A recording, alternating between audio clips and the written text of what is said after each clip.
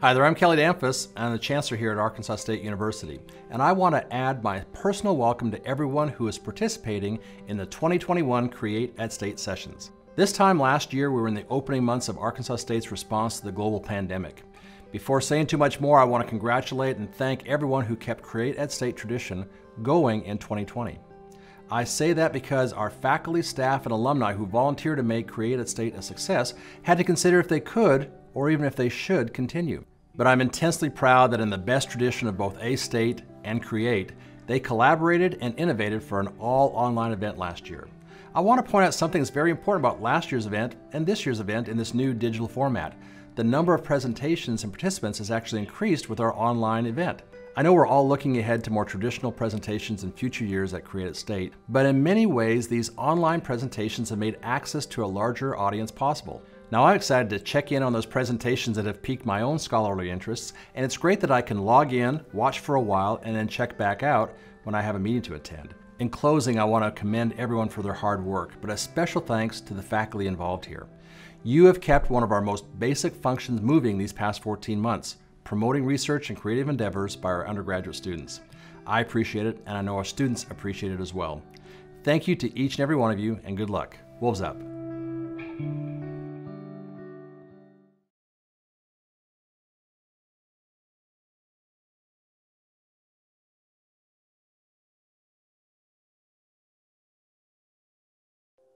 Welcome to the College of Nursing and Health Professions Create at State. I'm Susan Hanrahan, Dean of the College of Nursing and Health Professions. We have another virtual showcase that I'm very proud of today with 68 poster and platform presentations from our undergraduate and graduate students.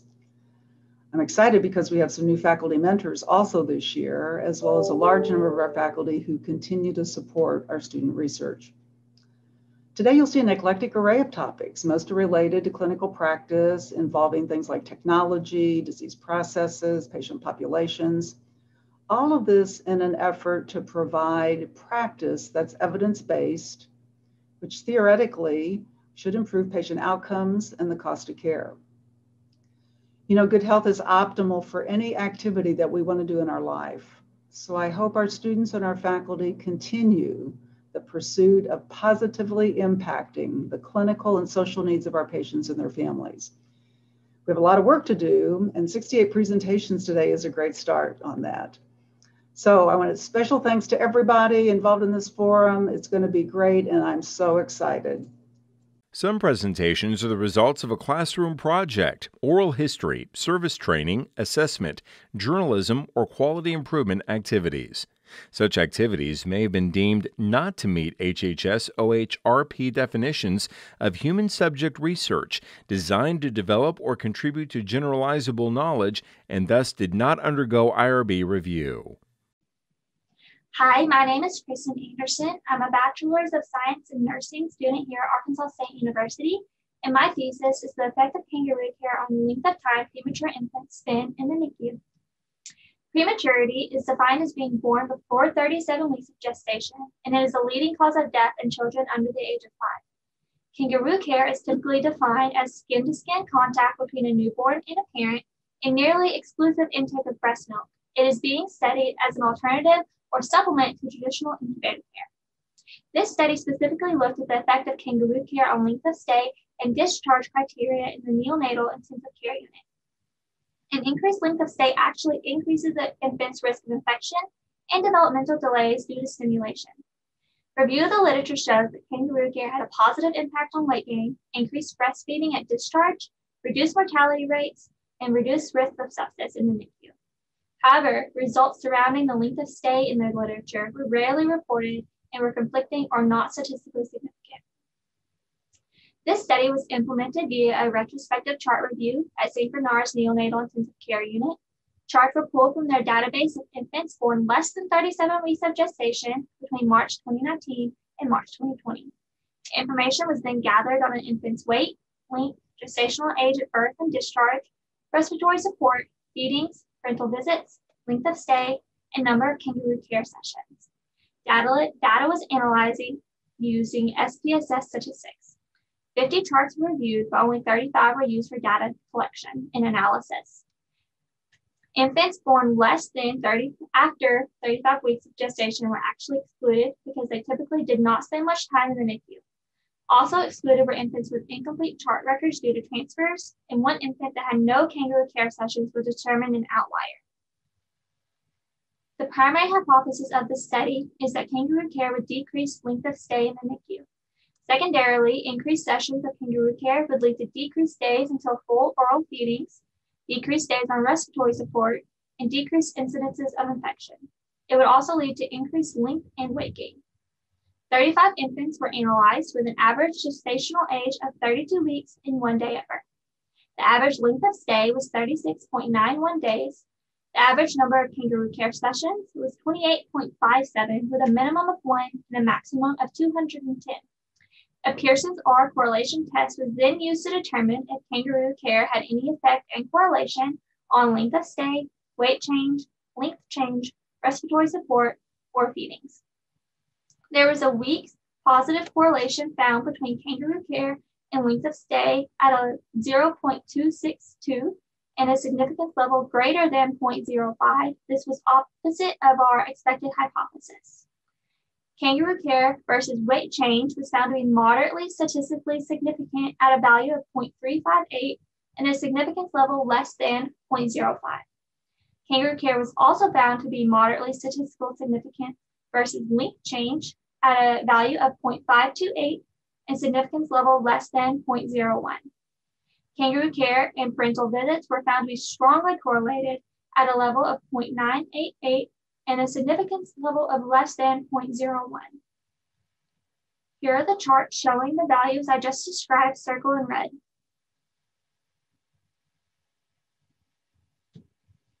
There were a few limitations in this study. One was a delay in IRB processing that limited data collection to one month instead of the proposed two. This resulted in a lower number of charts reviewed than anticipated. Also, no true control group could be defined due to only one infant having zero sessions of kangaroo care. No genders or race were documented to determine if they had any effect on length of stay. And finally, frequencies of occurrences in the variables were hand tallied, which could have resulted in calculation errors. Kangaroo care versus length of stay was a weak positive correlation, which was the opposite of our predicted hypothesis. This actually concurs with our literature that found no statistical significance between kangaroo care and length of stay. However, there was a statistical significance between kangaroo care and length change and kangaroo care and weight change. A Cochrane review concurred with this result. However, another meta-analysis found no correlation between those variables. This is statistically significant and significant in the real world because weight and length gain are meaningful in a NICU. These variables show that infants are being nutritionally supported and are thriving and that kangaroo care is contributing to that. There was also a strong correlation noted between kangaroo care and parental visits, which shows that parents are interacting, bonding, and being involved in their child's care while in the NICU. These are references used for this presentation, and thank you all for your time.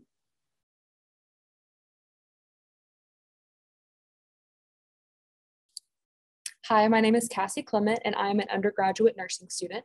I chose for my honors senior thesis to research nursing student and nursing faculty perceptions of ICU patient sleep.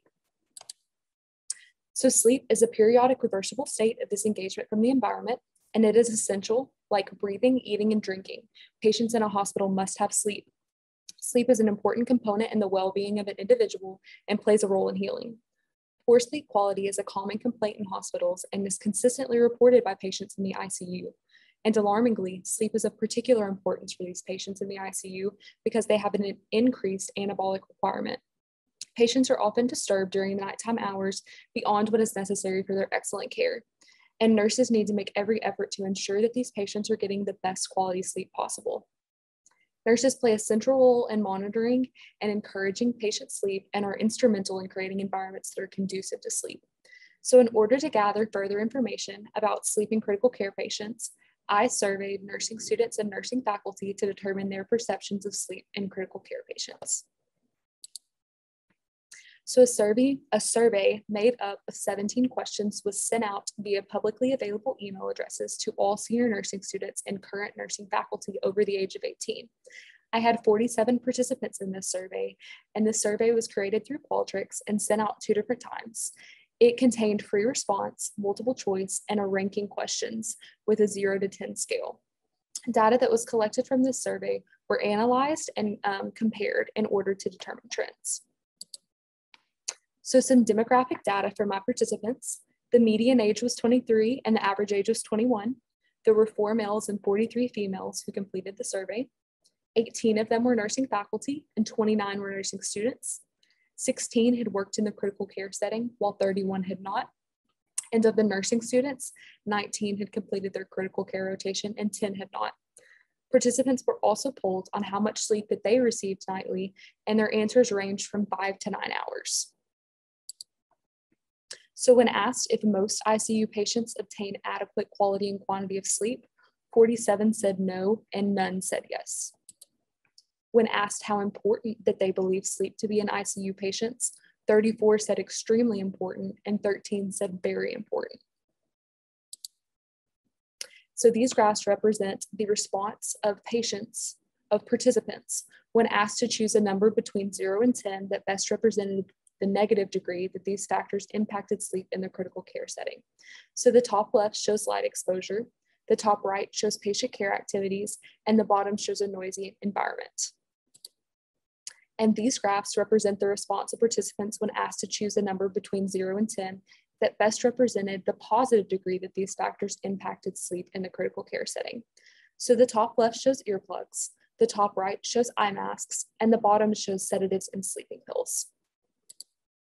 And these are some more of the response of participants when asked about positive factors. On the left is staff education, and on the right is clustered care. And clustered care is when um, patient care activities are tried, when providers try to do them at the same time instead of spreading them out. So at the end of this survey, participants were also polled on suggestions that they had for improving patient sleep, and clustered care was the most common answer. Earplugs and staff education and staff awareness were also popular answers. Um, and these are some of my findings. All 47 of my participants indicated that critical care patients do not receive sufficient quali quality or quantity of sleep, and all of them rank sleep as either extremely important or very important. These findings were encouraging to me and were expected just with the literature that I've viewed about sleep in ICU patients. The ICU has been described as a noisy environment with a high level of in-room interruptions of excessive light exposure and a place where many patient care activities make it difficult to lower noise, and that patients need constant assessment and interventions as frequent as every 5 to 15 minutes. So the average of the participant ratings for negative factors showed that they believed noise to be the most detrimental to patient sleep. This was followed by patient care activities, and light exposure was on average ranked to be the least harmful. Of the positive factors, eye mask and earplugs were on average thought to be the least helpful, and these were followed by sleeping pills and sedatives, then staff education, and clustered care was ranked on average to be the most helpful. Um, and then some of my limitations include that the response rate was only 39.8%, and so it might not have shown as high of correlations as possible. The survey was in a limited area, and there were modifications necessary due to COVID. So these are my references. Thank you so much for your time.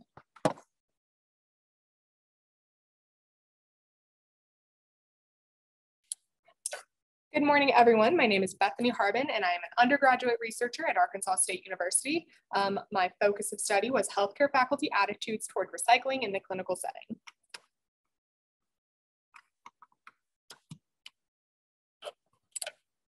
So the project objective was to um, determine the feasibility of recycling in the clinical setting. So similar to everything in the medical field, prevention is always better than cure. This can also be applied to the healthcare of the environment. So solid waste management is a global phenomenon leading to an increase in greenhouse gas production, which causes increases in temperatures worldwide. These temperatures cause things like increased heat waves, decrease in air quality, increase in natural disasters, and in infectious diseases, and many other things. Um, so why is this related to nursing? Um, for two main reasons, really. First, for people who fall victim to these consequences of climate change, AKA these infectious diseases, um, or people displaced by natural disasters, they might, on, they might end up on the receiving end of our care. But also, we as nurses can decrease the amount of waste that is mismanaged activities in the US health sector alone create 10% of our greenhouse gases. Um, this can be decreased by recycling all of the basins, pitchers, trays, flexible primary packaging, and all of those things listed on the slide right there. So we do have an impact on how we can impact the environment. Um, so to be a participant in this study, respondents had to be medical faculty at Arkansas State University, either part of the College of Nursing and Health Professions, Clinical Lab Sciences, Physical Therapy, Occupational ther Therapy, or Medical Imaging and Radiation Sciences. Participants also had to be 18 years or older, and their emails had to be available to the public domain on the Arkansas State website. Um, a 15 item survey was sent out. It was created with Qualtrics. These questions consisted of um, items related to recycling, knowledge about recycling, climate change, and willingness to recycle in the clinical setting. The survey was sent out two times following IRB approval. Um, 42 participants of 79 who the email were sent to responded. Data was placed in an Excel document and it was um, examined to determine trends. So there are a few slides with graphs that I am going to show you. So I will flip through these rather quickly. If you have any questions, please don't hesitate to contact me. The first few questions that I asked were demographic questions. Do you consent? Are you 18 years or older? And what part, what college are you a part of? Um, 27 participants were part of the Nursing and Health Professions College, six were from Radiation Sciences, four from PT, three from OT, and two from um, Lab Sciences. Um, this graph just shows of those 42 participants, how many did recycle regularly at home? 57% does, 43% does not. Um, this next slide just um, has a graph that shows the correlation between faculty who do recycle at home and their personal opinion on the importance of recycling. This was rated on a scale from zero to 10, zero being least important, 10 being most important. Um, this next slide is probably my favorite graph from my entire project. The data displayed here represents how many trash cans on average each medical professional filled up per patient per shift, according to which college they were a part of. Um, this next graph displays the willingness of staff to be able to walk the extra steps to reach a recycling, recycling receptacle during the workday. I believe this data actually displays a lot, as we all know how busy medical professionals are in the cl clinical setting during the workday. Um, this chart is a little busy, I know, but it does display three sets of data.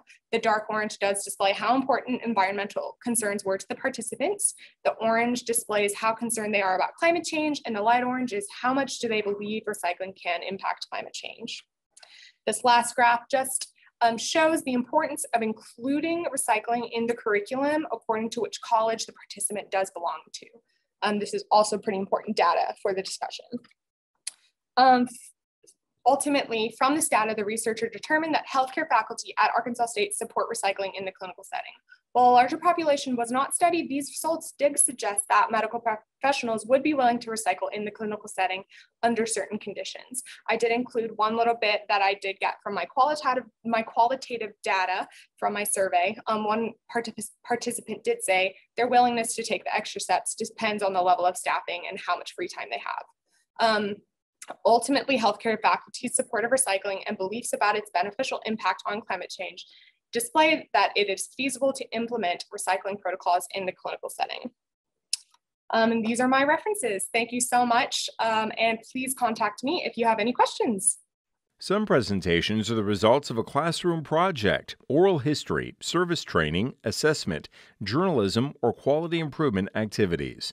Such activities may have been deemed not to meet HHS OHRP definitions of human subject research designed to develop or contribute to generalizable knowledge and thus did not undergo IRB review.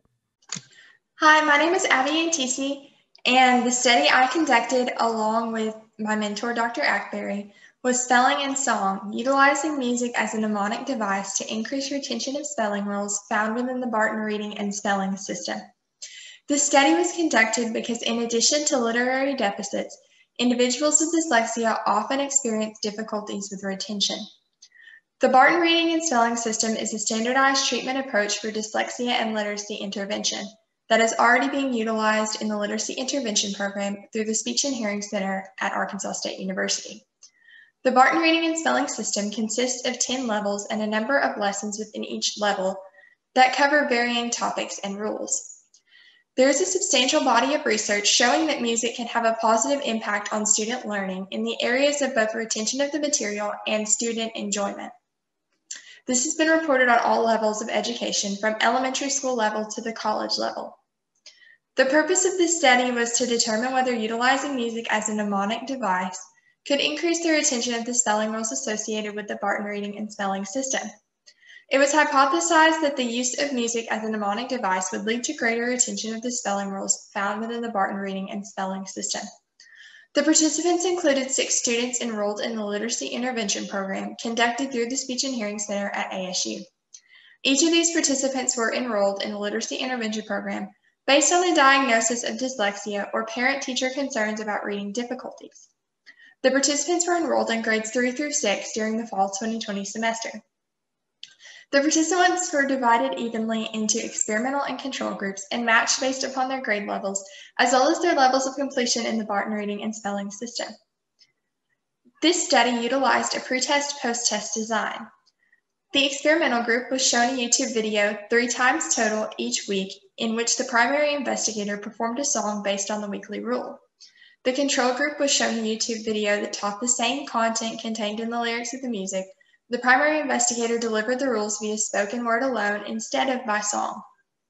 A series of independent samples t-tests were conducted to determine the difference between the experimental and control groups in terms of performance on several different variables.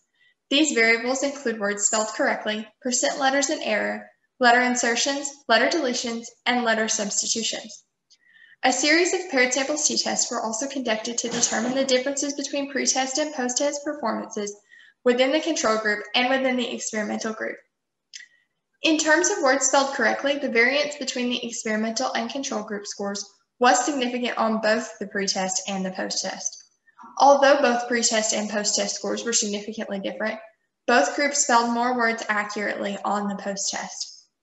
The variance between the experimental and control groups in terms of percentage letters in error was also significant for both the pretest and the post-test. However, both groups exhibited lower percentages of error following treatment. The variation between the pretest and post-test scores in terms of words spelled correctly was not significant. Although it was not statistically significant within the control group, the participants in the control group spelled more words correctly on the post-test than the pretest on average. Variance between the letters in error on the pretest and letters in error on the post-test was significant, and the participants in the control group showed a significantly lower percentage of letters in error on the post-test as compared to the pre-test. In terms of the experimental group, variation between the pre-test words correct and post-test words correct, and variance between percentage letters in error on the pre-test and the post-test was not significant. However, the participants in the experimental group spelled more words accurately on the post-test than the pre-test and had less percentage letters in error on the post-test than on the pre-test. Overall, the results showed that both the control and experimental groups improved in spelling over the course of the study. The presence of improvement in both groups indicates that the use of song did not hinder learning. However, it cannot be determined to be the only factor related to spelling improvement. As detailed in the results section, the experimental and control groups were statistically different in the outset of treatment. It should be noted that clinicians reported client enjoyment of the videos presented. Several clinicians offered feedback that their clients look forward to the video portion of each section above all other portions of their standard biweekly treatment. This study was completed at the height of the COVID-19 pandemic, which resulted in several limitations, specifically that telepractice was used constantly for one participant and occasionally for several others due to quarantines. Some songs were also longer than others, and thus some rules were repeated more often the, in the songs than others. However, there is no indication that this affected the results in any manner.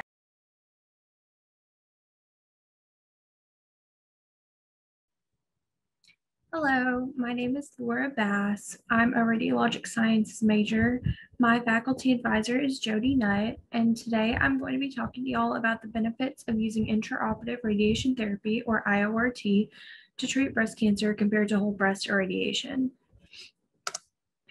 So right here, I have a picture on the right, and that is what an IORT machine looks like. Um, a new approach to delivering radiation therapy that has been explored by researchers and physicians is called intraoperative radiation therapy, or IORT for short. And so, traditionally, whole breast irradiation is when a beam is entering the patient's body externally and radiating the tumor and the surrounding tissues. But with IORT, instead of coming in externally, a probe is placed during surgery that delivers the dose to, directly to the tumor bed. And so this allows better shielding for the surrounding healthy tissues. Um, the purpose of this project is to examine the benefits and effectiveness of IORT compared to external beam radiation in order to deliver the best possible treatment for the patient. And research was done in which analyzation of various treatment approaches and combinations were conducted, as well as how they affected patients in the short term and how effective they were overall. So there was two major studies done to assess the effectiveness of using IORT clinically, and those were the TARGIT-A trial and the ELIOT trial. Um, in the TARGIT-A trial, a sample size of about 3,500 women 45 years and older were randomly selected to receive a one time dose using IORT or whole breast irradiation dose um, treatments over a three to five week period. And then in the ELIOT study, there was about a 1,300 um, sample size of women 48 years and older who were randomly selected to receive a one-time dose using IORT or a WBI with a with a boost treatment over a six-week period. So both of the studies yielded very similar results. Skin toxicity profiles were lower for patients in IORT groups, and there was less reported skin erythema, which is redness of the skin. There was less reported dryness, hyperpigmentation, and itching. And there was also fewer non-breast cancer related deaths that were also reported for IORT groups. So overall, patients received comparable cosmetic outcomes and experienced a superior breast-related quality of life. But initial research also indicated that the rate of recurrence for patients who were administered IORT were between 3% and 4%, compared to 1% or less for patients who were administered whole breast irradiation. So the reason that this happens is when during a whole breast irradiation treatment, the dose delivered to the patient's breast is not only um, the tumor and the tumor bed are not the only things receiving dose, the whole breast is. So if there's any cancer cells that weren't detected through previous imaging, um, those are getting radiated. Um, but with IORT, since the dose is concentrated to that one area and the healthy tissue is shielded, if there's any cancer cells anywhere else in the breast that weren't detected, those don't receive a dose. So that's why the re- rate of recurrence is a little higher for IORT, but it's still a very small percentage and there's adaptations of IORT that may decrease this risk. So following initial trials, researchers are continuing to analyze patient factors in conjunction with using IORT and their diagnostic outcomes. And researchers are also considering how adaptations of IORT, such as administering it alongside whole breast irradiation, could possibly yield the same cosmetic benefits to patients while also reducing the rate of recurrence.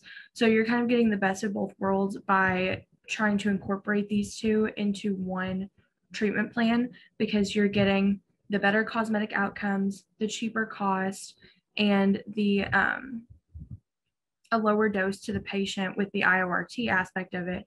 But with the whole breast irradiation, you are ensuring that the rate of recurrence for that patient is much lower by radiating more uh, area. So, in conclusion, intraoperative radiation therapy offers reduced treatment duration and cost effectiveness, as well as its capability to successfully treat breast cancer while irradiating less healthy tissue and yielding less severe side effects. So, with further research and clinical trials, IORT has the potential to be a very beneficial and effective treatment option for patients diagnosed with breast cancer. And I personally chose to research this topic because when treating cancer, it's so vital to use the best technology you can and formulate the most optimal treatment plan to ensure that the patients are receiving the highest level of care possible with the most ideal outcomes. And this is just a list of all the references I used when doing my research. And that concludes my presentation and thank you all for listening.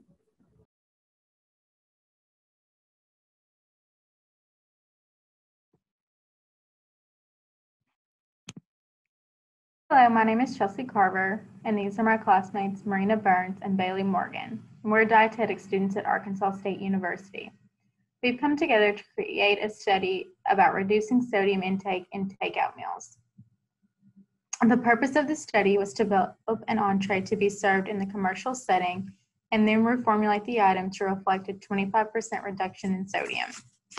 We chose to reformulate a food item to reflect a 25% reduction in sodium because the average American consumes roughly 3,400 milligrams of sodium per day, while the American Heart Association recommends to keep sodium intake to 2,300 milligrams per day.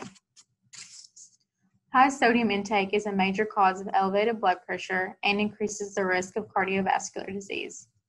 We believe that our Kung Pao chicken recipe can spark fast food restaurants to reduce sodium within their menu options. The methods used to conduct this experiment consisted of participants from the campus community tasting a sample of our original Kung Pao chicken recipe as well as the reduced sodium recipe.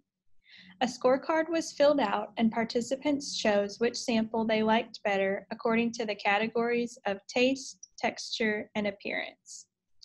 Through trial and error of the sauce, we used our knowledge of food chemistry to manipulate the original recipe and end up making a 27% sodium reduction in the Kung Pao chicken.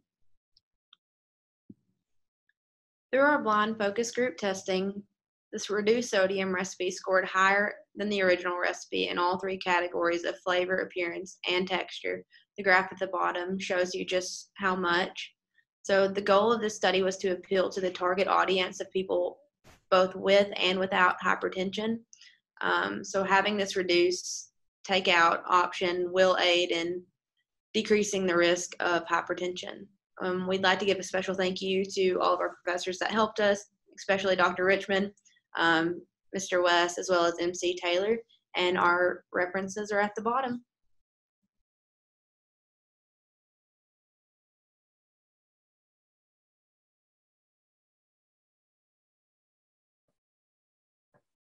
Hello, my name is Meredith Greathouse, and I'm presenting my poster on pediatric imaging challenges. Thank you for joining me today.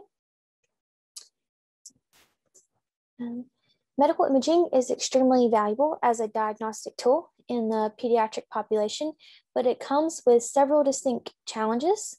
The goal is to reduce pediatric exposure time while still providing high quality images.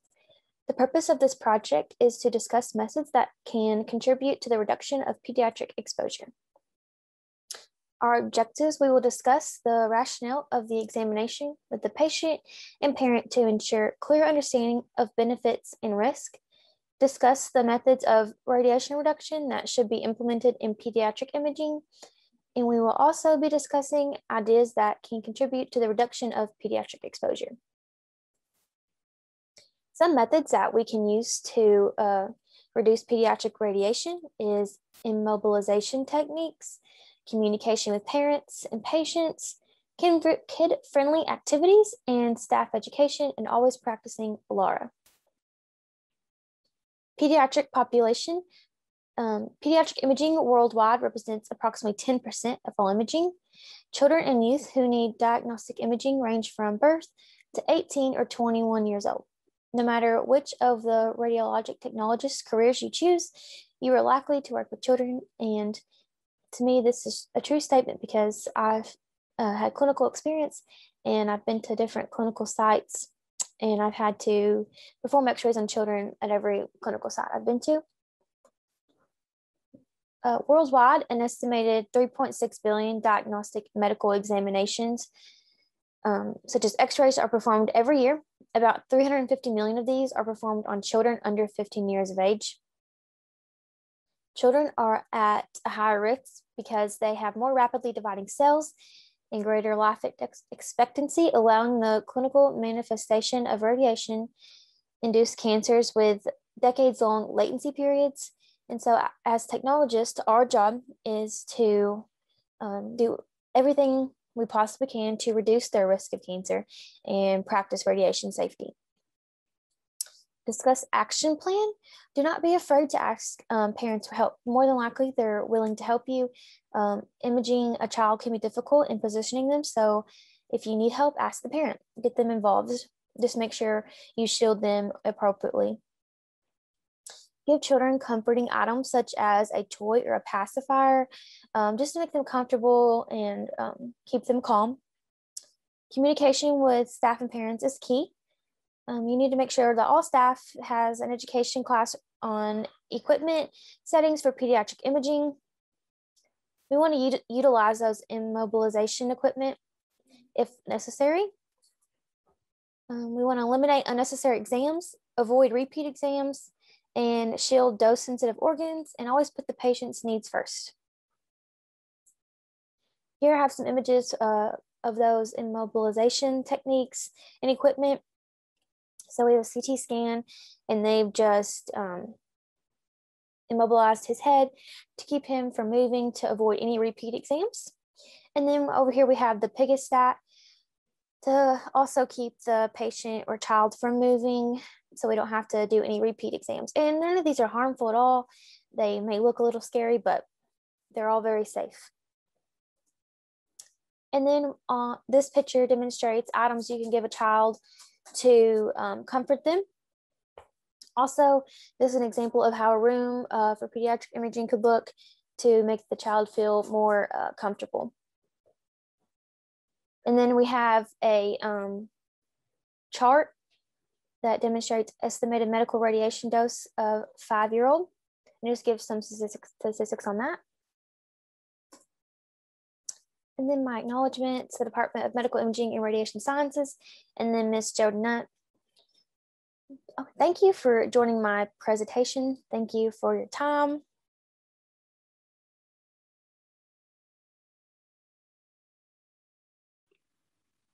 Hello, my name is Ariel Kaylee Jones, and I will be presenting why using M-mode over pulse wave is recommended in early OB ultrasounds. Introduction and purpose. Ultrasound is the imaging modality used to monitor a fetus in utero throughout the pregnancy. It is used along with other information, such as clinical values, to evaluate the well being of the fetus. Sonography is used because of its use of non ionizing radiation. This means there are no known biological harms caused by ultrasound. However, there is a theoretical biological effect of tissue heating that could potentially cause harm to the developing fetus. Diagnostic medical sonographers should aim to cause the least amount of harm as possible. The purpose of this project is to determine the safest scanning technique for a fetus. Objectives Sonographers practice ALARA as low as reasonably achievable Medical professionals also live by a term called beneficence. This means striving to do the largest amount of good for your patient. Sonographers should apply these to their everyday practice. If M mode is safer than pulse wave for a fetus by decreasing the biological effects, sonographers should use M mode exclusively. Research will be referenced. Methods.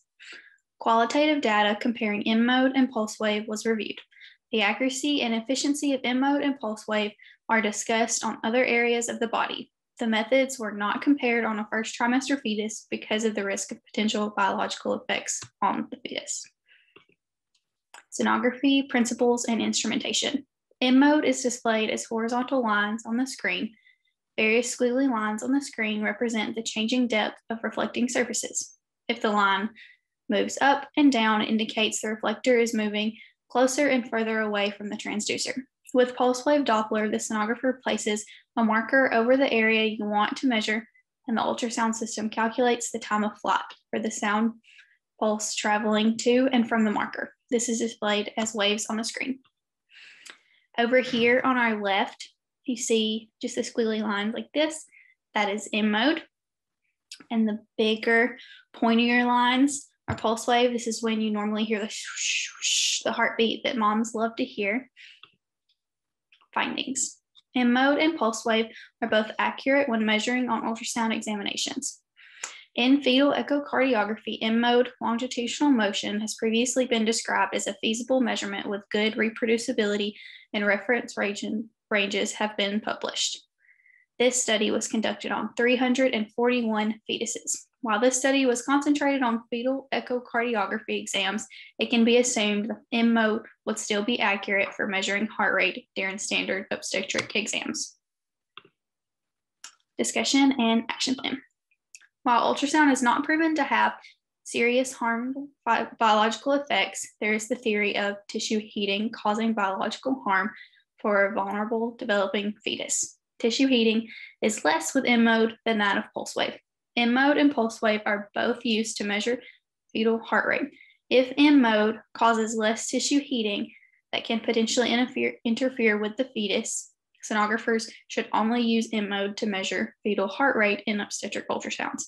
This should be universally implemented in departments and scanning protocols. Acknowledgements. First is Miss Jody Nutt. She's also my faculty advisor. She's been a great help in helping me tweak everything and guiding me in the right direction. Uh, Miss Amber Wooten and Miss Deanna Berryman are both ultrasound professors here. And they are my good guiding compass and kind of help me get ideas for this project. And thank you all for your time.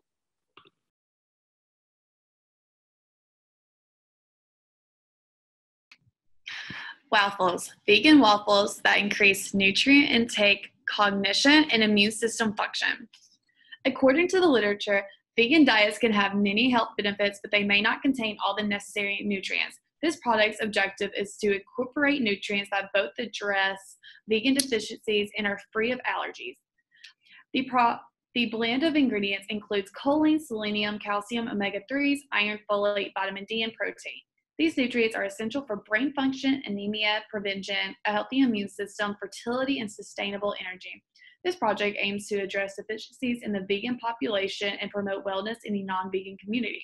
The product was presented to a focus group that consisted of a mixture of vegan and non vegan participants and asked to eva- evaluate the flavor, texture, and appearance preferences of both the savory and the sweet chocolate waffle. The dietetics profession may utilize the findings to meet clients' dietary needs better and nourish their bodies. Our objective is to create a certified vegan products, and we are currently in the process of doing this through vegan.com. Um, so, studies have shown that a vegan diet decreases the chances of insulin resistance, metabolic syndrome, diabetes, gastrointestinal disease, and a lot more. Since our waffles are made from plant based products, the fiber content is also very high and it keeps you full very long avoid um, intolerances and common allergies. So, food allergies and intolerances are becoming more prevalent all around the world. The eight main allergens are shellfish, peanuts, milk, eggs, soy, wheat, tree nuts. Food allergies can cause life threatening reactions, gastrointestinal stress, migraines, hives, itching, and more. And Waffles is 100% allergen free. Minimally processed and composed of whole foods, promote cognition, anti-inflammation, and immune system functions, and also to avoid um, address vegan nutrient deficiencies. Our focus group testing was March 5th at the Arkansas State um, University Nutrition Science Lab. Um, an experiment was conducted using a focus group that consisted of A-State University students, faculty, staff members. Both the waffles and the competition waffle mix samples were randomly labeled and plated and then placed in front of their specified scorecards. Um, and also our waffles will be, was the preferred to the Birch Benders Keto Waffles. As Kristen mentioned, waffles incorporate nutrients that both address vegan deficiencies and are free of allergens. In just one of our waffles, we have 25% the daily value of vitamin D, 15% the daily value of iron, 8% the daily value of folate, and 8% the daily value of selenium.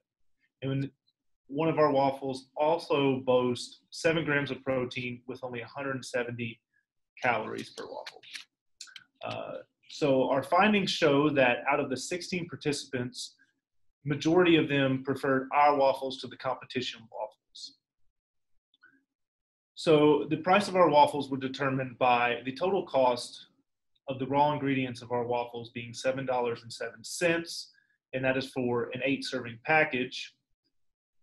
What we did is we added a 30% markup plus a 10% hidden fees markup, and we got the sales price of $15.54. In conclusion, many vegan products are highly processed, low in essential nutrients, and high in sugar and sodium. Our product is designed, designed to change the habit among ready made vegan foods and create a wholesome, healthy alternative. Waffles will be sold at health food stores, served at health or health conscious restaurants, and eventually marketed on our website. A social media presence will also be established on Instagram and Facebook in order to further promote waffles and their holistic, earth friendly ideology. We would love to thank Mr. Eric West, Mr. Joseph Richmond, and Ms. Taylor for able to guidance and support in completing our projects. Thank you.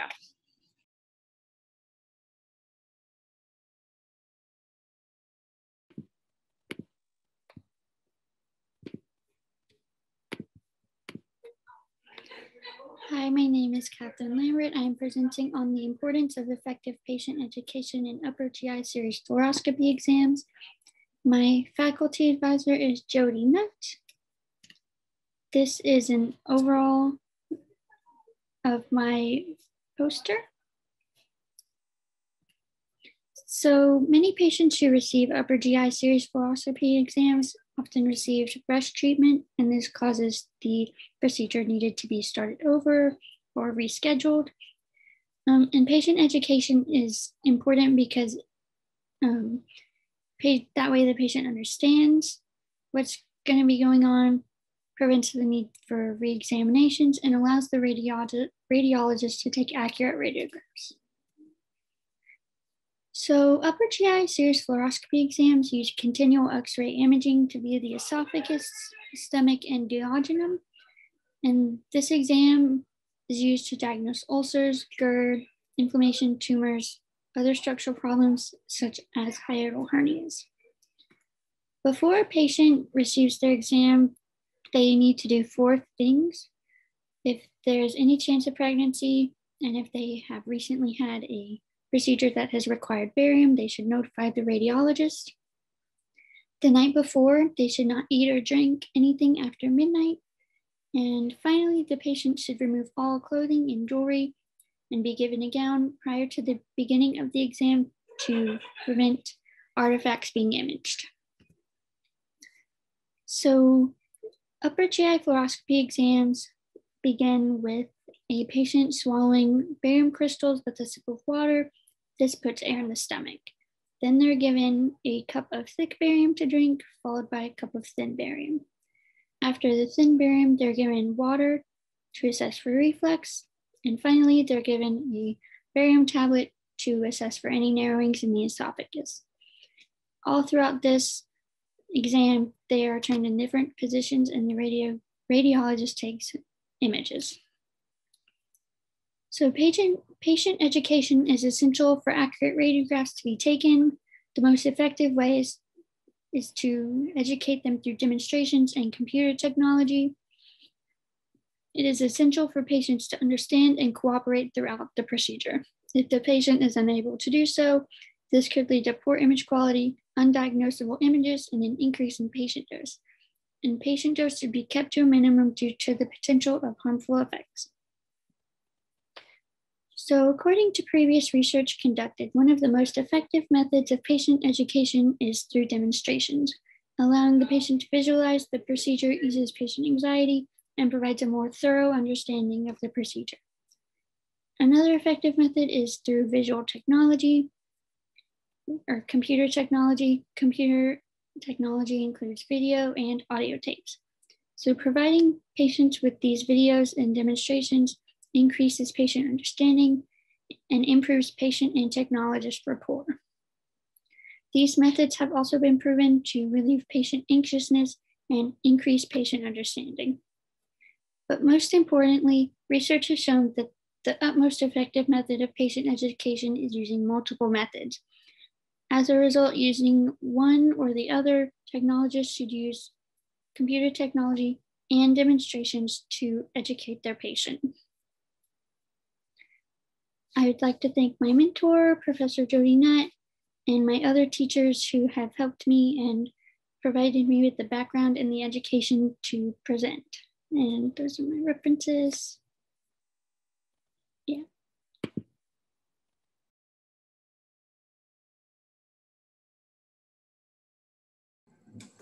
Hello, my name is Emily Marshall. Here I have my Create@State presentation for research I helped perform in the fall semester of 2020.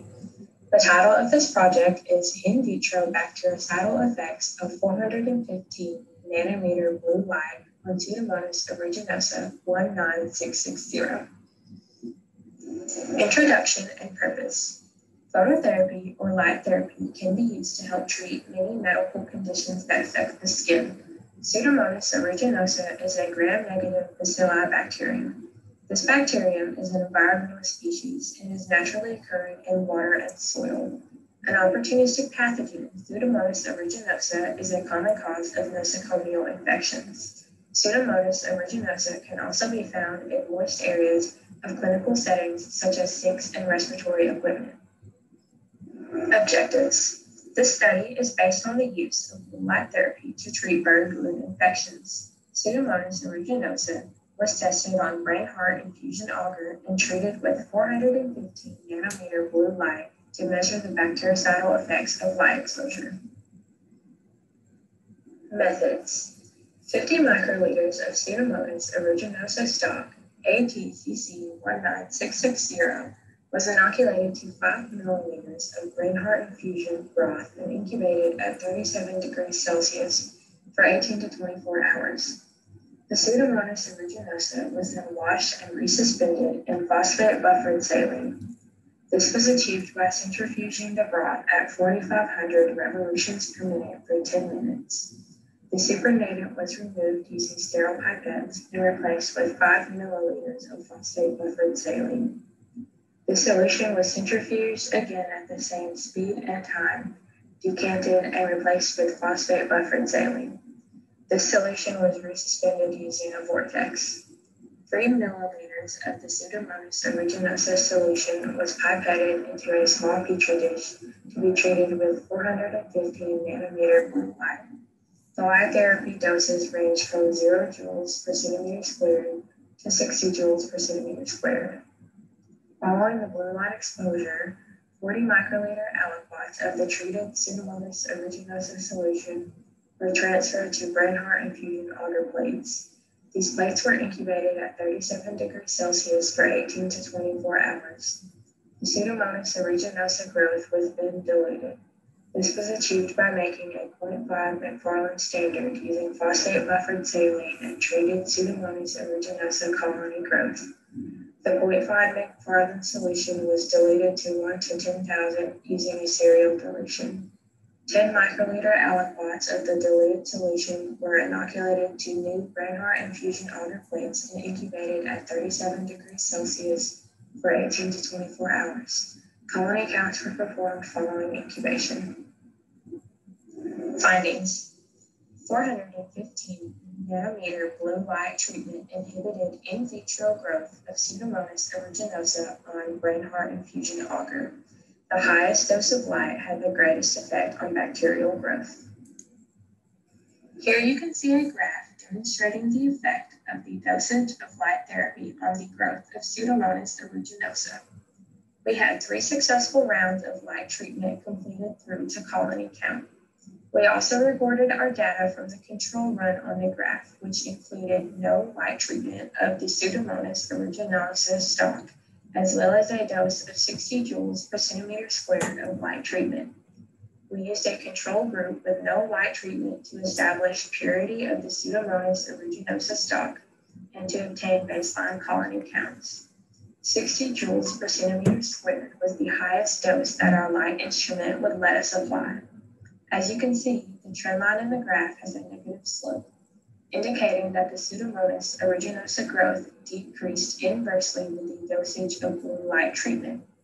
In other words, the Pseudomonas aeruginosa colonies that had the highest doses of light had the least amount of colony growth on average. Discussion and action plan. The results of this study are promising for potential in vivo use of blue light therapy to treat wound infections. The next step following the study will be to inoculate the Pseudomonas aeruginosa strain to laboratory rats to measure the rate of burn wound healing in live subjects. Pseudomonas aeruginosa growth was affected by all dosages of light use, but growth of the Pseudomonas aeruginosa was inhibited most by the highest doses of light.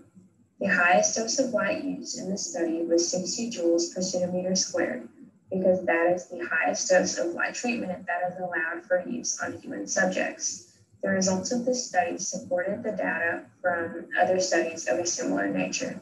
Studies with similar subjects of experimentation investigated different factors that may affect the degree of bacterial inhibition, such as rate of delivery of light and the wavelength of light used. Other frequencies of light that have been researched range from 405 nanometers to 880 nanometers.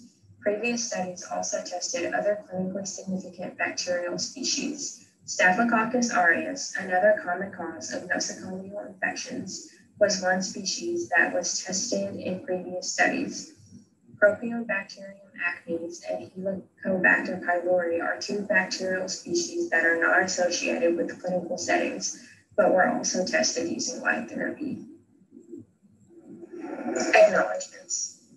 This research was funded with a grant by the name of the use of photobiomodulation to treat infected wounds through the Arkansas Biosciences Institute. Much thanks to Zach McLean and Carly Farmer for their support and assistance in this study. Thank you also to Claude Rector, the instructor mentor over this project. Thank you for listening.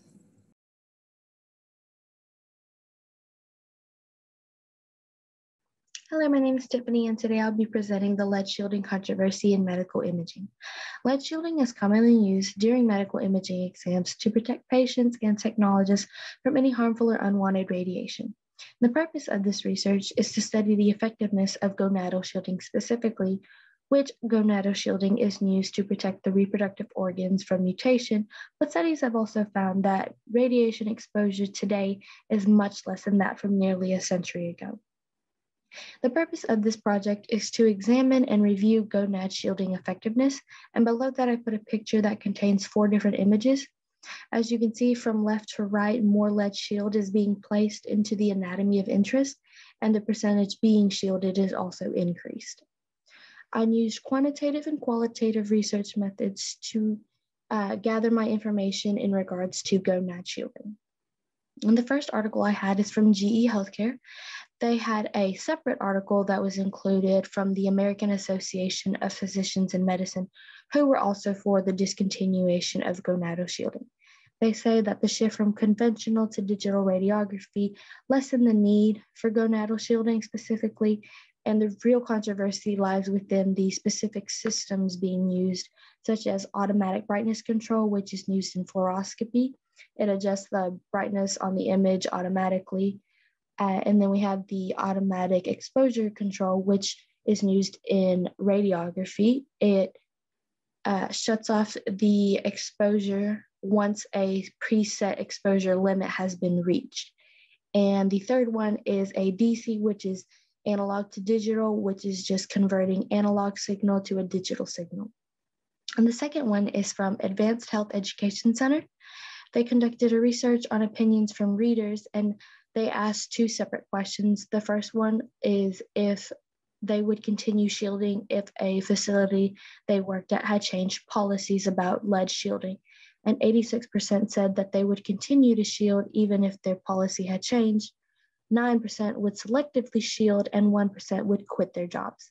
And the second question was asked if patients should be protected from all medical radiation if possible, and readers voted again. 91% would follow ALARA as low as reasonably reasonably achievable, and 7% believed some radiation was minimal, so no harm was really caused. The third one I did was the National Council on Radiation Protection and Measurements. They say the risk of heritable genetic effects are now considered to be much less than previously estimated, and technology improvements have resulted in a 95% reduction in absorbed dose. Gonadal shielding can interfere with the AEC systems, the automatic exposure control, which can also obscure parts of pelvic anatomy specifically where the gonads lie. And it concluded that in most circumstances, gonadal shielding does not reduce risk from exposure, but could increase overall exposure to the patient. And the last one was a, uh, an article featuring Dr. McKinney and Dr. Gingold. Dr. McKinney said she was for the discontinuation of gonadal shielding, and Dr. McKinney said he was against the discontinuation of gonadal shielding. And Dr. McKinney said that evidence suggests that gonadal shielding is cons- consistently employed incorrectly or it obscures the anatomy of interest and causes a repeat, which increases patient dose as well. She increase, she discusses that digital imaging reduces dose and makes up for shielding mistakes. Dr. Gingold, on the other hand, says that he believes in as low as reasonably achievable ALARA and is a standard practice for dose optimization. It forms better patient understanding and cooperation as well. And in my findings, it's shown that shielding in the abdominopelvic region would possibly lead to mistakes being made, such as anatomy of interest being obscured, or even the potential for a, uh, for a patient to move before the image has been taken. So in conclusion, lead shielding of the gonads is still utilized in today's diagnostic imaging exams, but it is also a standard practice for the technologist when the exam allows. It has built trust and given the patient a sense of security in knowing that they are being properly treated. Thank you for watching.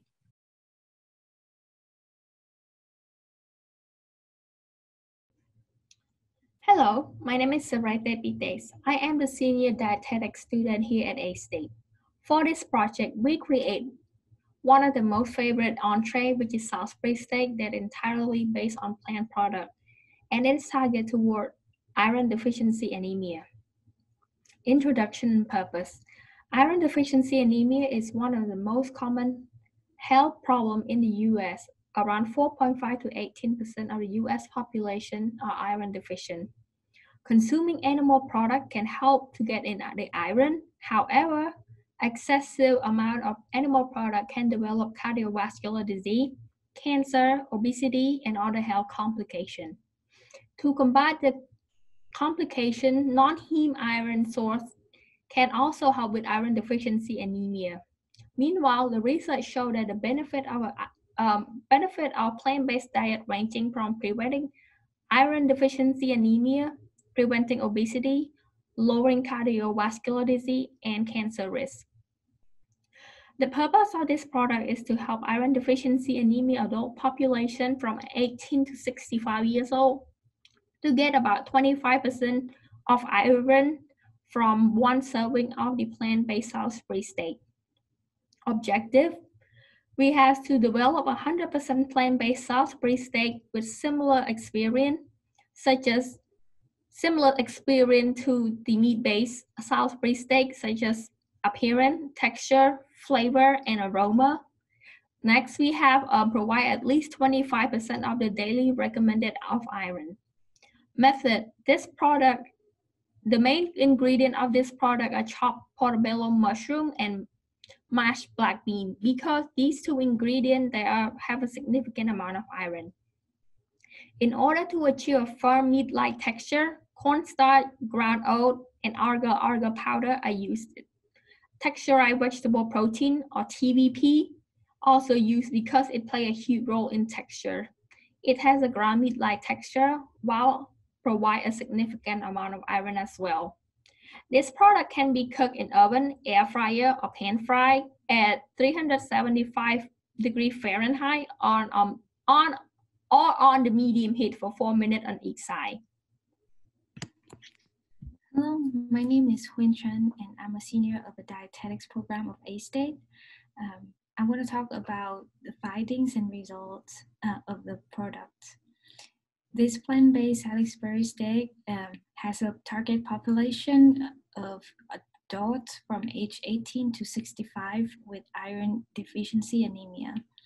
Uh, the goal for us is to achieve about 25% of the daily recommended intake of iron, uh, which is from 8 to 15 milligrams, by providing a similar experience of traditional entrees with plant-based ingredients that are high in iron fiber, protein, and other nutrients contents. This project aims to help the dietetics profession by bringing a new approach to nutrition intervention aspect of iron deficiency anemia.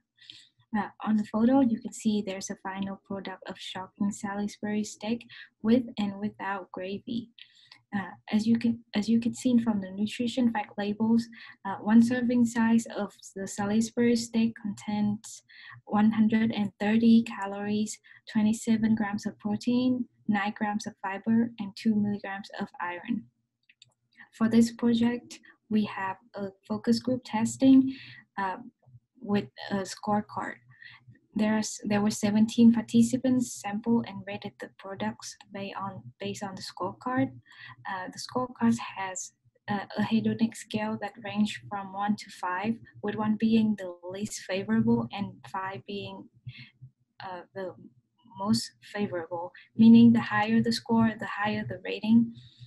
Uh, our our research uh, shows that the average hedonic score uh, for the overall rating were 3.4. In conclusion, the results uh, shows that while there were some favorable features of this steak, such as flavor and appearance, uh, there are other factors that needs to be improved, like texture and aroma to gain more recognition for a plant-based product. More than half believe that it is a good choice for an alternative Salisbury steak. Uh, additionally, the product contains more protein and fiber with no cholesterol and less fat than the meat-based Salisbury steak, making it a healthier and more desirable meal option. This food innovation project was being reviewed and evaluated closely by Dr. Richmond, Instructor West, and Instructor Taylor. Their contributions were greatly appreciated and acknowledged. This is the end of our presentation. Some presentations are the results of a classroom project, oral history, service training, assessment, journalism, or quality improvement activities. Such activities may have been deemed not to meet HHS OHRP definitions of human subject research designed to develop or contribute to generalizable knowledge and thus did not undergo IRB review.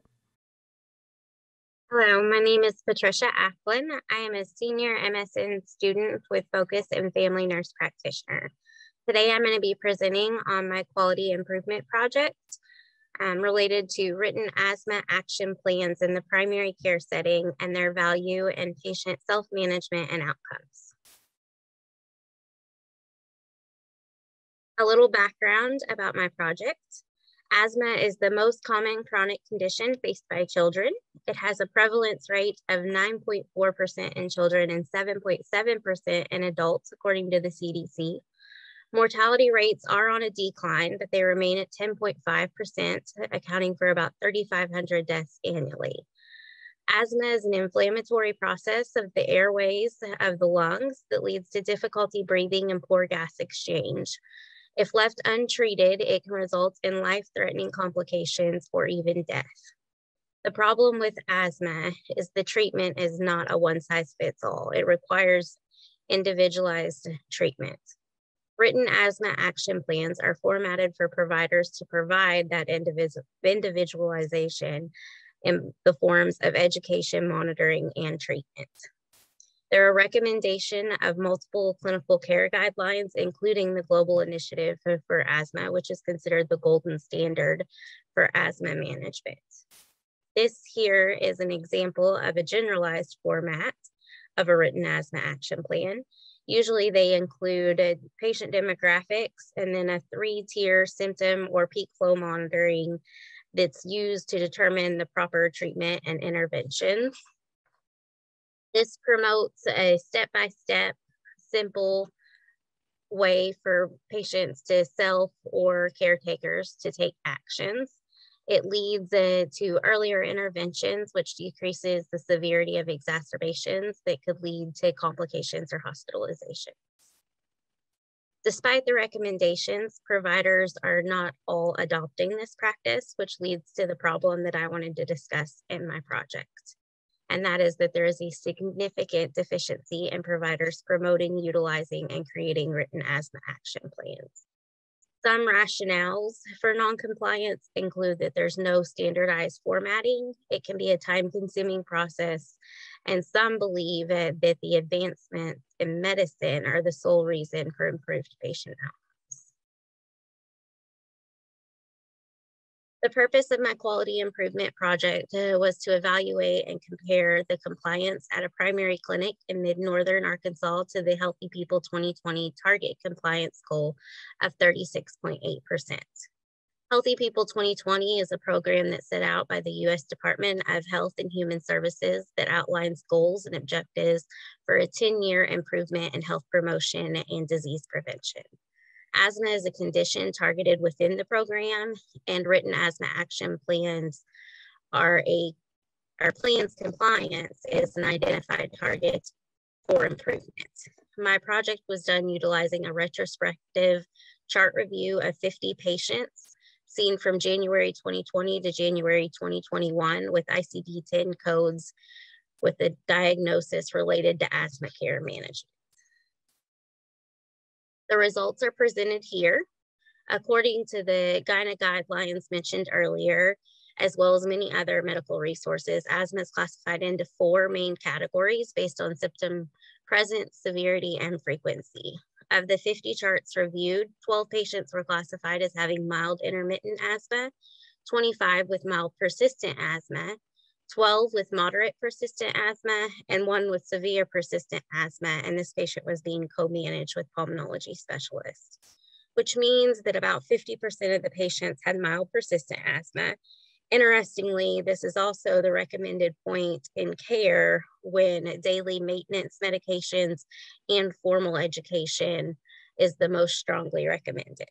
However, as seen in the second chart, the highest percentage of patients do not receive a written asthma action plan until symptoms are in the moderate or severe category. Of the 50 charts reviewed, only six patients had a written asthma action plan, with the which brings the compliance rate for the clinic to 12%, which is significantly below the targeted goal of 36.8%. This project, along with others, have the potential to improve asthma action care management. By raising awareness of the recommendation and the deficiency in compliance, there's a potential for improved compliance, which in turn improves patient understanding of their condition, their confidence and ability to self manage their condition, which promotes an improved proper treatment, earlier treatment, and at the appropriate level of access treatment. And overall, the most important, it improves patient outcomes. Thank you.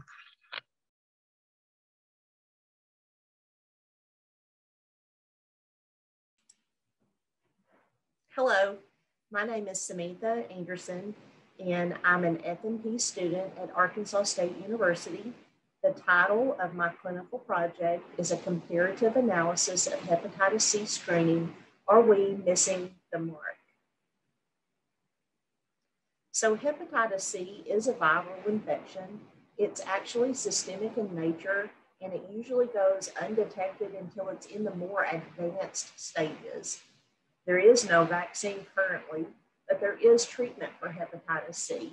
It's an oral medication therapy. It usually lasts 8 to 12 weeks in nature.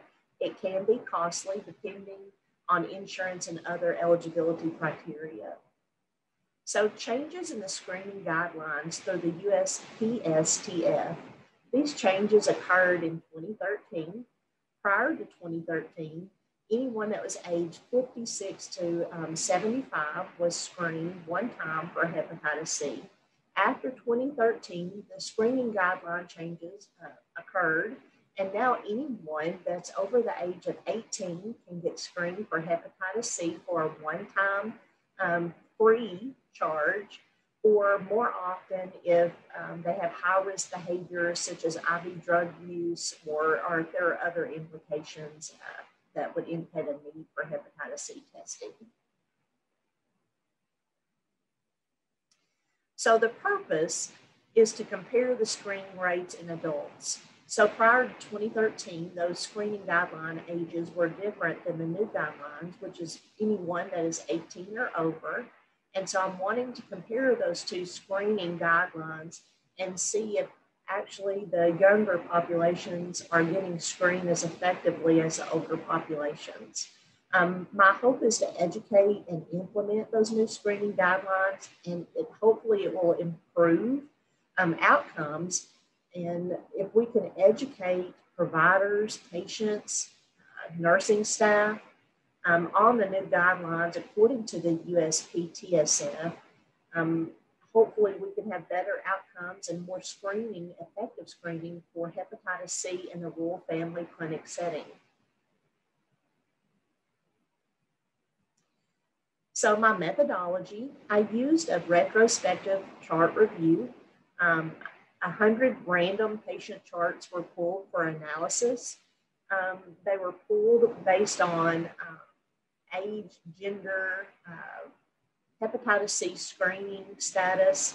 Um, those charts were pulled from January the 1st of 2017 through November the 18th of 2020. My exclusion criteria was anyone that had a current diagnosis of hepatitis C. So my results are actually still pending. I'm waiting on the facility to pull those charts so I can run the data to see what the significance of testing is between those two age groups with hepatitis C screenings. So contributions, are providers following the USPSTF guidelines? I think that identifying if they're actually implementing those new guidelines in their office and testing those um, will hopefully improve outcomes for patients who are positive for hepatitis C so that it doesn't get to the advanced stage. So early screening prevents disease progression. So I want to make the providers aware of the new screening guidelines if they're not, and hopefully encourage them to implement them into the electronic medical record. Thank you.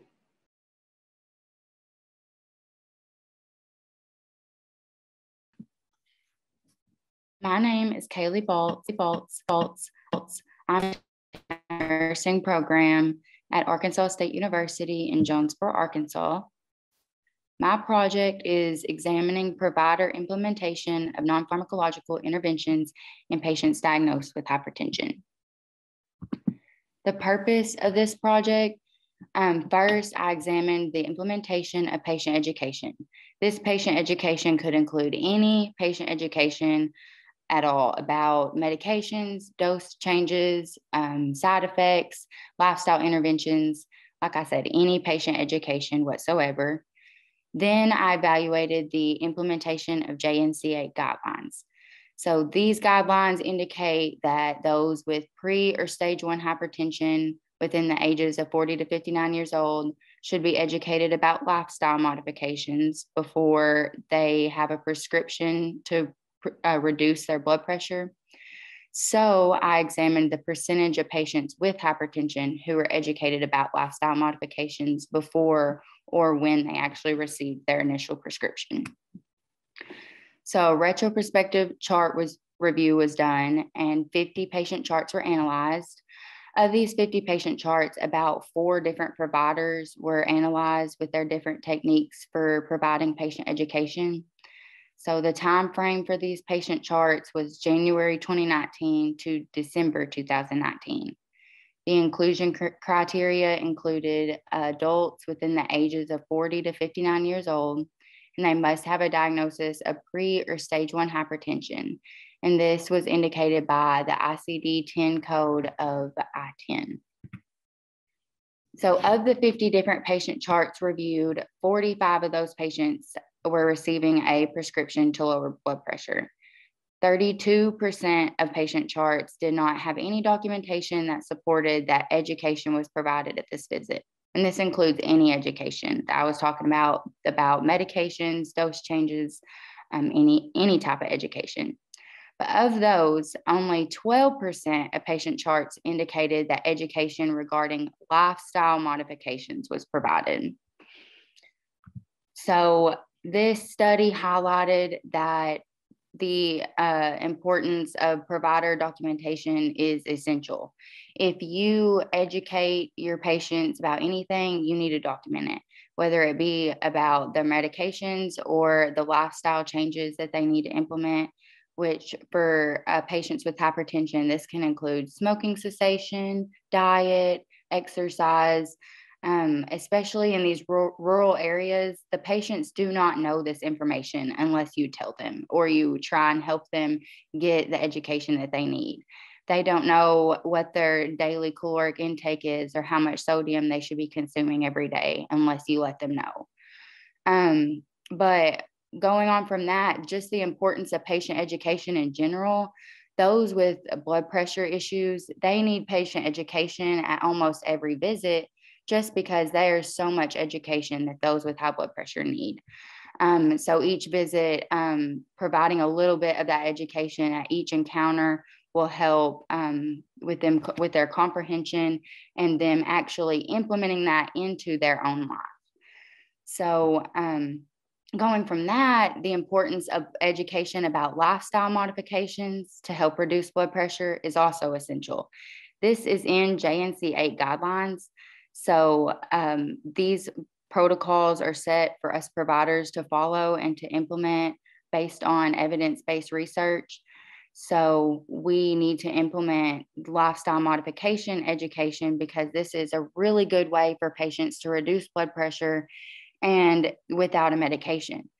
Even though they may need a medication later on, if their blood pressure still is not below 140 over 90, or it is coming to that point, um, that's fine, but they can still implement the the lifestyle modifications to help um, just improve their overall quality of life, but also maintaining a healthy blood pressure.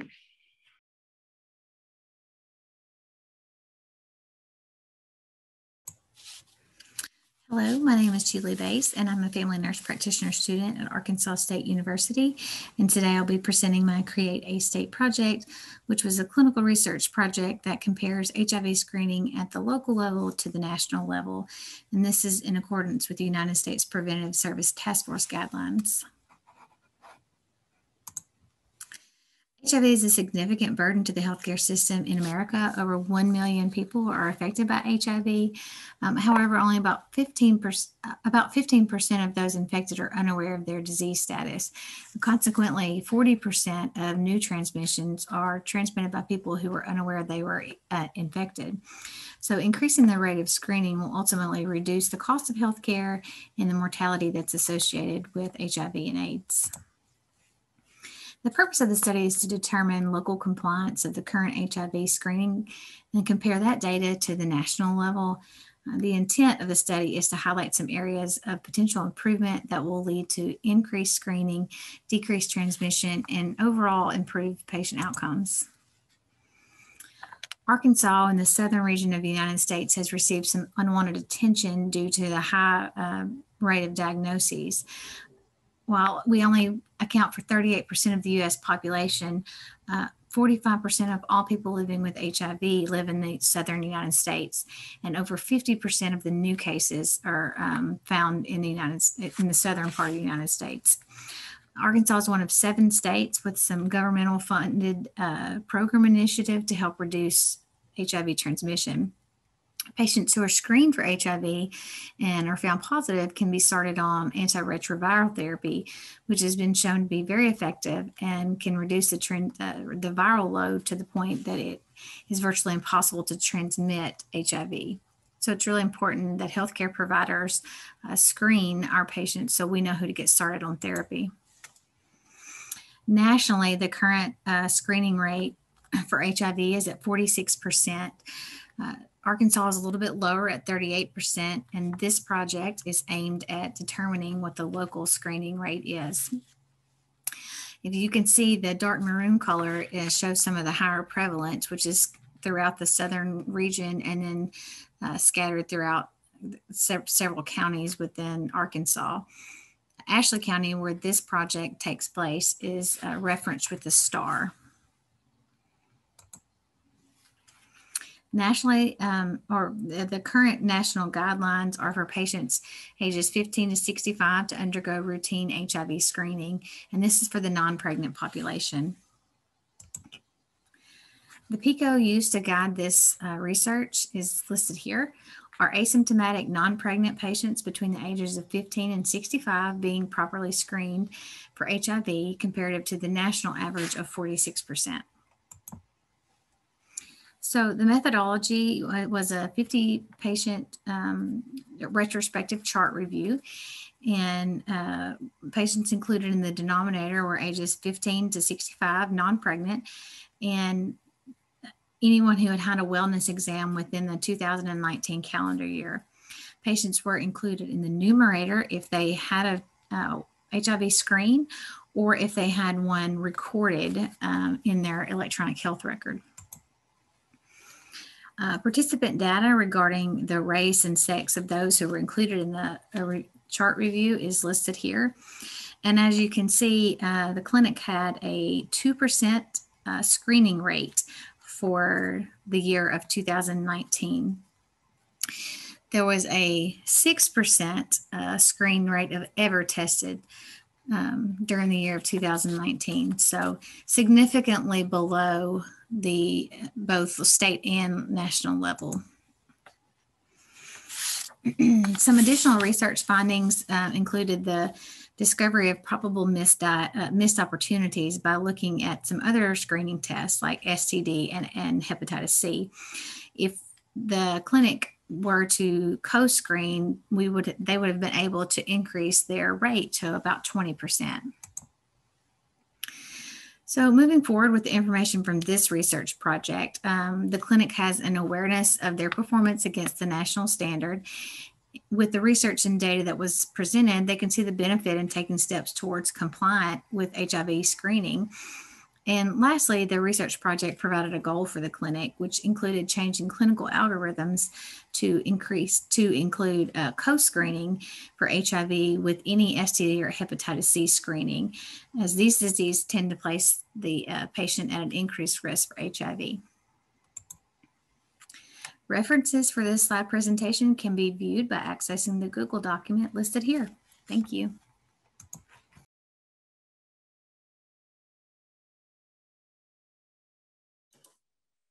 Hi guys, my name is Samuel Bentley and the title of my project is an examination of referral rates for cardiac calcium screenings within a rural health setting.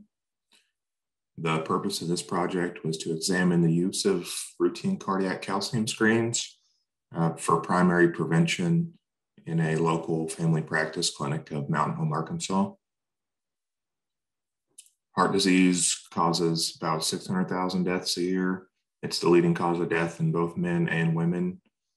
Heart disease is basically from poor lifestyle choices such as smoking, poor diet, and lack of exercise. The symptoms can build up, the plaque builds up, um, over a period of time, causing blockages that can lead to a heart attack. So, with cardiac calcium screens, they're a specialized CAT scan which takes pictures of the patient's coronary arteries, their coronary circulation, and just the overall anatomy of their heart. Uh, they offer incidental findings as well, like pulmonary nodules can be seen on these screens, and can help diagnose lung cancer. So that's a benefit of calcium screens as well. They're also cheap, they're non invasive, and they just do an overall good job with diagnosing. So the American Heart Association recommends patients uh, screening at 55 to 80 years old and patients at a younger age if they have high risks such as family history of heart disease or diabetes or hypertension and hyperlipidemia as well. So the research for this project consisted of a chart review of 50 patient charts at the local clinic in Mountain Home. Um, out of these 50 patients, they had to be 55 to 80 years old, have a history of smoking, hypertension, high cholesterol, or diabetes. Uh, patients that were excluded in this exam consisted of patients that already had previous cardiac stents or heart attacks. So out of the 50 patient charts, only 18 patients had been referred for cardiac calcium screens. And out of those 18 patients, five actually had a significant risk and required heart catheterization with stents placed. Findings of this project should help providers understand the benefits of cardiac calcium screens for routine prevention.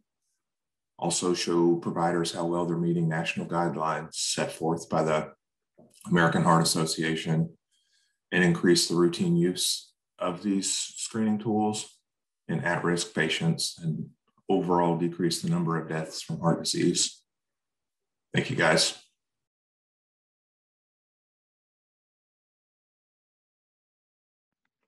Hello, my name is Jonna Boggs. I'm one of the graduate family nurse practitioner students here at Arkansas State University. My project is over colorectal cancer, an analysis of screening rates within the rural healthcare setting. Colorectal cancer is the third leading cause of death in the United States amongst men and women, according to the United States Preventative Services Task Force. The review is over fecal occult blood test screening measures in patients at the age of 50 to 74 years in a local primary care office of Northeast Arkansas comparative to the national standard recommended by the United States Preventative Services Task Force. The colon sheds normal and abnormal cells daily through stool. Cologuard is a fecal occult screening tool that can be used to detect certain DNA markers or blood. It is FDA approved. Therefore, we can see precancerous cells and cancer cells within stool studies. These stool studies can be done at the convenience of the patient at home and sent to the company by the patient. At the office, they are offered this screening. They sign forms and paperwork. And then all of this is mailed to the company, and the company does notify the provider when samples are collected and when results are known. When the results are known, this allows the care provider to follow up with the patient for potential further screening options if abnormal cells are found, or to set up the next appropriate screening time frame. The method to review this was a retrospective review of 100 patient charts from January 2019 to December 2019. It was done on the Medicare Wellness Visits at Random Selection, the ICD-10 codes, which is a billing code and international classification of disease database, numbers were used. A G0438 or G0439, which is an annual wellness visit billing code, was obtained a K62.5, which is hemorrhage of anus and rectum, and a Z12.11, which is encounter for screening for malignant neoplasm of colon, was used to gather data. The inclusion criteria had to meet 50 to 74 years of age, no prior history of cancer, colorectal polyps, or first relative family history of cancer. The results within this clinic show that 60% of patients at those well screening visits or that had those ICD 10 codes were offered colorectal screening through Cologuard. 100% of patients were offered a colonoscopy, which is considered gold standard for colorectal cancer screening because it allows for visualization of the colon and can allow for some invasive testing if abnormal tissues are discovered.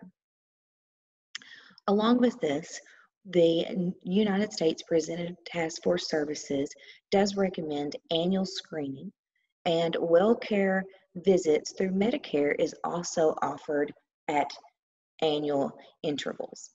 The clinic has an electronic medical record that allows them to have cues that pop up when they need to screen patients again for the colorectal screening and it also gives them the opportunity to see if a colonoscopy or other screening measures for colorectal cancer were completed or performed.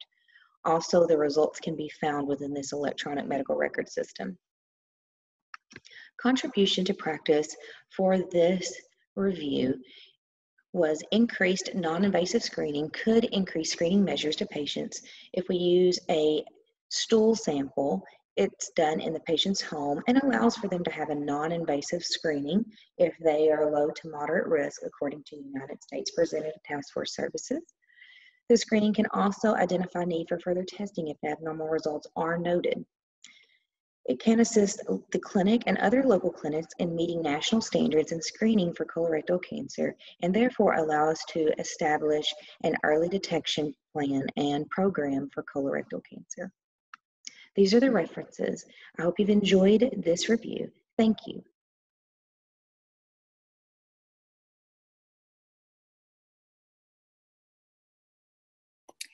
Hello, everyone. My name is Sherry Janae Brandon, and I'm a graduate student in the College of Nursing and Health Professions, focusing on uh, family nurse practitioner. The title of my project is Chlamydia and Gonorrhea Screening Recommendations for Women, and Analysis. The purpose of my project was to determine the local rates for annual chlamydia and gonorrhea screenings in sexually active women aged 24 and younger compared to the national average screening rate. Why is this important? Um, sexually transmitted infections are a major health concern across all demographics um, in all geographical areas. Among these infections, the most common are chlamydia and gonorrhea. As recently as 2017, there were 1.7 million cases of chlamydia and over 583,000 reported cases of gonorrhea in the United States alone. Um, there's even estimates that the number of cases are actually more than that. These are simply the reported cases. Um, chlamydia and gonorrhea often occur together and can actually cause lasting health effects, particularly to females um, ages 15 through 24. Those can be nausea, vomiting, fever, vaginal discharge, painful intercourse, pelvic inflammatory disease, and eventually even for infertility. Um, other startling statistics are approximately one out of every four sexually active women, uh, young women in particularly, have had or will have a sexually transmitted infection. Did you get that? Approximately one out of every four sexually active young females have had or will have a sexually transmitted infection. Of those, 40% of them will then be reinfected within only a few months. So, given all these statistics, after a systematic review of evidence in 2014, the United States Preventative Services Task Force recommended an annual screening for these infections in all young women um, 24 and under. So, why is it uh, so simple? Why do I think it's so simple to even do those screenings? Because the screening kits cost as little as $3 each, and they can be done simply um, through a urinalysis or a vaginal swab. Treatment and cure can be accomplished with just a short course of antibiotics, usually costing less than $30. For methodology, this study was conducted by utilizing a retrospective chart review with random sampling of well woman visits. 50 charts were randomly selected from the electronic medical record, then reviewed to include all sexually active females ages 24 and younger who had been seen in the clinic then from January 1st of 2020 to November 1st of 2020. The data was used to compare the chlamydia and gonorrhea screening rate at that local clinic to the national average rate of screening. So, how did we do, Northeast Arkansas? Once the data was collected and analyzed, the Northeast Arkansas Clinic was found to have only a 22% chlamydia and gonorrhea screening rate for qualified patients. Uh, this is compared to the already low national average screening rate of 48.9%. So even though um, these numbers are not what we hope for, um, there is still good that can come out of it. We can make clinicians aware of the deficit in the local screening rate, which would then um, encourage the clinicians to be more diligent in performing these screenings, um, which leads the way to treatment and prevention of these infections in the young women of our community. So I thank you for listening, and um, I hope that this has meant something to you and you learned something about how common these infections are, yet how easily treatable they are, and do your part. If you're a one young woman seeking care, then ask for the screening. Again, thanks for listening.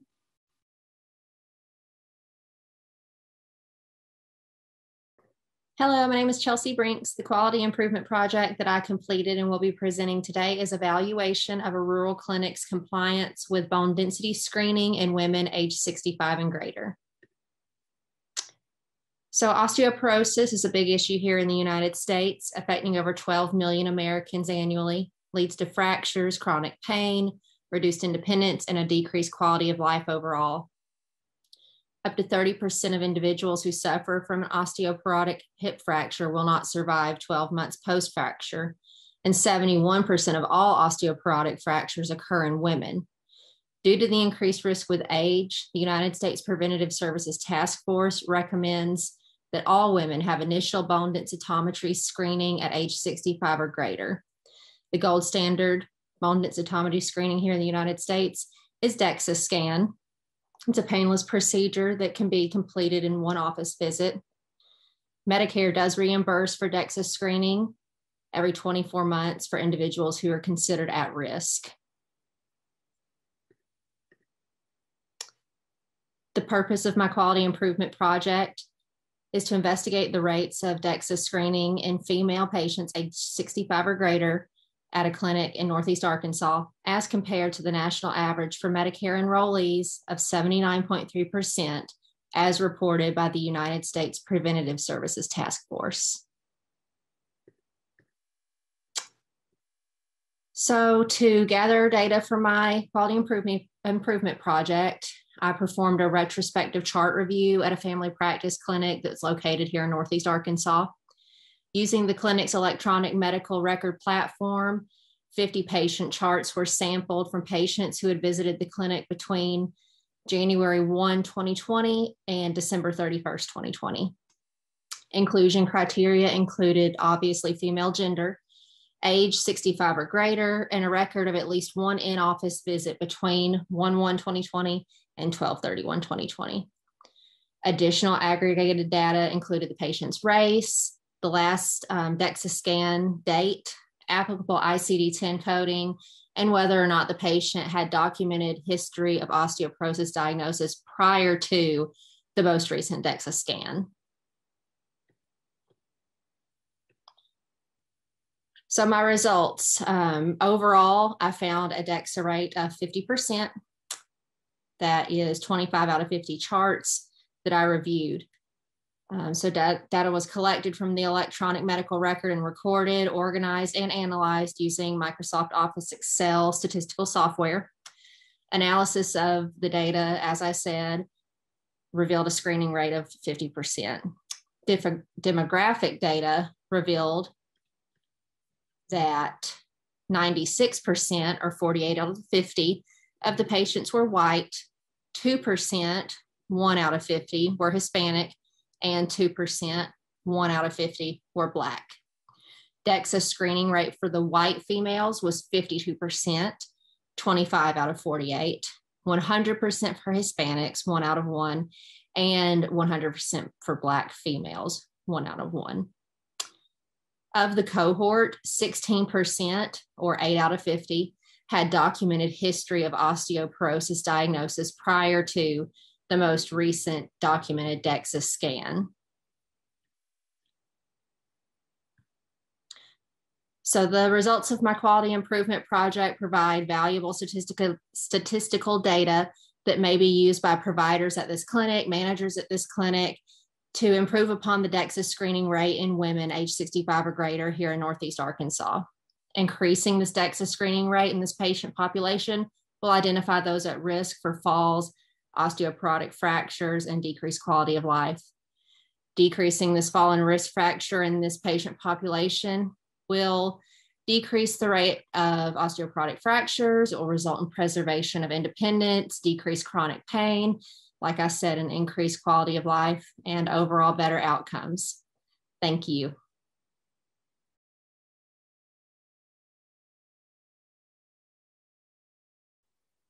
My name is Nathan Burns, and the title of my project is a comparative analysis of depression screening rates in patients 13 to 25 years of age within an urban health population.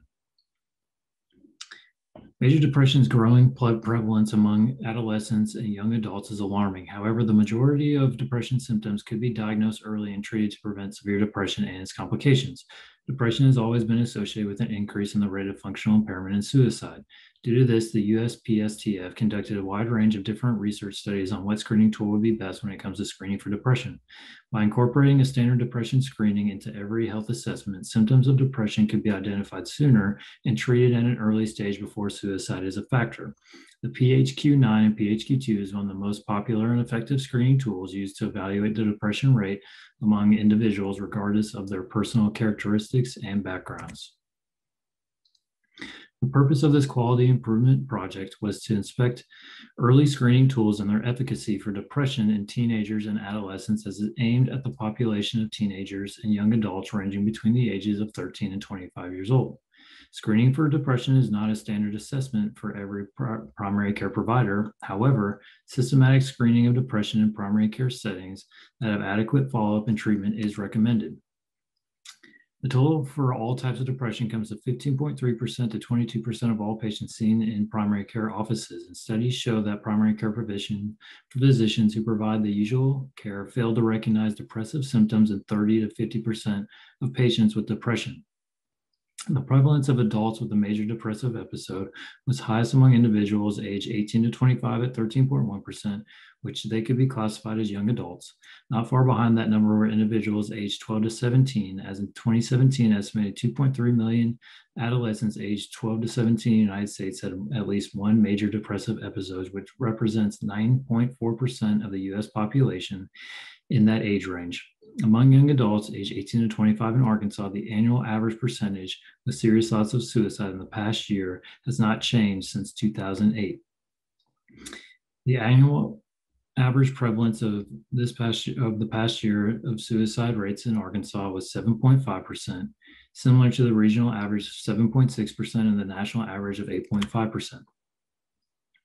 A retrospective chart review of approximately 100 patients who visited the clinic between the dates of t- July 1st, 2020 and November 5th, 2020 was conducted. Data collection included patient gender, race, and age, and whether or not the patient was screened for depression as part of the appointment. Inclusion criteria were patients aged 13 to 25 who had at least one of the following ICD 10 codes as shown on the screen. Exclusion criteria were all patients over the age of 25 or under the age of 13 and did not have one of the ICD 10 codes as shown on the screen. By using a quantitative approach, a comparison of the number of adolescents and young adults who were screened and treated to the number of teens who were not screened and treated was made. 100 patients were selected at random by assigning a number to each patient chart and loading them into a random selector tool. The findings show that 100% efficacy in diagnosing, diagnosing depression when using the PHQ-2 or PHQ-9. The clinic also had an 83% depression screening rate. 17%, however, were not screened for depression during their visit. And 63% of the time, a PHQ-2 or PHQ-9 was used as a screening tool. 100% of treatment was initiated after a depression diagnosis. Contribution. The project encouraged the implementation of systematic screening of early depression to be generalized in every visit. It also suggests that there should be a focus on screening the younger population as studies have detected that risk of suicide attempts generally declined with age. Final thoughts. First, standard depression screening tools such as the PHQ-2 and PHQ-9 should be implemented in every primary care clinic as shown great results when it comes to screening and diagnosing depression. These tools can be handed out at patient check-in, and the PHQ-2 is a fast way to see if depression symptoms are occurring with the patient. With the pandemic, the feeling of isolation has only increased, so I expect those numbers of suicide attempts, rates, and depression to increase. FNPs can be part of the solution by doing formal assessments for all patients by using a screening, a standardized screening depression tool. Thank you.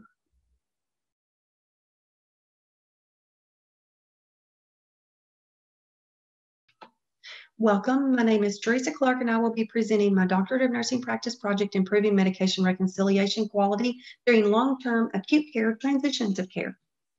The purpose of this project is to systematically improve the medication reconciliation process during all transitions of care by providing essential education to all involved staff members, incorporating the use of the standardized medication reconciliation toolkit to enhance the process, and of course, by evaluating the innovation outcomes.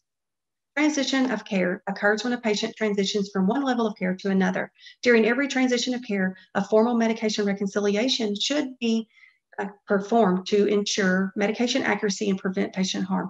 The more transitions of care a patient experiences, of course, the higher the risk for medication discrepancy occurring. Thorough literature review was conducted and systematic, peer-reviewed articles from credible sources. Literature shows that standardized or systematic methods of medication reconciliation has lower discrepancy rates and higher patient outcomes. Developing a medication reconciliation toolkit can enhance the delivery of high quality care. Diffu- Rogers' diffusion of innovation theory was used to guide the implement and implement this proposed change. A needs assessment um, was performed. Medication reconciliation accuracy is a worldwide issue. During the needs assessment, it was noted that Arkansas Continued Care Hospital does not currently have a systematic medication reconciliation process in place. A standardized medication reconciliation process is, in need, is needed to enhance the quality of care and improve patient outcomes. So as you can see in the illustration above, the pre-implementation phase, we give a, um, a pre-test, and that was just to determine a baseline data of this nursing staff's knowledge. Then the implementation of the newly designed medication reconciliation toolkit was introduced. Post-test was given to that way we could determine the accuracy of or level of success of the education. And then of course the follow-up, the results are still pending at this time completion. The algorithm, this, out, this illustration is the algorithm used to analyze the medication reconciliation in 20 charts to determine the accuracy. A retrospective study was used to complete this analysis and gather this data. During the analysis, the first step was to determine if the medication reconciliation was accurate or inaccurate. Even if it was not, then the process continued through these steps of the algorithm. Who was accountable for the incompleteness and what type of discrepancy was identified? This algorithm provided a step-by-step guide to conduct the analysis on each medication reconciliation. Descriptive statistics was utilized to collect this data. As you can see in the pie chart above, that is a representation of the 20 charts that were analyzed. Three revealed an accurate and complete process with no identified discrepancies. 13 of them lacked verification of medication reconciliation. Six had noted dosing errors. Five were found to have missing stop dates and an additional six were noted to have omissions or duplications of medication. Based on these findings, an enhanced medication reconciliation process is needed to enhance the quality of care and patient safety. This is a quality improvement project. The methods that were used, of course, were the pre-test, the post-test, the education, which was PowerPoint, the systematic process, which was the medication reconciliation toolkit, a PowerPoint presentation on medication reconciliation background was, and significance was given to all involved staff. The goal was to expand their understanding and knowledge on the importance of the accurate medication reconciliation and with the new medication reconciliation process that was included. Post-test was administered after the education to measure the level of success. The newly designed reconciliation was introduced and implemented.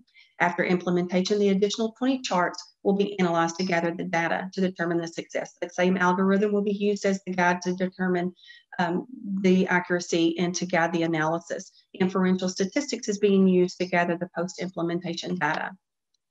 The results, barriers such as inclement weather, the COVID pandemic, as well as a chief nursing officer vacancy has all impacted the conclusion of the study. The post-implementation phase of this project is currently in process.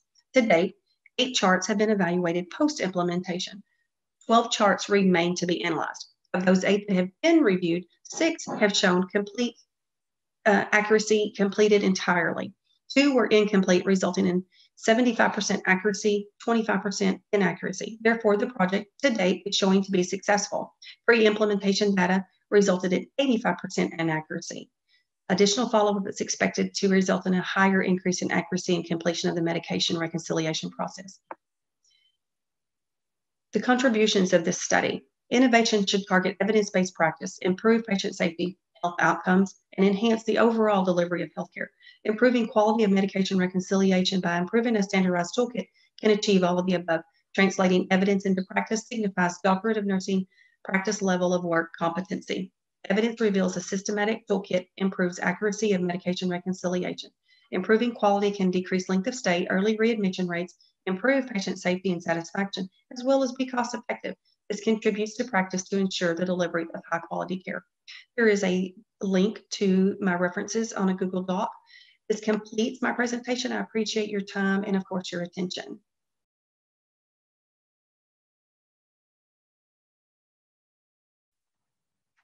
Hi, my name is Kylie Claypool, and the title of my project is an analysis of a primary care clinic's annual diabetic foot examination rate in patients with diabetes age 40 to 65. The purpose of my quality improvement project was to examine the rate at which these patients with diabetes were receiving an annual foot exam at this clinic. I felt this was an important to examine as my background is actually chronic wound care and I know the other side of what can happen with untreated diabetic foot ulcers if they're not caught early. Diabetes is the leading cause of foot ulcers and amputations. They are a huge driver of healthcare spending because they can cause significant damage and require ongoing care for months or even years. Each time a diabetic foot exam is performed, you can provide early detection of foot ulceration, ulceration and sensory changes, which could lead to reducing limb threatening complications if things are caught early. This is why the American Diabetes Association recommends a comprehensive foot evaluation at least annually to identify risk factors for ulcers and amputations. So who needs a foot exam done? Well, every patient with diabetes should have their feet inspected at every visit, ideally, and a comprehensive foot evaluation at least annually to identify risk factors for ulcers and any changes. This is an important objective from Healthy People 2020. They want to increase the rate at which patients with diabetes age 18 and older have at least one foot exam every year. The methodology used was a retrospective chart review of 50 patients with diabetes age 40 to 65 um, between the dates of January 1st, 2020 through November 5th, 2020. I reviewed approximately 50 charts and found that 39 out of the 50 charts had a documented foot exam. I did not find a correlation between age or insurance, such as Medicaid versus Medicare, um, as to why these were missed during the calendar year, but it did seem that quite a few of them that were missed had multiple comorbidities and they had been in and out of the hospital that year. I feel that my findings um, were able to benefit the clinic as I discussed with the clinic the percentage that were completed versus not completed and the complexity of those patients. Overall, I think the, the clinic did fairly well, um, but they could still improve, especially on the high acuity patients. They are at risk for being missed, uh, and it'll be important to watch for those alerts that come to the electronic medical record that remind them that the foot exams are due it's important to complete these as recommended by the American Diabetes Association and Healthy People 2020. Because like I said before, prevention is key to make sure these patients don't develop an ulcer that could ultimately cost the patient their limb or their life. And that concludes my presentation. Thank you for listening.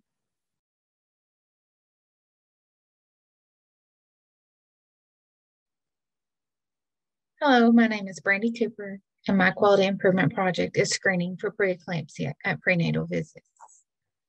The purpose of my quality improvement project is to examine the attainment of blood pressures on pregnant women at each prenatal appointment to screen for preeclampsia. This was done at a local OBGYN clinic in Paragould, Arkansas.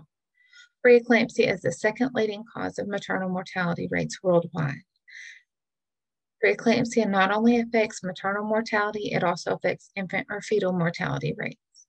Approximately 76,000 maternal deaths and 500,000 infant or fetal deaths worldwide annually can be contributed to preeclampsia. Approximately 1 in 12 pregnancies can be affected. In the United States, preeclampsia accounts for approximately 9% of maternal deaths, 6% of preterm births, and 19% of medically induced preterm births. Screening and early detection greatly reduce maternal and infant or fetal mortality rates. The United States Preventative Service Task Force recommends evaluating blood pressures at all prenatal appointments for all women as the current recommendation for screening of preeclampsia. I conducted a retrospective chart review to evaluate 50 charts for, of prenatal records for patients in the clinic from January 2019 to November of 2020. I did this to determine if a blood pressure was obtained at each appointment in women with a diagnosis of preeclampsia. The number of prenatal appointments for each patient was compared to the number of prenatal appointments with a blood pressure taken to determine the percentage of adherence. The inclusion criteria included pregnant, female, prenatal appointment visit with ICD-10 code of preeclampsia and an active patient seen in the clinic between January 1, 2019 and November 5, 2020. Exclusion criteria included non-pregnant females, males, patients without a diagnosis of preeclampsia, and patients seen outside of the dates of January 1st, 2019 and November 5th,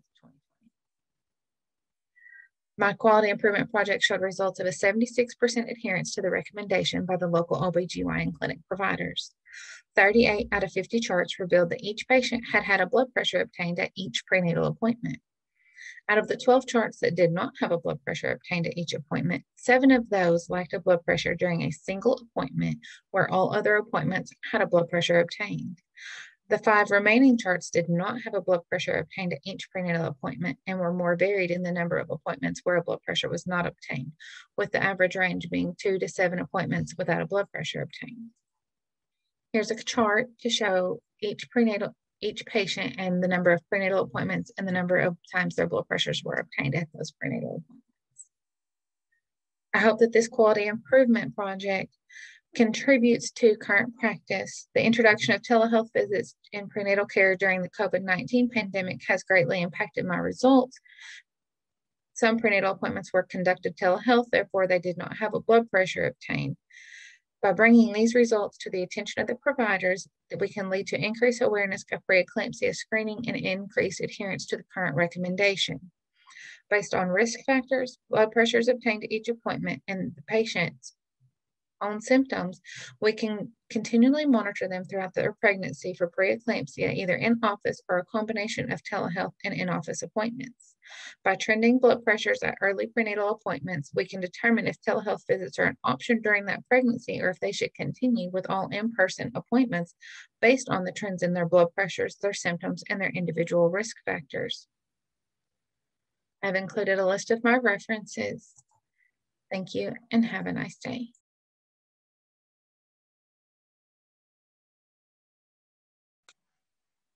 Hi, my name is Randy Davis. Today I will be providing an overview of my DNP Scholarly project titled Implementation of an Evidence-Based COPD Assessment Tool in Primary Care. Chronic obstructive pulmonary disease, or COPD, is a group of diseases such as emphysema and chronic bronchitis that result in airflow blockage in the lungs and difficulty breathing. It is a chronic illness that is often diagnosed in individuals with repetitive respiratory complaints. Usually by the time a diagnosis is made, the disease course has already progressed to at least a moderate level. Because the COPD is often insidious onset, it is frequently diagnosed and treated by primary care providers. Studies have shown, unfortunately, though, that there is typically poor adherence to guideline-based COPD care for patients managed in the primary care setting. The purpose of this project is to implement an evidence-based screening tool for individuals at risk and with known diagnosis of COPD to ensure Global Initiative for Chronic Obstructive Lung Disease or GOLD guidelines and treatment recommendations are being followed in a rural family practice clinic in Northeast Arkansas. This quality improvement project consists of a retrospective chart review pre and post implementation of provider education related to implementation of the COPD assessment test and COPD management algorithm COPD assessment test, or CAT, is a valid and reliable screening tool recommended per current GOLD guidelines. The setting consists of six clinic locations belonging to a group of family practice primary care clinics located in Northeast Arkansas. A convenient sample of patient records seen at participating clinic locations was utilized for this project. Inclusion criteria included individuals, both male and female, aged 40 to 75 with a history of smoking. This could be current or former smokers, as well as individuals with or without a diagnosis of COPD. Charts for each participating clinic location were reviewed prior to provider education related to the implementation of the CAT questionnaire uh, to identify percentages of active patients with documented smoking history, as well as percentage with COPD diagnosis. Post-implementation will review, will compare these percentages. This is the modified CAT questionnaire utilized for this project. As you can see, there are eight questions based on severity of symptoms. The modifications consist of the questions regarding smoking history as well as a statement at the bottom that uh, regarding a score of 10 or above, which is considered a positive finding according to GOLD guidelines and warrants consideration of further evaluation or treatment. This questionnaire is utilized during the visit intake uh, for patients who are current or former smokers. This is the COPD management algorithm that providers were educated on. It covers selection of inhaled therapies utilized in treating COPD. It was developed in accordance with current GOLD guidelines. Providers were encouraged to use this algorithm to assist with the management of their patients with COPD. This is the timeline to date for the project. This is an ongoing project as all phases have not yet been completed uh, due to issues related to the COVID-19 pandemic as well as inclement weather this past month. As for the overall project, pre-implementation data has been obtained. Data was collected from charts for patients meeting inclusion criteria with clinical encounters between October 1st, 2020 and February 5th, 2021. For a total of 1,992 patients between all six clinic locations, 23% were documented as former smokers, 31% were current smokers, and only 10% had a documented diagnosis of COPD. It is anticipated that the percentage of patients with a documented diagnosis uh, will increase after the provider education related to implementation of the CAT screening as well as COPD management algorithm. At the time of this recording, post-implementation results are not available.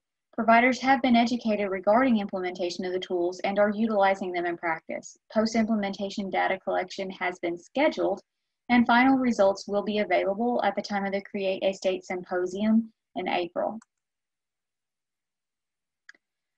Primary care providers need to be educated on interventions targeted at earlier identification of COPD, as well as improved management in accordance with current evidence-based guidelines. As a DNP prepared advanced practice nurse in the primary care setting, I have gained the leadership knowledge and skills to guide this change by not only educating other providers in the practice on the gap that exists, but also a feasible solution to address it.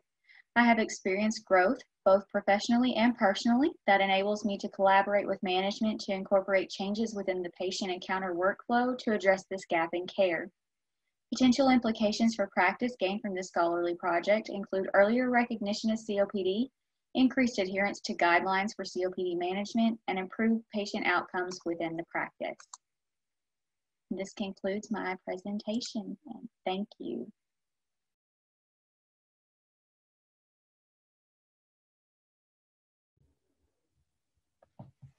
Hi, everyone. My name is Kaylin Fain, and I'm a graduate nursing student with my focus in family nurse practitioner. And my project that I'm going to be presenting to you is comparing diabetic foot exam guidelines to prevent diabetic foot ulcers.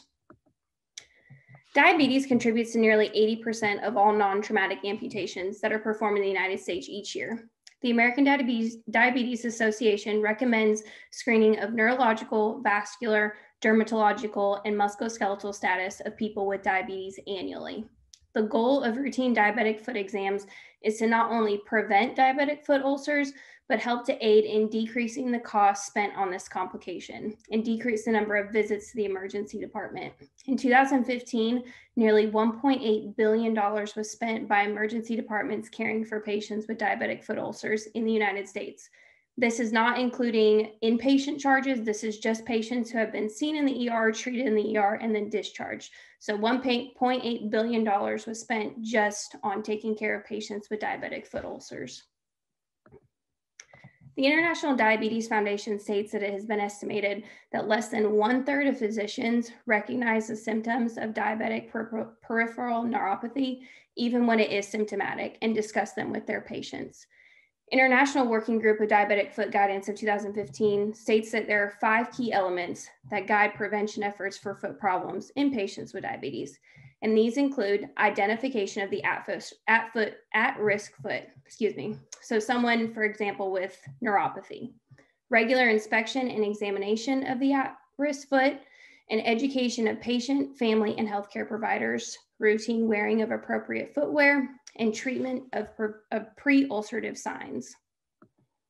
The purpose of this quality improvement project is to evaluate the adherence of a local family practice clinic in Paragould, Arkansas to the American Diabetes Association recommendations of annual foot exams for diabetic patients due to the increased risk of this patient population developing foot ulcers.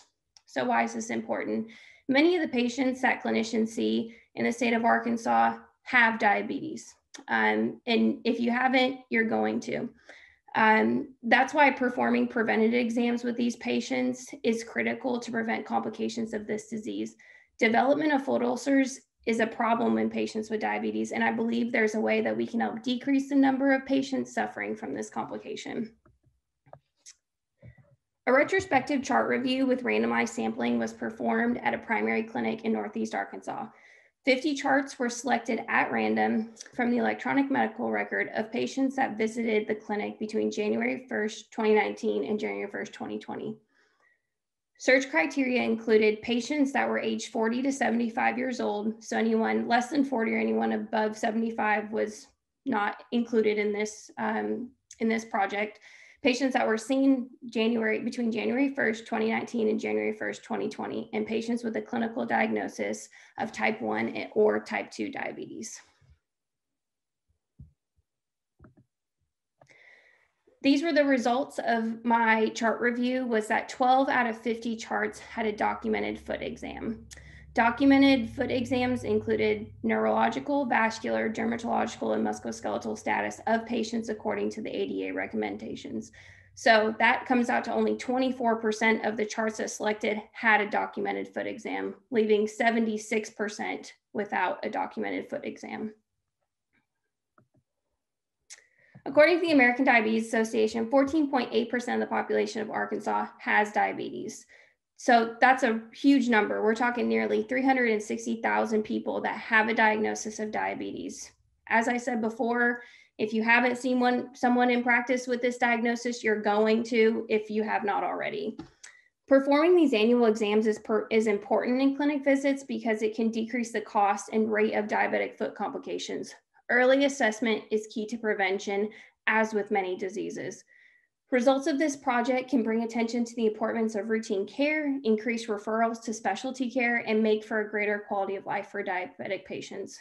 What I hope that you can take from this presentation is that diabetic foot exams are easy for clinicians to perform and they're necessary. But another point is that we can educate our patients to perform these exams at home. We can even involve whether it's the patient's spouse, kids, family members that they can help the patient perform these exams.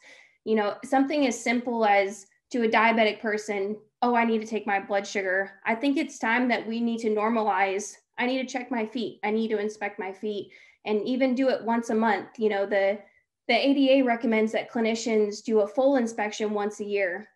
Well, that's a lot of time that, you know, whether an injury can happen or or whatever, you know, that can affect the foot, these people at home can even just do this something, like I said, is once a month. So thank you so much for listening.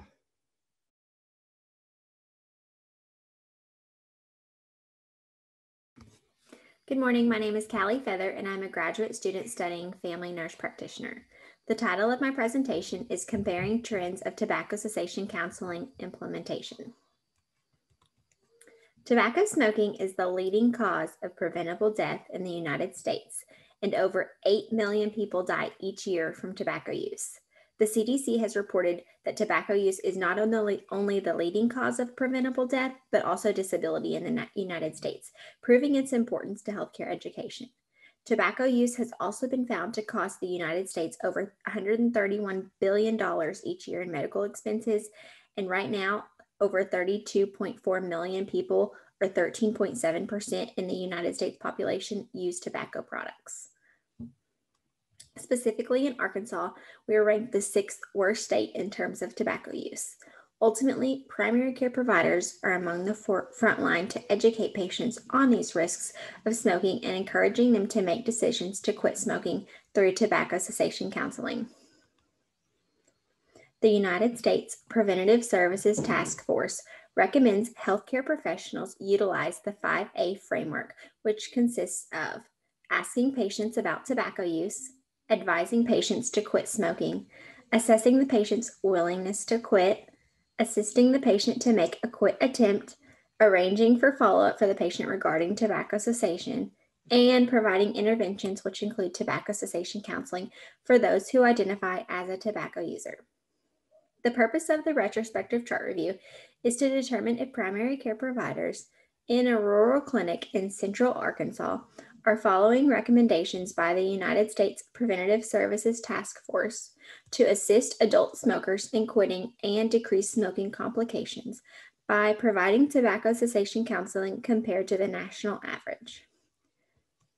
Using a retrospective approach, 100 random charts were reviewed to determine if tobacco cessation counseling was provided to adult smokers in a rural primary care clinic. The review included 100 charts with documented tobacco use, adults ages 18 and older with the ICD code of Z72.0.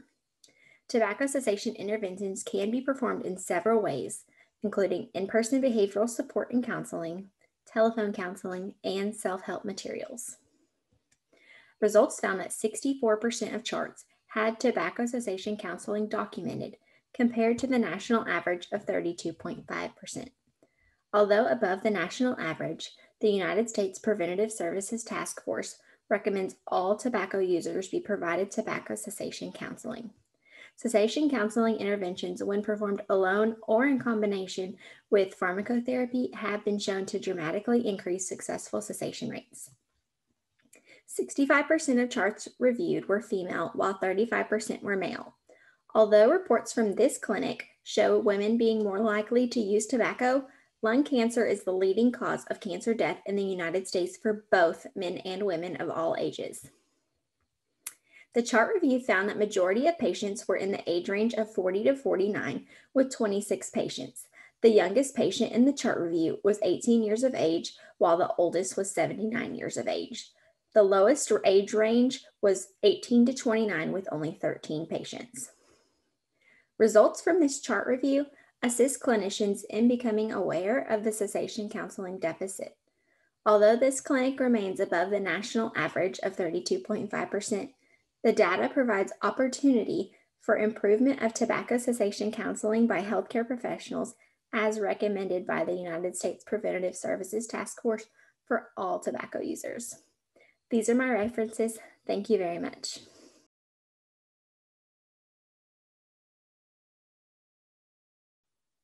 My name is Kayla Broadway, and I'm a graduate student at Arkansas State University, presenting to you today an analysis of depression screening rates among adult patients within a rural healthcare setting comparative to the national average.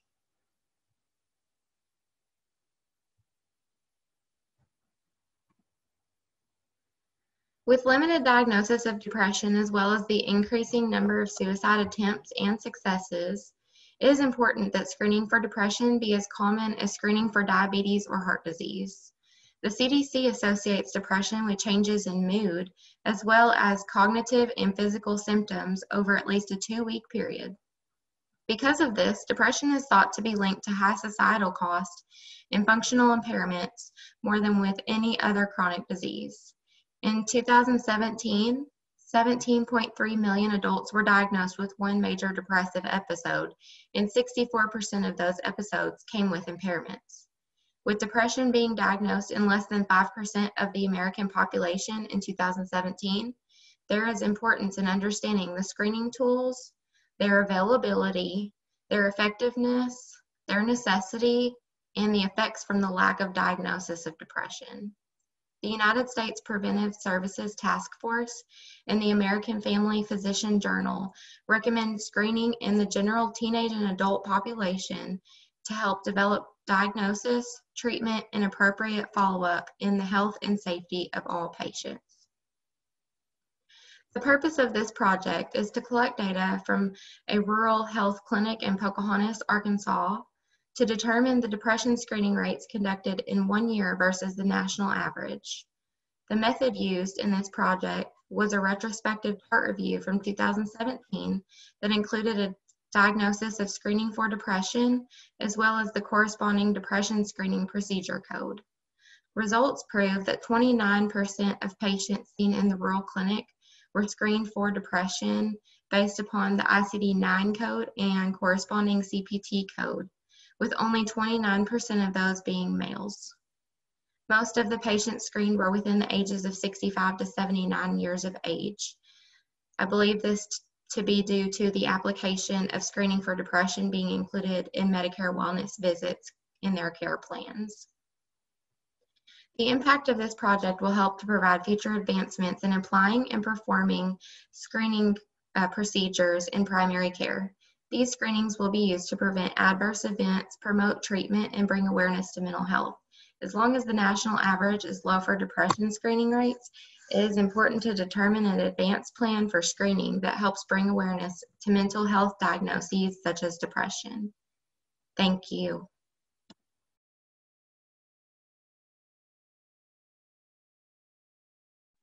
Hi, my name is Amber Freeman, and I'm a family nurse practitioner student here at Arkansas State University.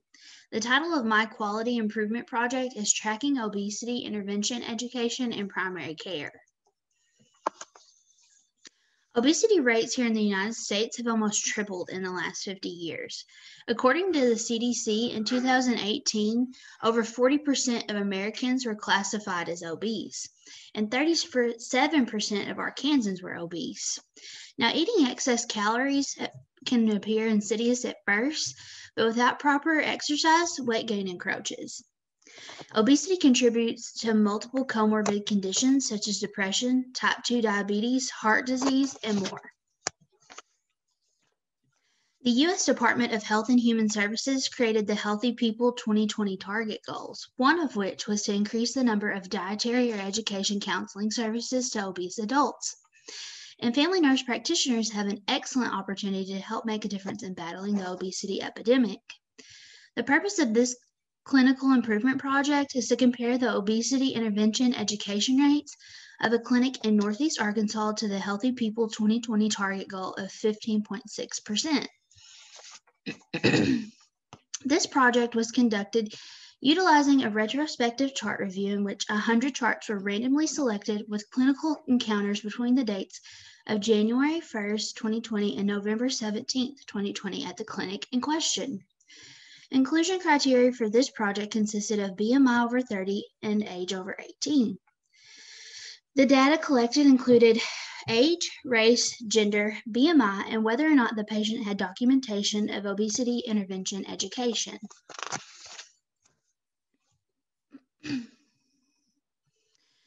The results 22% had some type of nutritional or exercise education documented um, within the chart, which surpasses the 2020 target goal by 6.4%. The average age of these patients were 46 and a half, and the average BMI was 36.6. Um, as you can see here, 31.8% were male and 62.8% were female. Now, these findings are consistent with CDC findings, um, who say that women are almost 10% more likely to be more obese than men, and that the age group most likely to be afflicted with severe obesity lie between the ages of 40 and 59. However, a major limitation of this study um, is the fact that I have 100% Caucasian in my sample. Um, the CDC reported that Hispanics have a higher prevalence of obesity than any other group. Now, literature shows that providers have improved with their compliance and documentation of obesity. However, further emphasis needs to be placed on providing nutritional and exercise counseling for obesity. The clinic evaluated in this quality improvement project surpassed the healthy people target goal. So the provider here really did a great job of providing that counseling. I believe one of the reasons the clinic was able to adhere to this measure is the support of their electronic medical system. they use Athena, which has a built-in quality measure tool um, that helps prompt the provider to address quality measures, including the BMI, screening and obesity and intervention education. It may benefit other clinics in high-risk areas, such as the Delta, um, to consider using these quality measure trackers. I'd like to say thank you to Randy Davis, who is my clinical instructor and faculty advisor to this project. And I hope that you guys enjoyed this presentation.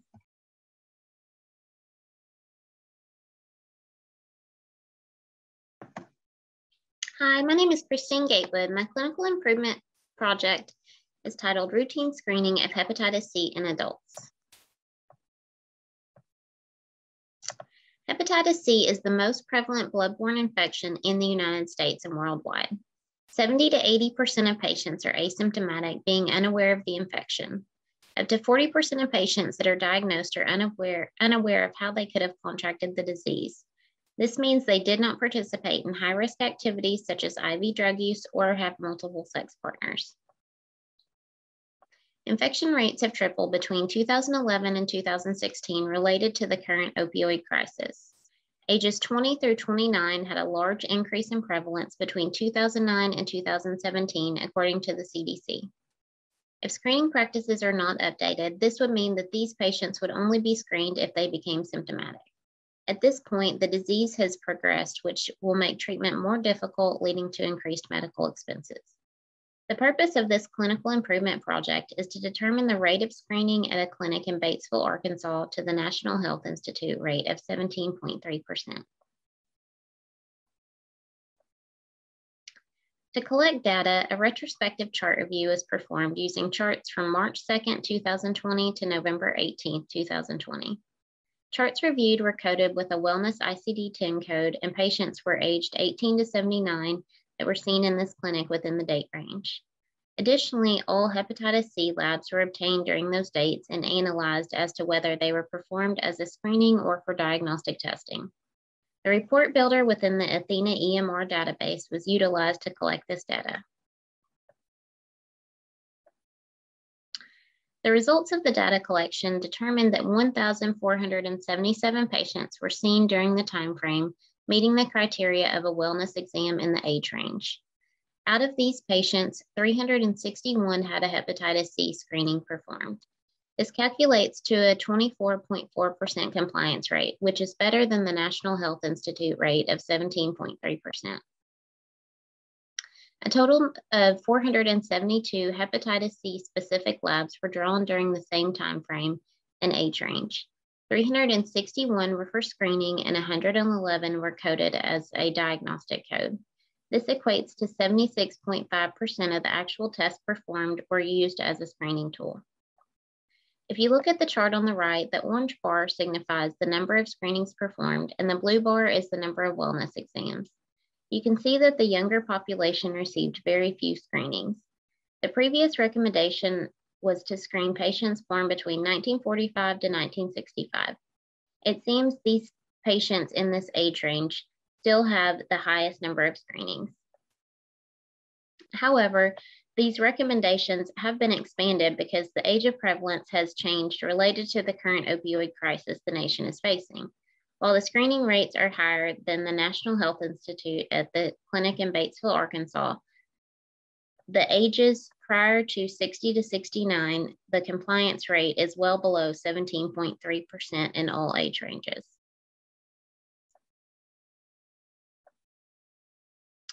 The impact of hepatitis C on the patient, the community, and the nation can be greatly reduced by implementing the new screening recommendation in daily practice. This one-time screening will help detect and diagnose patients that are asymptomatic, which will greatly decrease the spread of the disease. Early detection will also decrease the consequences that hepatitis C can have on the body, such as cirrhosis or liver cancer. The cost of the initial screening will outweigh the long-term cost associated with undiagnosed hepatitis C. Thank you.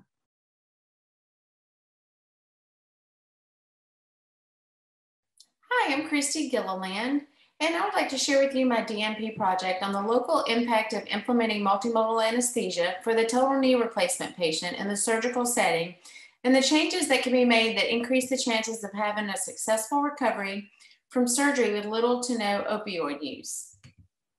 The opioid epidemic is growing daily in the United States. Many times people are first introduced to opioids after surgery. Opioids have always been the traditional go-to for rapid postoperative pain relief, but the side effects of opioid analgesia can harm patient satisfaction and early postoperative outcome measures. Where anesthesia can play a role in assisting is by using a comprehensive multimodal plan. This approach refers to the application of more than one medication, class of drugs, or delivery of drugs to achieve pain control with multiple mechanisms that have a synergistic effect in producing optimal pain control. For the purpose of this project, I'll be taking a closer look at the anesthetic approach using a non-steroidal anti-inflammatory drug, uh, acetaminophen, and a gabapentinoid orally before surgery, along with local anesthetic injected into the affected nerves before surgery and comparing it to patients who are only receiving the nerve blocks without the oral medications given. The plan with pain control and care for surgery must be met with purpose and treatments. The first purpose is to reduce opioid requirements. This starts as soon as the patient checks in for surgery until the patient actually is discharged home. The second purpose is to decrease postoperative pain. This ensures that the patient's up, they're ambulating, and therefore increases their chances for success. The third purpose is to decrease adverse events related to narcotics, such as urinary retention, slowing of gastric motility, delirium, delay in ambulation, and an increased length of stay. If any of these adverse events take place, the patient's length of stay can be increased even longer. Today, total joint arthroplasties are performed in two different settings. The traditional setting for this type of surgery has been the hospital with length of stays ranging anywhere from 24 to 72 hours. Many of these surgeries are now being performed in the outpatient surgery center settings where patients are being discharged just hours after surgery. The advantage of this outpatient setting is the patients are able to leave and recover in the comfort of their own homes. The key is to control postoperative pain to create this ideal situation for the patient. Many stakeholders are involved in the project, including patients, orthopedic surgeons, the anesthesia team, pharmacy, and of course the nurses. Why do some total joint patients leave just hours after surgery and others stay for days? The answer is simple. These patients are having a better pain control outcome. How is this done? With multimodal plans that target pain and focus on less narcotic use. This will allow for minimal side effects that would uh, need observation in the hospital setting. Multimodal anesthesia is using all the tools in the toolbox to help achieve a balanced outcome. Balanced anesthesia is the most common management strategy used in anesthesia care today. It includes the administration of different drugs together to create a synergistic effect. Balanced anesthesia uses less of each drug than if the drug were used alone. Thereby, increases the likelihood of desired effects and reduces the likelihood of side effects. The multimodal approach is not a new practice, however, it has recently been utilized more in the anesthesia field. The method and design used for this particular project was a general linear model. Two different multimodal plans were compared. The use of pre-medications, acetaminophen and NSAID, and gabapentin, in addition to an adductor canal block and a subarachnoid block, were compared to those patients who only received the adductor canal block and the subarachnoid block. Descriptive statistics were used to describe and analyze the mentioned data the preoperative and postoperative pain scales were measured along with the length of stay measured in tenths of hours since all of these patients went home the same day. The results of the comparison showed a significant difference between the patients who received the three oral, oral medications in addition to the nerve blocks prior to surgery. These patients had a significant decrease in their pain scores after surgery and went home quicker than the ones who did not take the oral medications. With the positive and significant results from this project, The contribution and recommendation going forward is to adopt the plan used at the surgery center and recommend its use by orthopedic surgeons in the hospital setting to help decrease pain levels and hopefully discharge patients home much sooner. Thank you so much.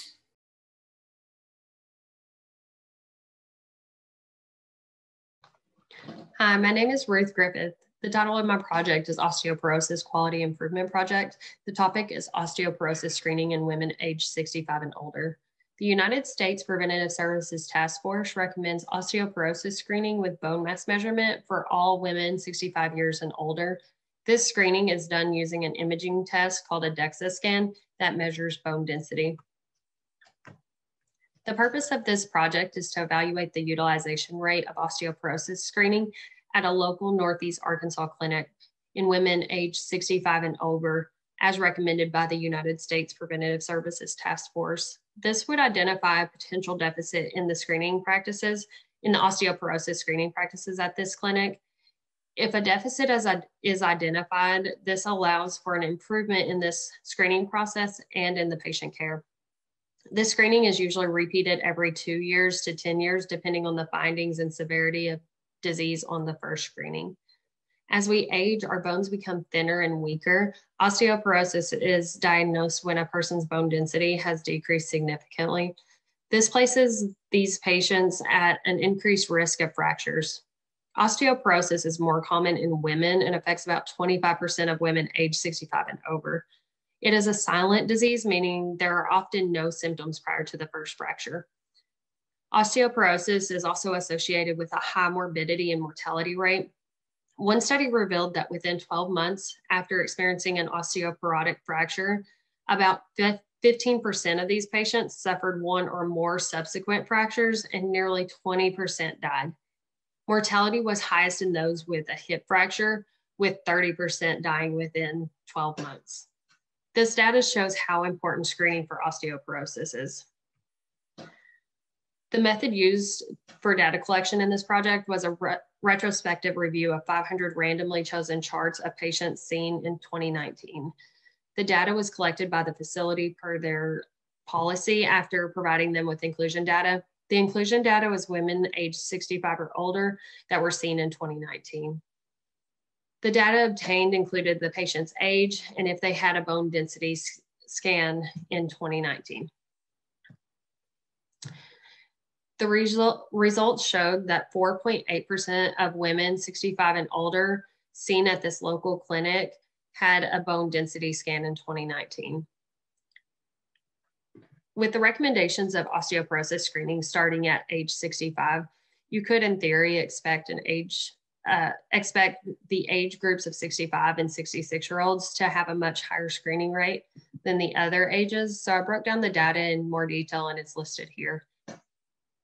Out of 500 charts, 32 were 65 years old. Only two of those patients had a DEXA scan that year, which is 6.25% of those patients being screened. 20 of the patients were 66 years old, and only one of those patients had a DEXA scan in 2019. This is 5% of those patients. 65 to 69 year olds was an 8.3% of the patients having a DEXA scan. 70 to 74 year old, 5.6% of this age group had been screened, and 75 and older, only 2.5 had been screened, 2.5%. The data revealed probable underutilization of osteoporosis screening with bone density scans. There are many treatment options for osteoporosis that could reduce fracture risk. As mentioned before, fractures can have a devastating effect in this um, population. It is important to identify osteoporosis prior to the patient experiencing a fracture. The results of this project can be useful to the clinic by identifying a potential deficit in care that can be closely reviewed and improved. Identifying a deficit allows improvement of the osteoporosis screening rates at this clinic, ultimately improving the health of this patient population. Lastly, the results of this project have been useful as I transitioned from a student to a nurse practitioner, providing care for this population. I now have an improved knowledge about osteoporosis and the importance of screening that will be beneficial as a nurse practitioner and improve my osteoporosis screening practices in the patients I provide care for.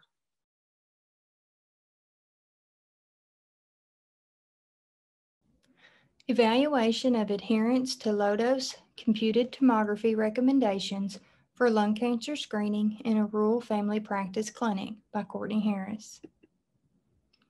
Lung cancer is the leading cause of cancer mortality worldwide and is often diagnosed at an advanced stage when treatment options are limited. Annually, lung cancer leads to more deaths than prostate cancer, colon cancer, and breast cancer combined. Routine screening for lung cancer with low dose computed tomography reduces lung cancer mortality by up to 20%. The five year survival rates increase substantially with early diagnosis. The United States Preventive Service Task Force released guidelines for lung cancer screening in 2013 to reduce lung cancer mortality rates. In 2015, over 7.5 million people were eligible for screening per guidelines, and only 1.9% of those received low dose CTs. Some studies show that less than half of primary care providers are aware of current guidelines for lung cancer screening. Provider awareness and patient education are essential to improving screening rates and decreasing lung cancer mortality. The purpose of this project was to discover performance rate of low-dose CT screenings in a local rural family practice clinic in Northeast Arkansas and compare it to the national average. Goals of this project are to increase awareness of lung cancer screening guidelines and promote utilization of low-dose CT screenings. The data collection for this project was performed using a retrospective chart review on patients seen from January 1st to April 1st, 2020, in a rural family practice clinic. Inclusion criteria were patients aged 55 to 80 years, current or former smokers with a smoking history of at least 30 pack years. If they were former smokers, their quit date needed to be in the last 15 years.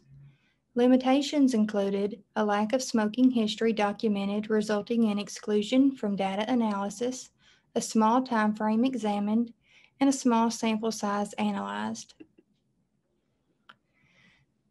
The no total number of charts reviewed were 117. There were 43 charts that had the data required for analysis. There were 19 patients eligible for the low dose CT screening. Only one of those received the low dose CT. That gave us a performance rate of 5.26%. The national average is only 1.9%. The facility performed above the national average in comparison. While the rate of 5.26% is above the national average, it is still extremely low. Screenings for any disease are only beneficial when performed. The results from this project were limited due to a lack of documentation and smoking history, which resulted in 74 charts being excluded from data analysis. Out of the 117 charts reviewed, there were six low dose CTs performed. If we assume that all six patients were qualified for a low dose CT per guidelines, the performance rate would be 5.13%, remaining in the 5% range. The data from this project can be utilized by both providers and the facility in several ways. It increases awareness of current guideline recommendations for lung cancer screening. The data evaluates provider adherence to guidelines, allowing the facility and providers to assess performance meeting guideline recommendations. It identifies education needs of providers, staff, and patients regarding lung cancer screening recommendations and it can inspire ingenuity in healthcare to discover systems to increase routine screening. Thank you.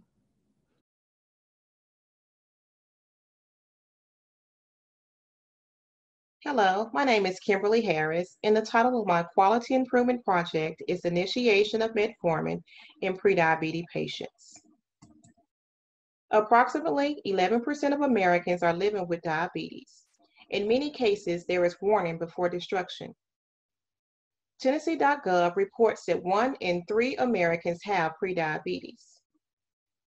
If you have prediabetes, your blood glucose levels are elevated but not high enough to yield a diagnosis of diabetes. This elevation is due to the pancreas not allowing the body to utilize its insulin well or due to a lessening of the ins body's insulin production. Prediabetes classification per American Diabetes Association guidelines are a fasting plasma glucose of 100 to 125 milligrams per deciliter, a hemoglobin A1C of 5.7 to 6.4%, or an oral glucose tolerance test of 140 to 199 milligrams per deciliter. Despite the number of people living with diabetes and the American Diabetes Association recommendation, the initiation of metformin in pre-diabetic patients is underutilized. Diabetes is a condition that is driven by obesity. Therefore, a BMI greater than 24.99 predisposes an individual to diabetes and other comorbidities. The development of diabetes and comorbidities can be decelerated or reversed with the early initiation of metformin in addition to lifestyle modifications. Metformin is a safe, cost-effective medication that works to lower blood glucose released within the liver without resulting in hypoglycemic states. The purpose of this quality improvement project is to identify the percentage of individuals in a small family practice clinic in Memphis, Tennessee that were between the ages of 18 to 44 with prediabetes and prescribed metformin as a recommended uh, by ADA. A randomized sample search with pre-recorded medical records between January the 1st, 2020 through November 18, 2020 was composed to perform retrospective chart reviews that audited 30 patients' charts with prediabetes. The charts were further analyzed to assess if metformin was initiated. The data was analyzed by age, gender, and diagnostic codes, abnormal blood glucose, and prediabetes, and if patients were prescribed metformin. Prediabetes was um, reviewed by age, ranging from 18 to 44, with the highest range of individuals in their 40s.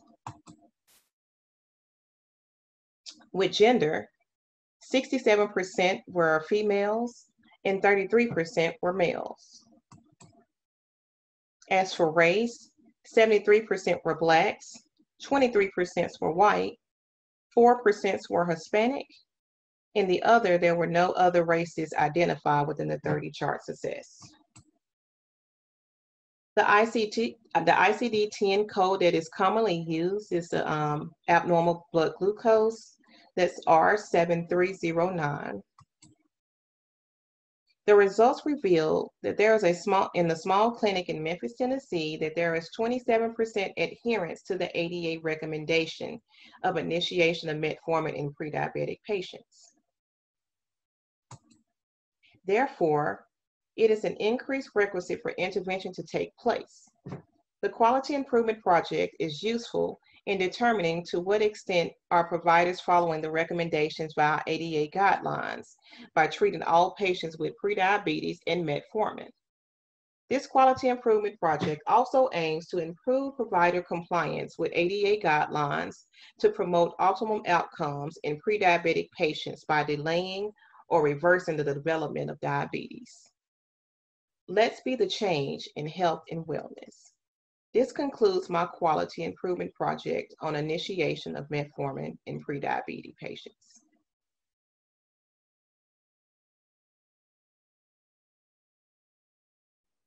Hello, my name is James Hawley.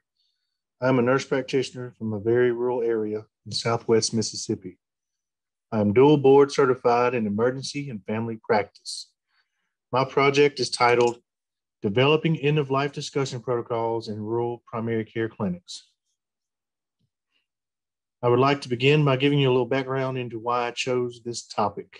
As an NP working in both primary and emergency settings, I noticed a gap in advanced care directives and overall end of life issues being managed in the primary care arena. Far too often, elderly patients with end-stage comorbidities present to the emergency department with no advance directives in place. The great Benjamin Franklin is attributed to having said two things are certain death and taxes. Death is a part of life that everyone must face at some point. The focus on healthcare is centered on prolonging life and preventing disease. Very little attention is given to end of life issues. Advanced care planning has historically been a taboo subject to patients and providers alike because it's an uncomfortable topic to initiate. Advanced care planning is an integral and widely overlooked component of healthcare, and it is a disservice to patients and caretakers to readily offer advice on how to live, but neglect to give anticipatory guidance on how one should choose to die. Much of the population has a distorted understanding of the long term outcomes of life supporting interventions such as intubation and chest compressions. While these measures can prolong the length of life, they have a detrimental impact on the physical and emotional quality of life that the patient has left. In the absence of a clearly documented advance directive, emergency providers are required to initiate resuscitative efforts, even when there may, this may not have been the choice of the individual if they had been given the option. Uh, for the setting, I, I use Field Health System, which is a critical access hospital system that comprises five primary care rural health clinics. This project was conducted utilizing records from Liberty, Gloucester, Centreville, Field, and Catchings Clinic. Qual this qualitative study consisted of a retrospective, retrospective chart review, both pre and post implementation of end of life discussion protocol. Providers were surveyed, surveyed to determine barriers to end of life discussions, and a tailored educational program using evidence derived from the literature was administered to the primary care providers. Charts were reviewed prior to implementation of the survey to identify the percentage of 65 year of age or older Medicare patients with documented EOL discussions prior to and after the intervention. Data collected included age, gender, primary location, and whether EOL discussions had been performed and documented appropriately. Data was collected from the EMR utilized by the practice via EMR reports and chart reviews. Then data reports were ran by the principal investigator. Data from all annual wellness visit charts were reviewed to analyze whether the end of life discussion was performed and documented, and then reanalyzed after, after implementation of focused provider education to determine if there was any increase in the number of appropriately documented discussions. A convenient sample of patient records who met inclusion criteria seen at the participating clinic locations were utilized for this project. After surveying all PCPs in the five primary clinics, the number one barrier to initiating end of life discussion was determined to be lack of preparation. Providers overwhelmingly cited a lack of knowledge of legal and technical aspects of advanced directives as the biggest obstacle. Utilizing Carl Rogers' experiential learning theory, I implemented the individual in service sessions with each provider focus on communication skills and the legal aspects to assisting patients with advanced directives and documenting in the chart. As you can see, all five clinics showed an increase in the number of documented end of life discussions after the educational sessions. Given obstacles related to the unprecedented COVID 19 pandemic, this project has not yet been completed at this time, and more results are pending. I fully anticipate to see a continued increase in documented end of life discussions with data analysis completed in the coming weeks. This has been both a challenging and rewarding project. Throughout the course of the project, I've had great deal of interaction with the chronic care management nursing team overseeing implementation during the annual wellness visits. Staff and provider education and guidance has been a crucial component in improving this aspect of patient centered care. This project has allowed me to highlight the trio of roles for the DNP, administration, education, and practice. Thank you for your time and attention.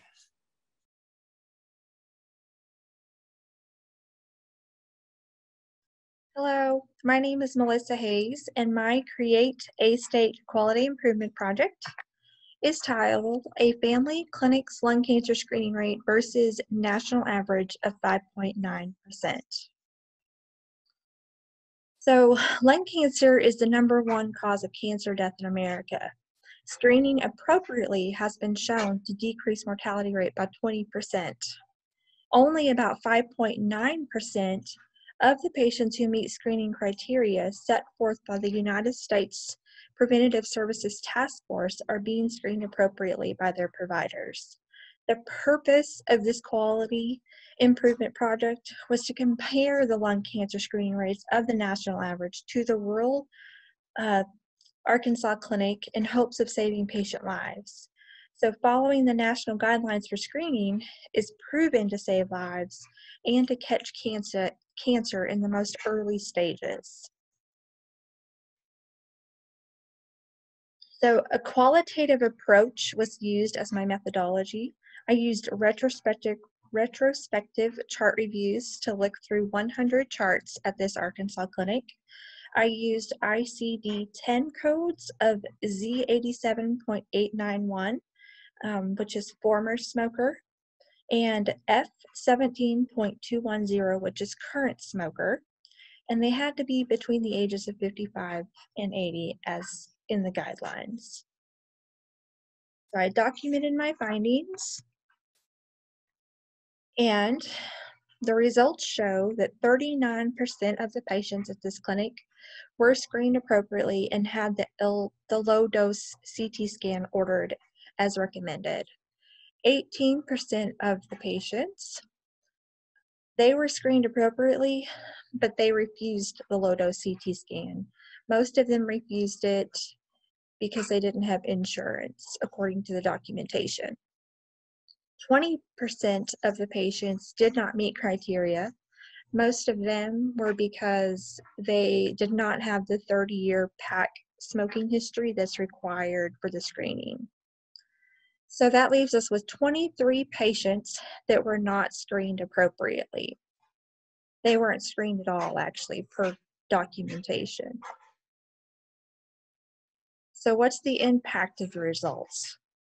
So, if you have 23 patients or 23% that were not screened at all and should have been, if you look at the national average, it's one out of 16 adults, men and women, will be diagnosed with lung cancer in their life. So that's about one and a half patients at this clinic out of 100 charts that should have been screened and will probably end up with lung cancer and it won't be caught till later in life. Now the the big thing about that is lung cancer only has a 5-year survival rate once it's diagnosed. So I mean, they're looking at 5 years and probably a poor quality of life. Some other things that the results showed was that when you offer these screenings and educate the patients about these screenings, it creates better rapport between the provider and the patient. They trust you more. And then there's always the reimbursement part of it. Um, the reimbursement per, per low dose CT scan on average is about $241. It certainly doesn't cost that much for us as providers to order that test and for the test to be done.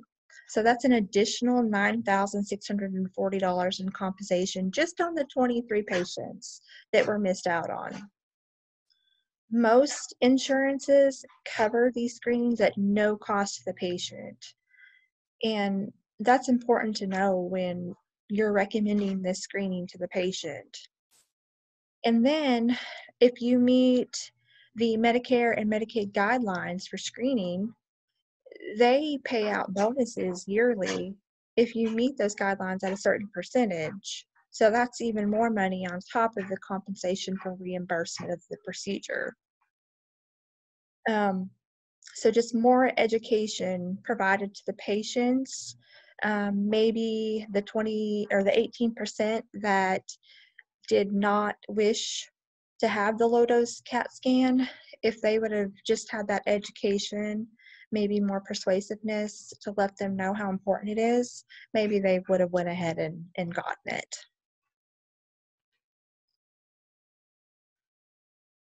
And that's the end. I hope you all have a great day and thank you for listening.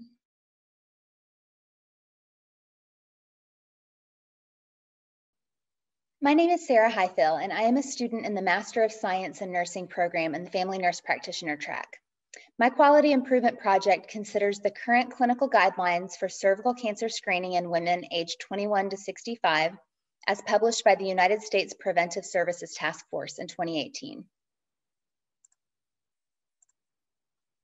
Since the introduction of effective cervical cancer screening in the mid 20th century, specifically what is commonly referred to as the PAP test or the PAP smear, and the more recent addition of HPV or human papilloma virus testing, the global incidence rate of cervical cancer has decreased by more than 50% over the past 50 years. However, even with this significant decline, cervical cancer is still the fourth most common cancer among women worldwide and the second most common cancer among women living in less developed regions of the world. In the United States, the incidence rate is currently about 7.4 to 7.6 per 100,000 women. However, the death rate from cervical cancer has dropped drastically in this country from over 35 per 100,000 women back in 1930 to about 2.3 per 100,000 women today. The most recent statistics for the state of Arkansas show the incidence of cervical cancer as 9.8 per 100,000 women, and the death rate is 3.5 per 100,000 women, which you can see is slightly higher than the national average here on this slide. By following updated evidence-based guidelines, healthcare providers can reduce unnecessary screening and follow-up testing for women while optimizing the chance to diagnose cervical cancer early in the disease process in a cost-effective way. The purpose of this quality improvement project was to compare the rate of cervical cancer screening for female patients aged 21 to 65 at a community clinic in Northwest Arkansas to the rate of the national rate of 85%. My hypothesis was that the rate would meet or exceed the national average, largely due in part to the affluence of Benton County, where this clinic is located, and the fact that Benton County had the lowest incidence rate of cervical cancer among the groups that I had studied. A retrospective chart review of female patients who visited the clinic between the dates of January 1st, 2019 and December 31st, 2019 was conducted and data collection included gender, age, and whether they received a PAP HPV test. This rate was then compared to the national average to determine to what extent the providers were following current United States Preventative Services Task Force guidelines for cervical cancer screening. Exclusion criteria included biological men, women outside of the age range, and women who had previously had qualifying hysterectomies. During the year 2019, 449 women received a general adult medical examination or a gynecological examination at this clinic. In that group, 76 women within the guidelines, um, the age range for those in the guidelines age range, had qualifying hysterectomies and did not qualify for PAP, PAP HPV testing. Of the 373 women who should have received testing, the best data I could find showed that 362 did receive the appropriate testing at the appropriate interval, which results in a rate of 97% accuracy for cervical cancer screening at this clinic. And this far exceeds the national average of 85%. When I originally began this project, I wanted to focus specifically on HPV testing because what I had seen in the past decade of nursing practice made me really question whether or not providers were actually following the clinical guidelines that really individualize a patient's care for a number of reasons. But I expanded that to include the totality of cervical cancer screening because of how widespread this cancer is and the fact that it's largely preventable given the right resources, especially with the advent of the HPV vaccine, which I speak to in my paper. Research shows that women who receive inappropriate testing at the inappropriate interval undergo far more unnecessary testing and follow-up procedures, which put her at risk for more complications with her reproductive system in the future. This is also a major source of medical waste inappropriate use of clinician time, and a misuse of financial resources for the patient, the clinic, and the third party insurer. In other words, under-testing results in cervical cancer deaths, while over-testing results in a waste of resources and physical complications for patients in the future. In addition, there are currently some European studies that are showing that even our 2018 guidelines may already be outdated. So we should look for those recommend recommendations to change here in the near future. And although this clinic is performing very well in cervical cancer screening, my hope is that this is a helpful tool for them to use to look at gaps in care so they may be able to capture 100% women who need cervical cancer screening so that ultimately those patient outcomes are improved. Thank you.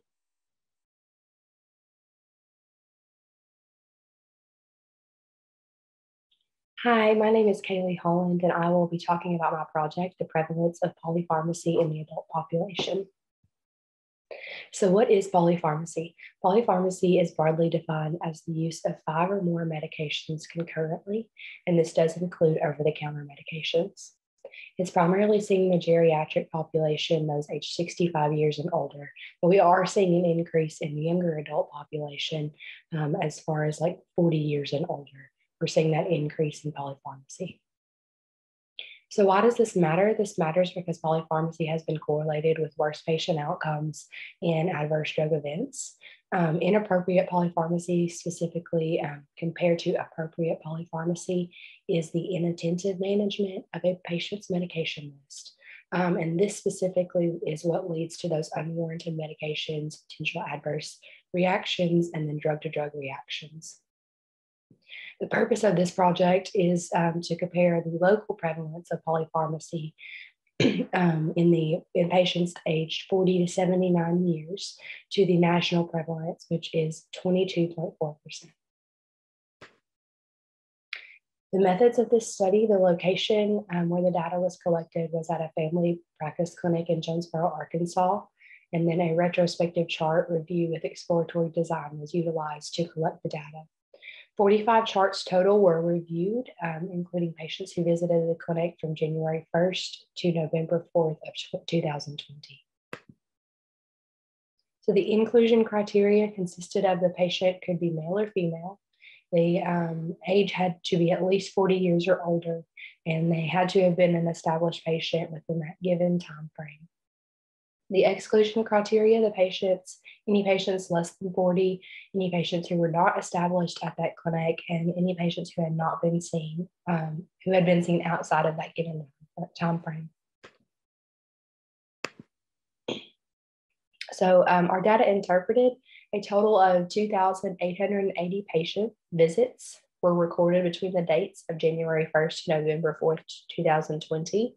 And this amounted to um, about 1,152 actual patients seen within that 10 month time frame because there were patients that had multiple visits.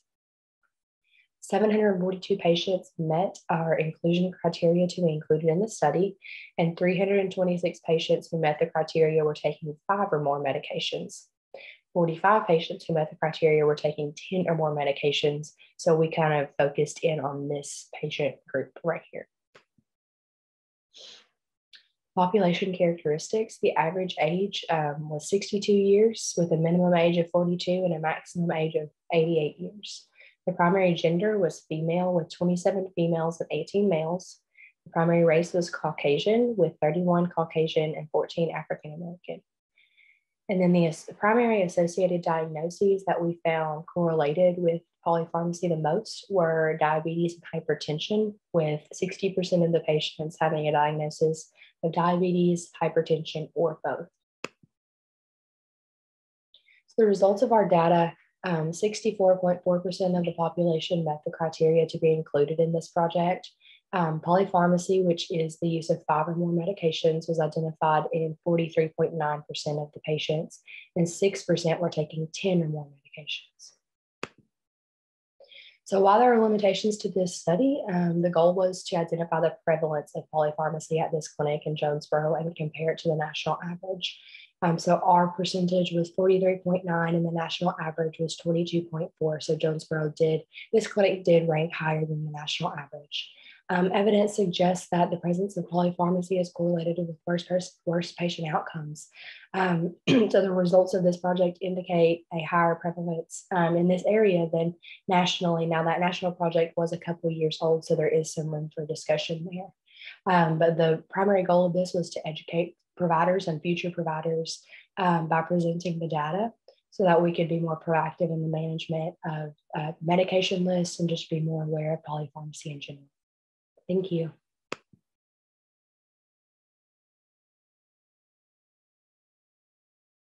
My name is Mary Lee Keenum. This is my FNP project. The title is Screening for Hypertension in a Rural Health Clinic in Northeast Arkansas. So undetected high blood pressure can lead to cardiovascular disease, stroke, heart attack, and kidney disease.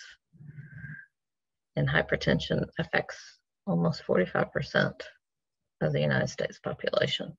You can see on this map here that the south where we live at is very heavily affected. Screening for high blood pressure could help prevent complications that are related to hypertension. We should also be providing patient education to promote awareness and the importance of a normal, a normal blood pressure. Um, goals would be to reduce morbidity and mortality that's related to hypertension and these complications. This would also help reduce the financial burden caused by hypertension and its complications.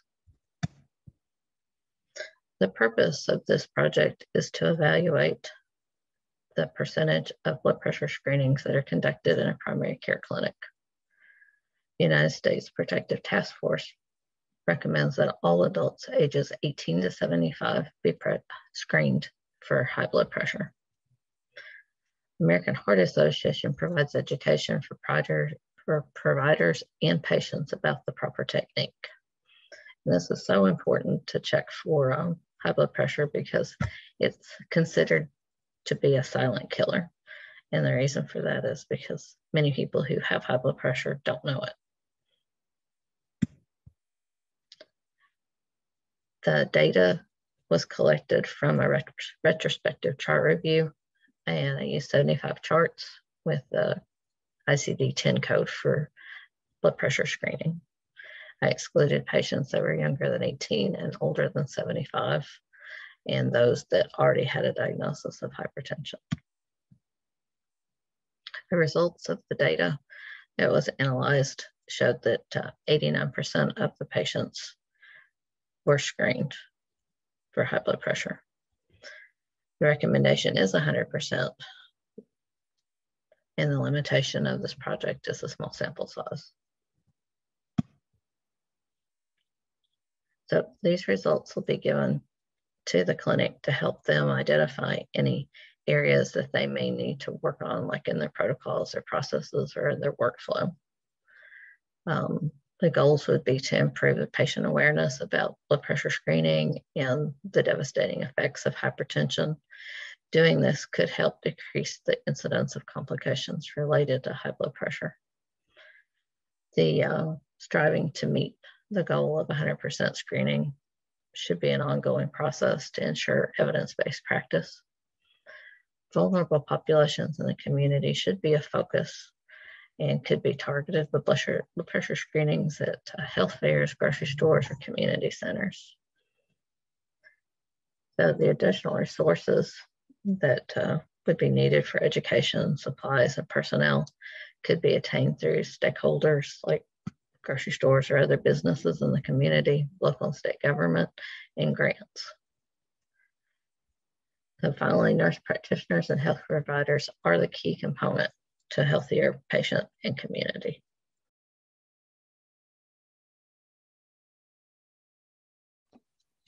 Hi, my name is Garrett Crossell. I'm an FNP graduate student. My quality improvement project is a local clinic's compliance with new hepatitis C screening versus the national average. What is hepatitis C or Hep C? It is a bloodborne illness, illness that can lead to cirrhosis of the liver, liver cancer, and even death. The major risk factors include multiple sex partners and IV drug abuse.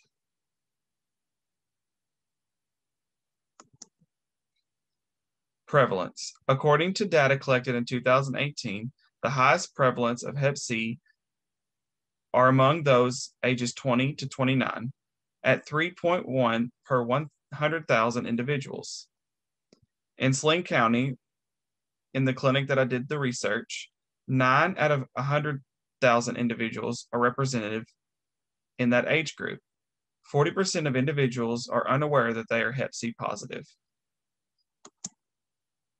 Incident. The incidence in Arkansas is 0.3 per 100,000 individuals compared to the national 1.2 per 100,000 individuals. Saline County has six out of 100,000 individuals uh, among those aged 20 to 29. Screening recommendations. A large incidence of, incident of Hep C among young adults is why screening recommendations were updated on March 2, 2020. The screening recommendations now include individuals aged 18 to 79 be screened once or periodically for those at high risk. Before, it only included individuals born between 1945 and 1965. The purpose of this project is to determine a local clinic screening rate and compare it to the national average.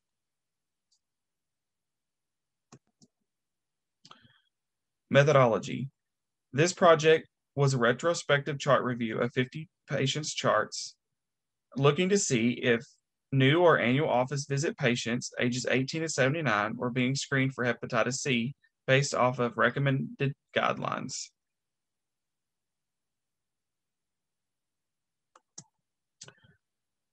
Breakdown of results. The average age of the patient's charts reviewed was 41 years old. The majority of patients were Caucasian females presenting for an annual office visit.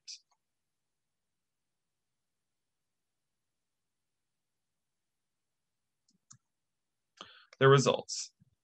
The results of this project showed three out of 50 patients were screened for hepatitis C. This is a 6% screening rate. That is 12% less than the national screening rate of 18%. Although three out of 50 patients were screened, they were not screened based on recommendations, but were screened based off of chief complaint. The main chief complaint was exposure to STDs. 6 and 18% screening rates are not impressive and should concern healthcare providers. Project limitations. The major limitation on this project is the limited available screening data. Although hepatitis C is a is reportable data, screening is not. The national average or rate conveyed was data from an old screening was data from the old screening recommendation. The other major limitation was the decreased patient availability. The screening recommendation was released at the beginning of a global pandemic. A majority of the clinic's visits were transitioned to telehealth for most of spring and summer 2020. Implications for nursing. As mentioned before, having a small screening rate for recommended screening should alert and concern healthcare providers. It shows an area of improvement. Having a large incident of hepatitis C in Arkansas and low screening rates proves that hepatitis C is a major concern and healthcare need. Hopefully, this will educate healthcare providers on the importance of following recommendations and will lead to a decrease in hepatitis C incidence and its related disease processes. These are my references. Thank you so much.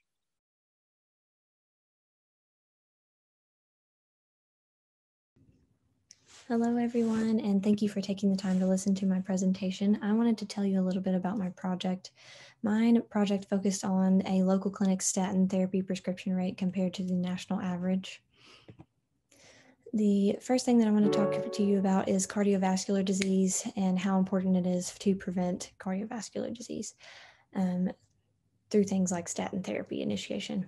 Um, cardiovascular disease is currently the leading cause of morbidity and mortality in the United States, and we need to focus on some modifiable risk factors to help um, prevent adverse events such as stroke or myocardial infarction.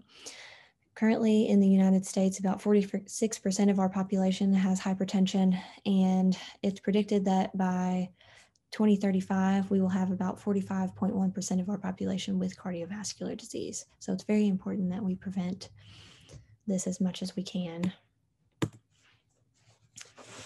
the impact of cardiovascular disease and adverse events on our healthcare system is pretty significant. The, in the US, it costs about $219 billion each year to um, spend things on associated adverse events such as stroke management in the beginning um, of diagnosis and as well as rehabilitation and therapy, trying to get the patient back to their previous level of functioning. About 1.6 of every US, uh, one in every six US dollars is spent on cardiovascular disease and its management.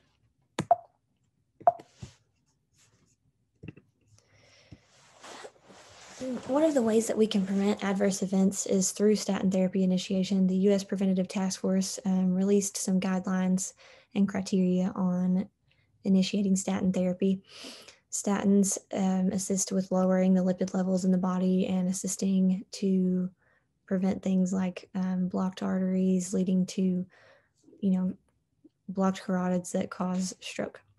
Um, the LDL level needed to be greater than 190. The patients needing to need to be between um, 40 to 75 years of age and either have a calculated 10-year risk assessment um, percentage greater than five or 20%, and they um, could also just have diabetes and qualify for statin therapy.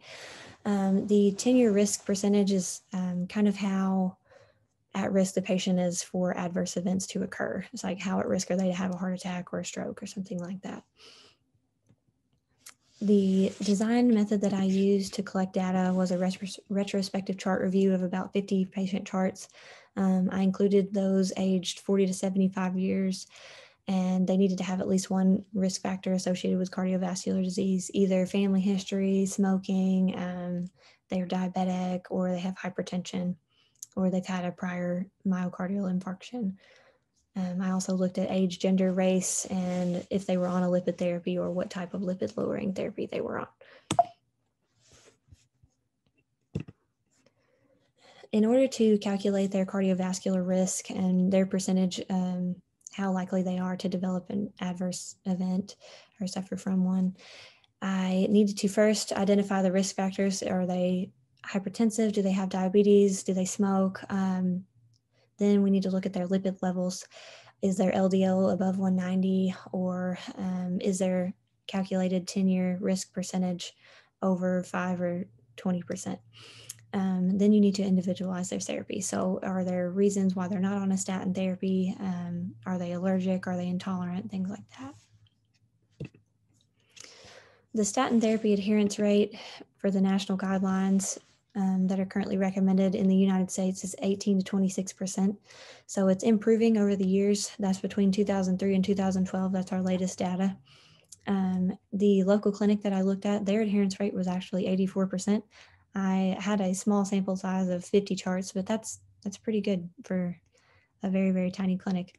Um, the only patients that were not initiated on a statin therapy when it was indicated were about eight out of the 50 charts that I reviewed. And the patients were either allergic, intolerant, or they wanted to seek out um, lifestyle management um, prior to initiating statin therapy. So, some reasons that patients might not um, be initiated on statin therapy is their their lack insurance coverage. So, statin therapy increased when the patients had more insurance coverage, and it also increased as patients aged. Some ways that we can prevent cardiovascular disease overall is we need to do early identification through some screenings. So every time the patients come in for those fasting labs every three to six months, we can catch this and we can decide whether they need to be initiated on a statin therapy just by looking at their LDL and HDL levels um, or their total cholesterol in general. Um, it's so important to do these preventative therapies and not only the medical therapies such as statin, we also need to work on the other modifiable risk factors because their cardiovascular risk percentage significantly decreased, for instance, when they just stopped smoking. So we also need to continue with education and working on the other modifiable risk factors in addition to medical therapy. And thank you guys so much for listening to my presentation. I look forward to answering any questions that you guys may have.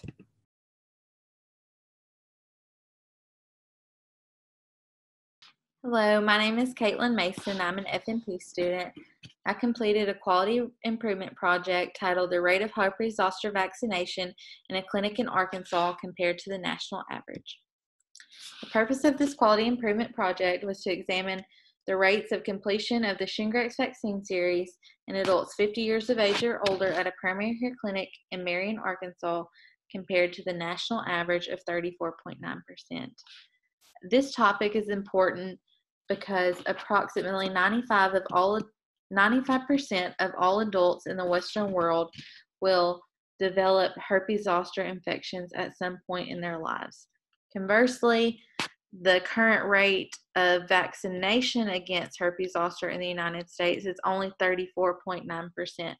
That's a big gap between the amount of people that are affected by herpes zoster and the amount of people who are vaccinated against developing, developing it.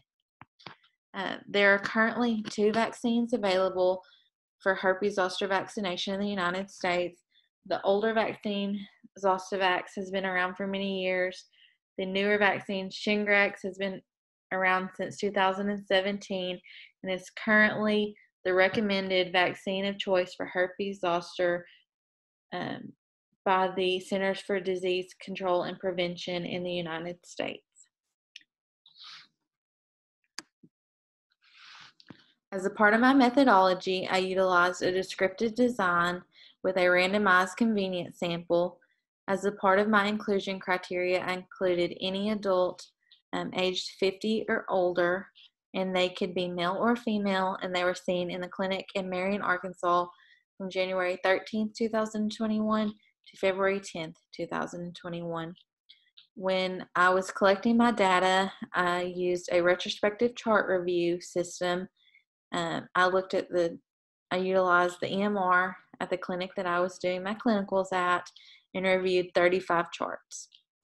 Um, once I gathered all my data, I entered it into Excel and used this to, to perform my statistical analysis. After my analysis was ran, I found that a total of eight of the 35 charts that I reviewed had patients that were vaccinated against herpes zoster with a Shingrix vaccine. That comes out to about 22% of my sample size, which is slightly lower than the national average of 34.9%.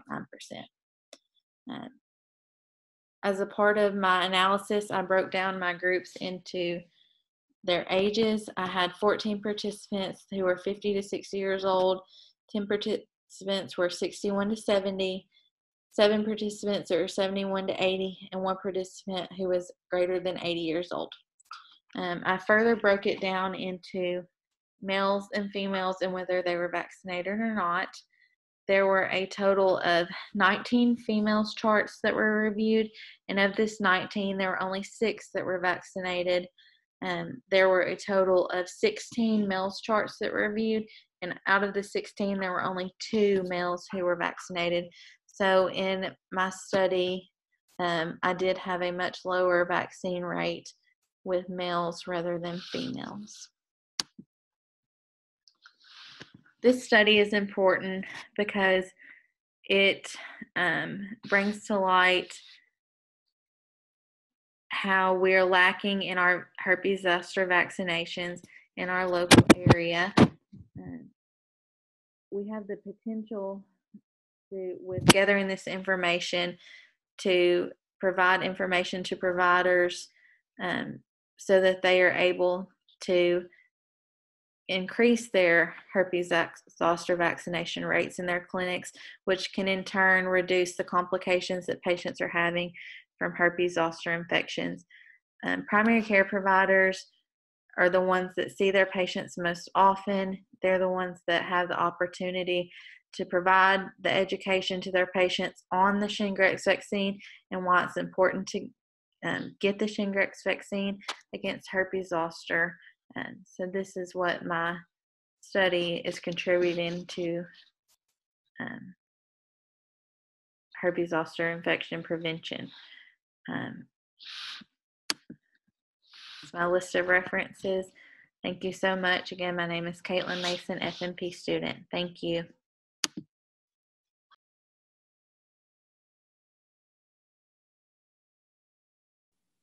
Hello, my name is Sheila McCarley. I'm a graduate student presently enrolled at Arkansas State University.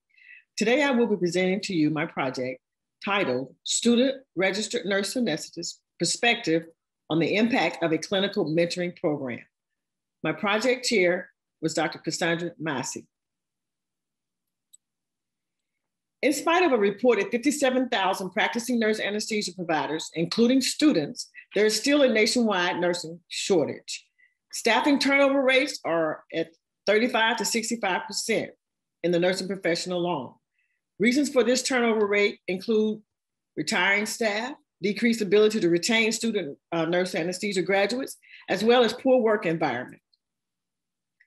The role of a mentor in the student clinical uh, setting provides positive correlations with improving the student nurse anesthetist uh, transition period into the clinical setting. It also provides support as well as instructions for clinical development.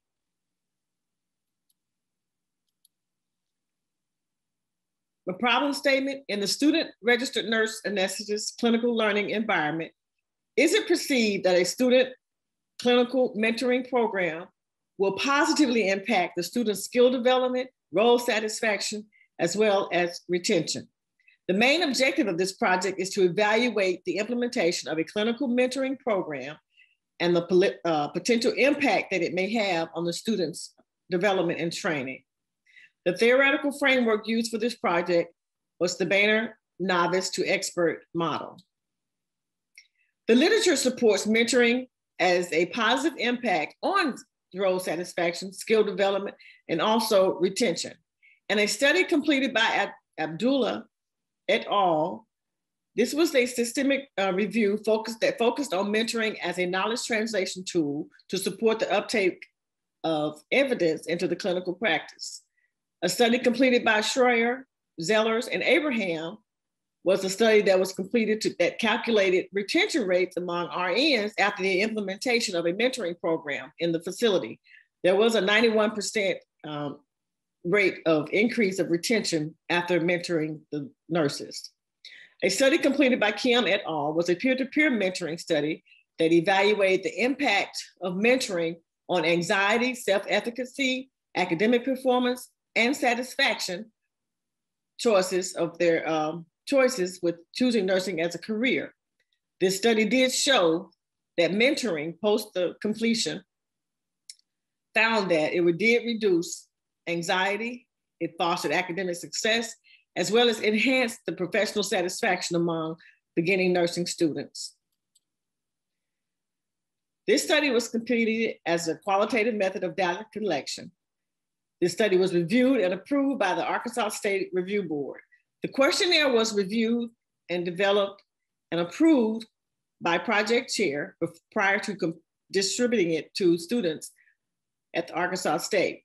There was a total of 30 students that were recruited and asked to complete the survey. 19 surveys were completed and returned and used for data analysis. Consent was understood by the completion of the questionnaire after returning via email. The results of this study showed that mentoring characteristics had a 98% um, results that stated that they felt that mentoring characteristics would impact their role satisfaction. The impact on the skill development reported was 99%. 98.5 of the participants reported that they felt the mentoring characteristics would impact their clinical setting retention whereas 68% of the participants felt that the clinical mentoring program would impact their decision to stay at the site that has the clinical mentoring program. On-site CRNA um, student clinical mentoring would decrease the time and cost needed for uh, postgraduate orientation, therefore decreasing re uh, recruitment costs. Graduating classes provide new candidates each year for employment. Mentoring plays a key role in reducing the economic burden associated with recruitment costs.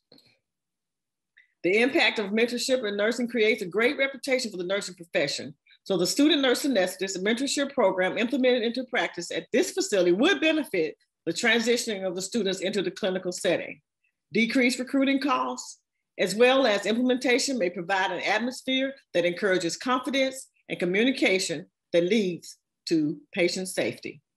Thank you.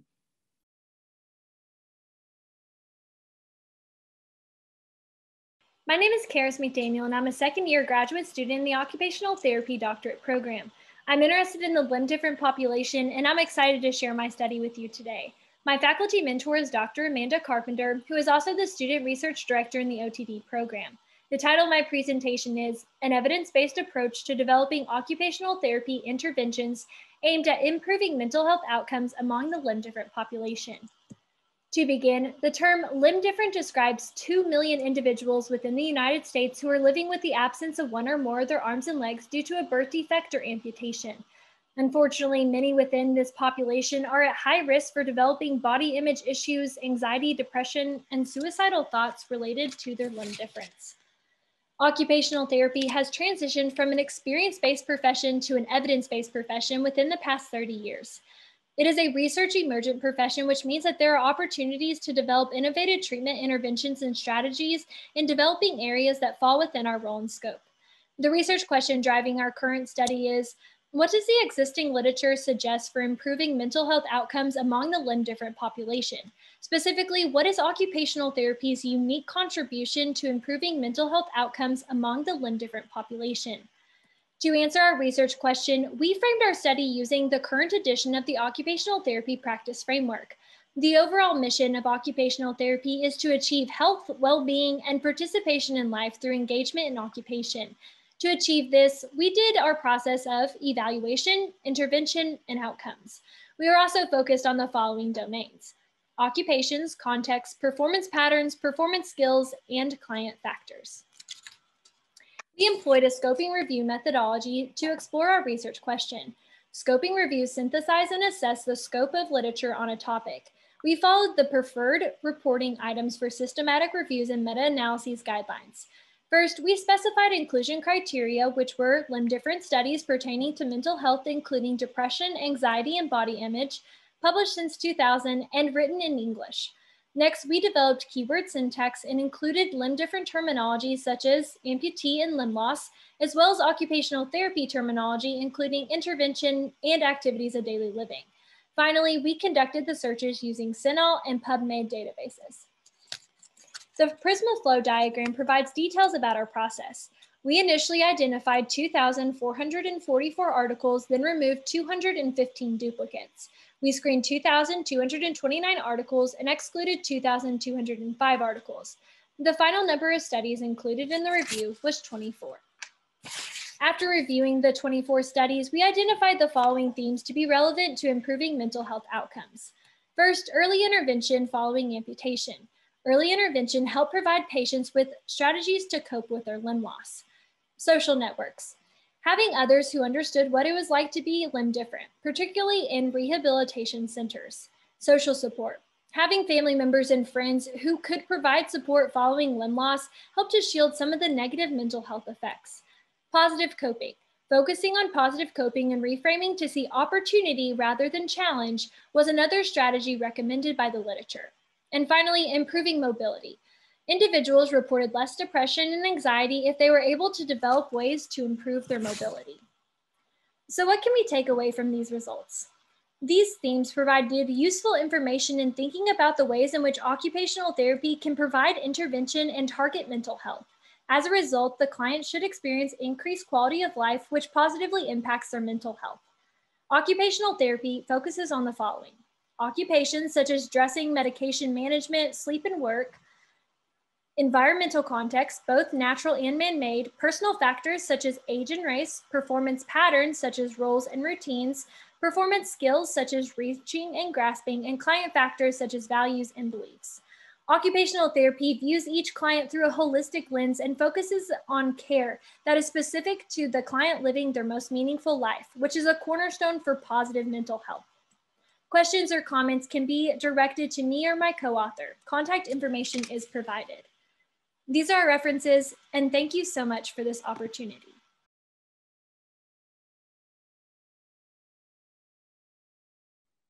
Hi, everyone. My name is Corey Mitchell. I'm a graduate student here at Arkansas State University in the nursing program, seeking my degree as a family nurse practitioner.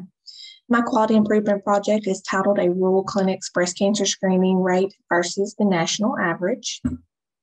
So, just a little background what is breast cancer? Breast cancer is a type of cancer that begins in the breast, can be seen on an x ray or felt as a lump. It's the most common cancer diagnosis among women. It's the second leading cause of cancer death among women. So, I threw in this slide here, you can just kind of see how breast cancer ranks up against other common cancers diagnosed in women, and you can see it's way ahead of all the others.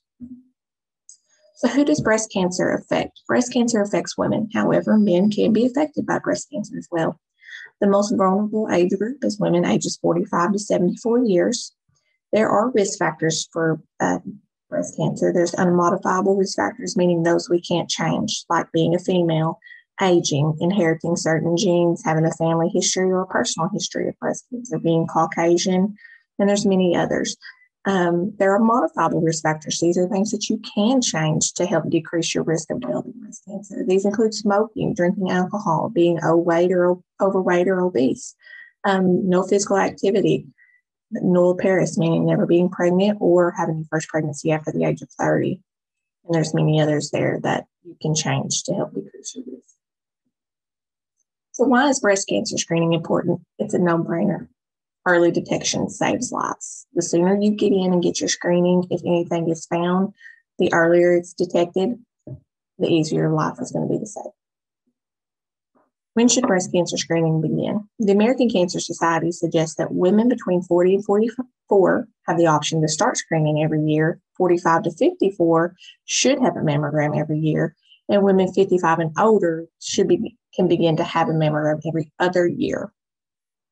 The United States Preventive Services Task Force, they suggest that women ages 40 to 49 choose on their own individual basis if they want to have a mammogram every other year, or yeah, every two years. And then they recommend every two years a women women ages 50 to 74 have a mammogram. So as of 2018, the breast cancer um, mammography screening rate, the national average was 63%. So, where can women receive information regarding breast cancer screening? Well, your primary care provider, physicians, nurse practitioners, physician assistants, they should all know this information. Um, your OBGYN, when you go get a checkup with your OBGYN, they can give you all the information regarding breast cancer screening. And once they see us, the providers, we can give them information regarding, regarding the American Cancer Society website, United States Preventive Service Task Force website, or even websites like Susan G. Komen, where they can gain more information on breast cancer and breast cancer screening. But like I said here, it starts with us as the provider. The quality improvement project I did took place in Blytheville, Arkansas. I took 50 random charts and I reviewed the clinic visits from November 1st, 2019 to November 1st, 2020 in women ages 40 between the ages 45 to 74 who did or did not seek screening within that year. And my results, women ages 45 through 74 in this clinic in Blytheville, the, the results was only 26%. As you can see here, of the 50 charts I took, only 13 women had a mammogram, 37 of them did not seek screening. So, how can a nurse practitioner make a difference? Again, a no brainer. Educate, educate, educate. It starts with us, the providers, also the clinic administrators, to identify where we're deficient in certain practices to where we can educate these patients and help improve their overall health in the female population. So I kind of threw this slide in there. It just kind of shows you that every three minutes, a woman is diagnosed with breast cancer. Every 13 minutes, a woman loses her life to breast cancer. Um, and it kind of shows you and estimates the number of women going to be diagnosed with breast cancer, the number of men going to be diagnosed with breast cancer, and things you can do to help decrease your risk of developing breast cancer. So that is my presentation. I hope you enjoyed it, um, and I hope you all do your screening like you're supposed to. Thank you.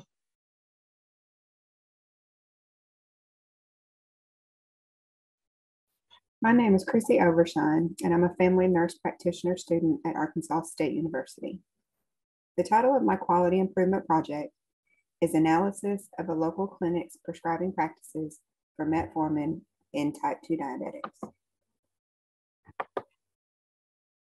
As an introduction, I would like to inform that diabetes has become a pandemic that affects individuals worldwide, including 34.2 million people in the United States. This is approximately 10.5% of the population. This number also does not include type 1 diabetics, those with gestational diabetes, pre-diabetics, or those who are diabetic but have not been diagnosed. So as a provider, we like to suggest lifestyle changes for our patients first. But when diet and exercise has failed, metformin is the first line therapy, according to the American Diabetes Association.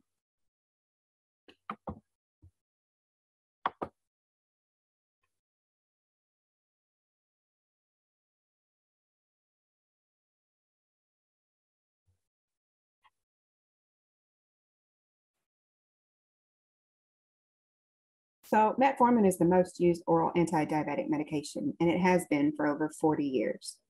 It is cost effective and it has the least amount of side effects, with the most common side effect being diarrhea. Di uh, diabetics should strive for a hemoglobin A1C of less than 6.5, and metformin can help them achieve this goal. Also, metformin has been found to be beneficial against cancers like breast cancer, endometrial cancer, bone cancer, colorectal cancer, and melanoma. It is also used in diabetes, uh, obesity, liver disease, cardiovascular disease, and renal diseases.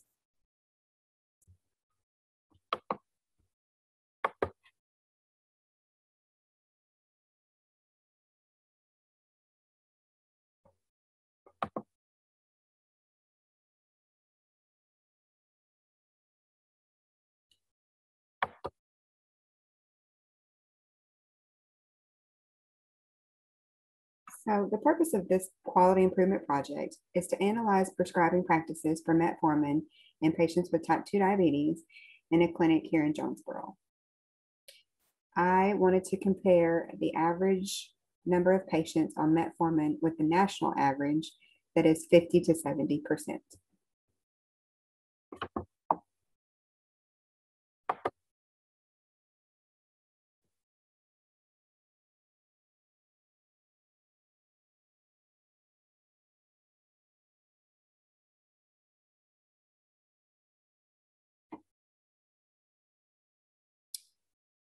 This quality improvement project was conducted utilizing a retrospective chart review. The inclusion criteria consisted of individuals aged 40 to 70 with a diagnosis of type 2 diabetes. 40 random patient charts were examined and data was gathered that included age, gender, race, and medication lists. All charts reviewed were of patients that had already been diagnosed with type 2 diabetes.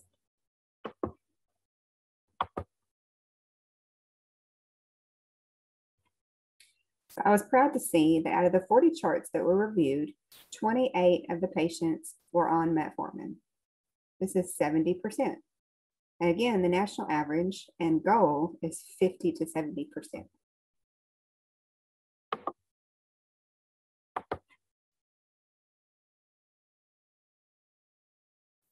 In conclusion, the information presented is beneficial because it reminds providers that metformin remains the first line treatment in diabetes type 2. Providers are reminded of the ADA guidelines and can use the guidelines as a goal in their own practices. References for this pre presentation are available upon request, and this concludes my quality improvement project information. Thank you.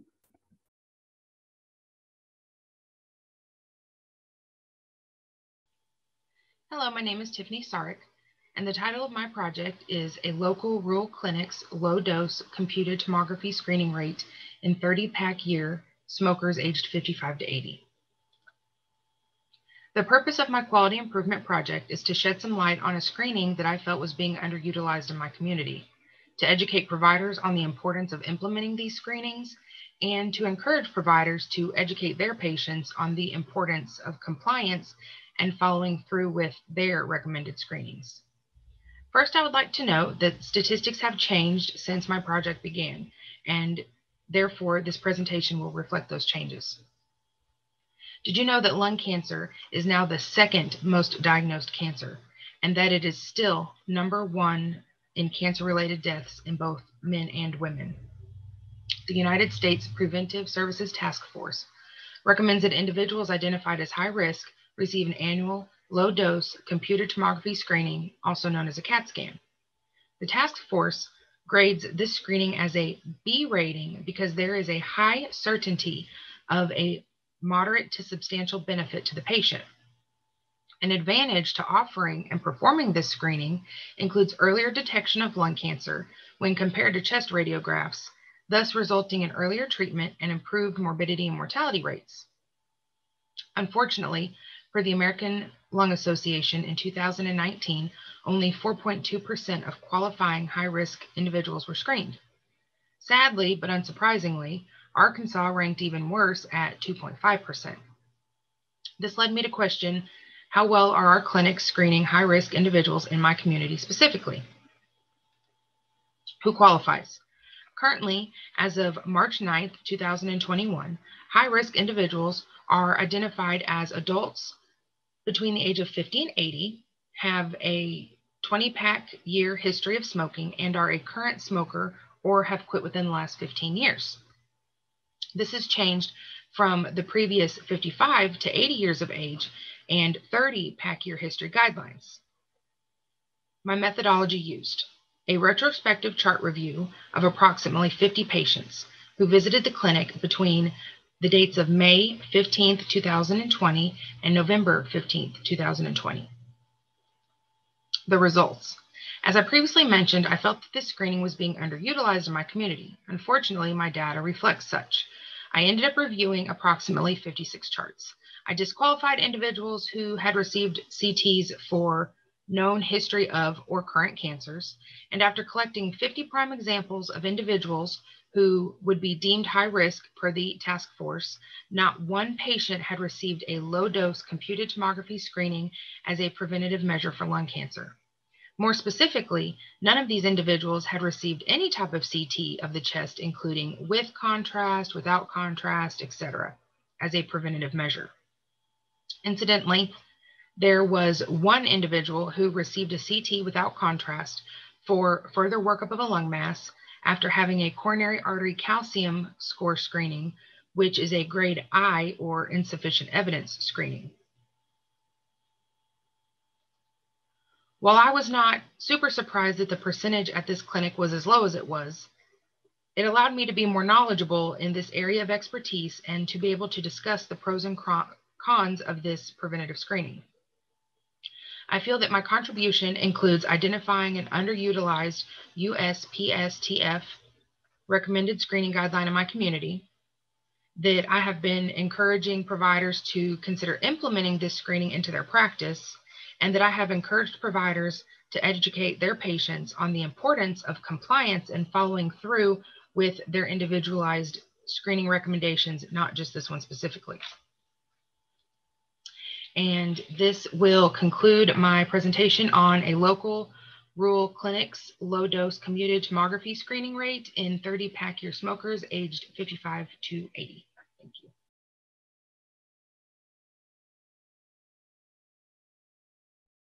Hi, I'm Deborah Schulte, a doctorate of nursing practice student at Arkansas State University.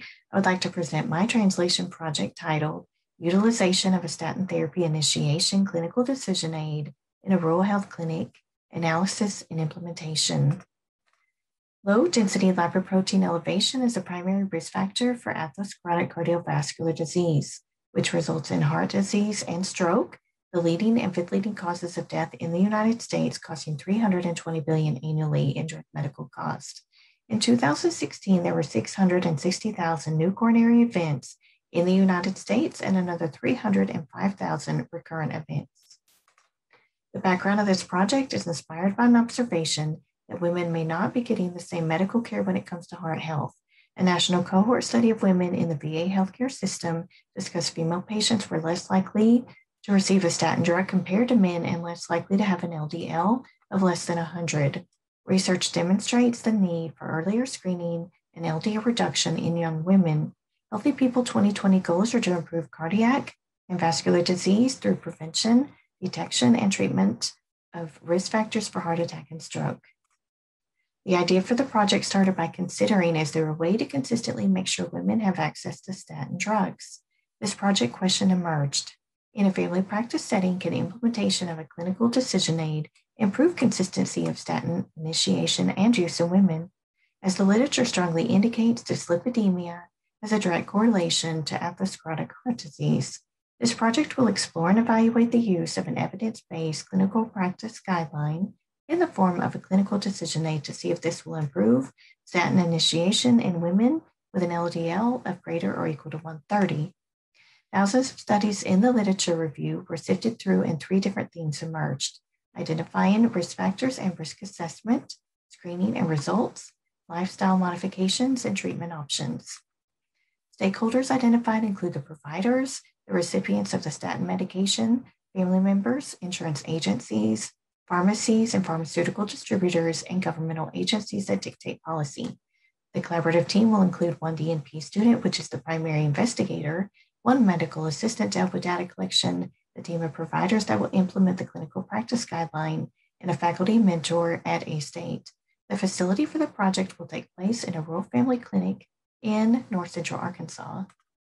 The methods and strategic plan started with deciding the inclusion criteria. Women ages 25 to 60 with LDL greater or equal to 130. The 2018 guideline in management of blood cholesterol was chosen and translated into a clinical decision aid for use by the providers. The guidelines were presented as well as the clinical decision aid discussed. Collaborative provider input was shared, education was given to the providers, and questions answered. A baseline and four week post implementation chart review was performed to compare the clinical decision aid starts with girls and women of all ages, emphasizing lifestyle, diet, exercise, and weight management. Based on the women's particular risk factor or current disease process, a statin can be started by the following recommendations. The, this guideline is comprehensive and focuses on prevention as well as treatment. Desired results were better consistency on statin initiation, 50 pre implementation retrospective chart evaluations, conclude a statin baseline use of 24% in the population. A four week post implementation chart review found 88% of the population was offered or taken a statin medication. This project has been an amazing opportunity to grow professionally by leading a team of nurse practitioners and physicians in a family practice clinic reduce LDL in women and ultimately reduce the risk of atherosclerotic cardiovascular disease using a clinical decision aid translated from the current guidelines for early screening and identification of at risk women, as well as early initiation of a statin drug, will help close the research practice gap by driving provider treatment consistency to ensure the best possible outcomes for reduction of LDL and ultimately heart and vascular disease. This project meets the standards of care of the Institute for Healthcare Improvement Framework for optimizing healthcare called the IHI Triple Aim by valuing the patient as a participant in their own healthcare decisions, improving women's heart health by lowering LDL and lowering the risk of atherosclerotic cardiovascular disease, and reducing heart and vascular disease expenditures by reducing occurrence. Please see the references listed below and let me know if you have any questions. Thank you.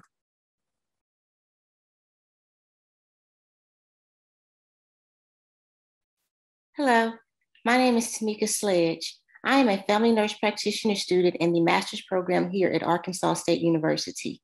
Today, I am presenting my quality improvement project titled Analysis of Childhood Obesity Screenings at a Primary Care Clinic in Western Tennessee. The purpose of this quality improvement project is to determine if a local clinic in Western Tennessee is assessing pediatric patients for obesity. This is very important as childhood obesity is associated with a higher chance of premature death and disability in adulthood. Currently, over 13 million children in the United States are obese. The United States Preventive Task Force has declared this an epidemic and urges providers to screen all children for obesity. This PowerPoint will include objectives related to the definitions, cause, complications, and management of obesity. What is obesity? The World Health Organization defines obesity and overweight as an abnormal or excessive fat accumulation to the extent that healthcare may be impaired. There are several causes of obesity. One cause is genetics. Many parents with obesity often have children that may become obese. This is due to sedentary lifestyles. Other genetics include a child born with Down syndrome. That child has a higher risk of lower metabolic rates, which increase their risk of obesity. Fast food is inexpensive and kids love it. It's quick, it's easy, and it tastes good, but it is also filled with saturated fats, high carbs, and sugars. Obesity has several complications. Those include a bad social life, cancers, hypertension, high cholesterol, sleep apnea, respiratory problems, quality of life, and coronary heart disease. A bad social life is one of the greatest complications in a school age kid. Many obese children are bullied due to being overweight and not able to perform in team sports as those that are more physically fit. This can sometimes lead to depression. In managing obesity, it, several factors are included, such as body mass index, which is also known as the BMI, recommended well child screenings, exercise, diet control, and screen time limitations. For the purpose of this study, the focus will mainly be on the body mass index. My preceptor analyzes obesity with obtaining BMIs on every patient, including pediatrics. The BMI is a value derived from the mass and height of a patient. A healthy BMI is when a, is when a child is in the fifth to 85th percentile. This project was completed using a retrospective chart review on 20 random selected charts with office encounters between September and November of 2020. The inclusion criteria was children between the ages of 6 and 18. Data collected included age, gender, race, and verification if a BMI was documented. The results of this quality improvement project indicate this clinic employs child obesity screenings on 100% of its encounters. Of those reviewed, 40% were males and 60% were females. Furthermore, 80% was Black, 10% white, and the other 10% were Hispanics. It is so important to screen all children for obesity, as this will prevent long term problems, both physically and socially, in the future. We want our children happy and healthy. This is one way to do it. This concludes my quality improvement presentation. Thank you.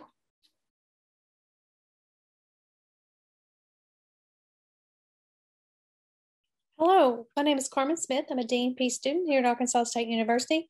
I'm going to give you an overview of the evidence-based practice project I've worked over on over the last few semesters called Improving the Emergency Department Quality of Care.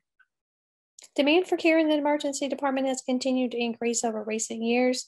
This has caused a crisis in emergency medicine and often overwhelms healthcare facilities Overcrowding is very common and often described in press. Overcrowding is just any time that the demand exceeds the supply of resources.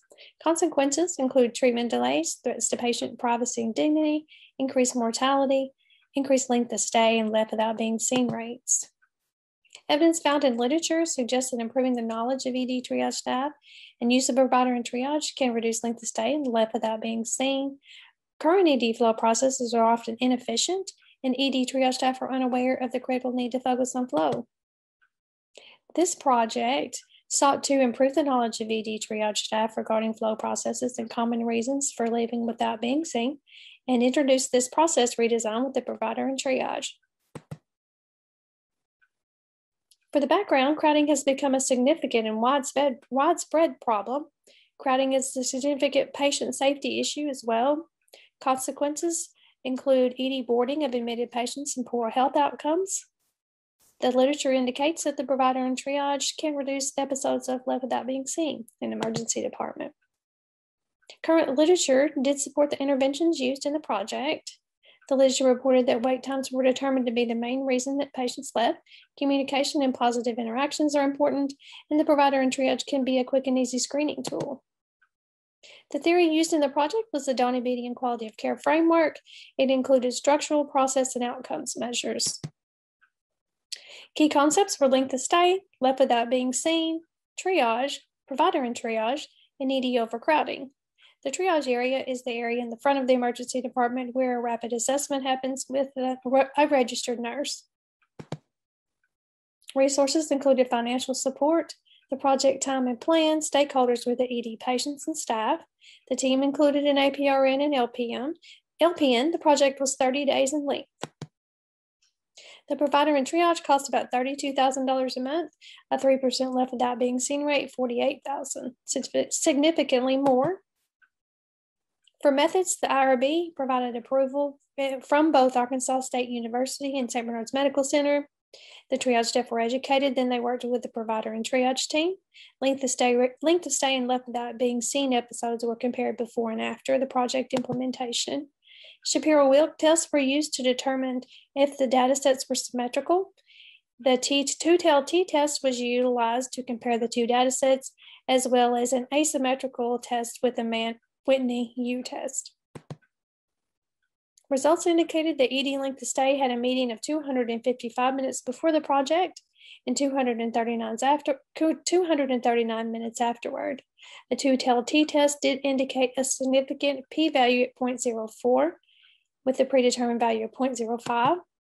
ED triage staff education pretest, the scores were 98.5%, afterward 100%. The p-value was 0.64, which unfortunately was not significant. Left Without Being Seen indicated 64 episodes before the project implementation and 29 minutes after 29 episodes after implementation. A Mann-Whitney U test indicated a p-value of 0.06, which was not significant with a p-value of 0.05. Significance of the project for nursing includes the impact of a reduction in length of stay and left without being seen rates. For patients, the significance is shorter wait times, increased satisfaction, and overall better health outcomes. For the organization, for the lower rates of left without being seen and decreased episodes of length of, length of stay includes increased revenue and fewer patient complaints. The project does support inter- the integration of the doctor of nursing practice in a trio of roles, including the APRN, the leader and change agent. In conclusion, the summary of the project findings did indicate a reduction in length of stay and left without being seen rates at the project site. Implementations, implications for future practice include opportunities to replicate the results in other emergency departments. Further studies, however, are needed to determine if the interventions can be successfully replicated. Thank you for your time and attention today. I've included a link to the references of the project here on the last slide. Thank you.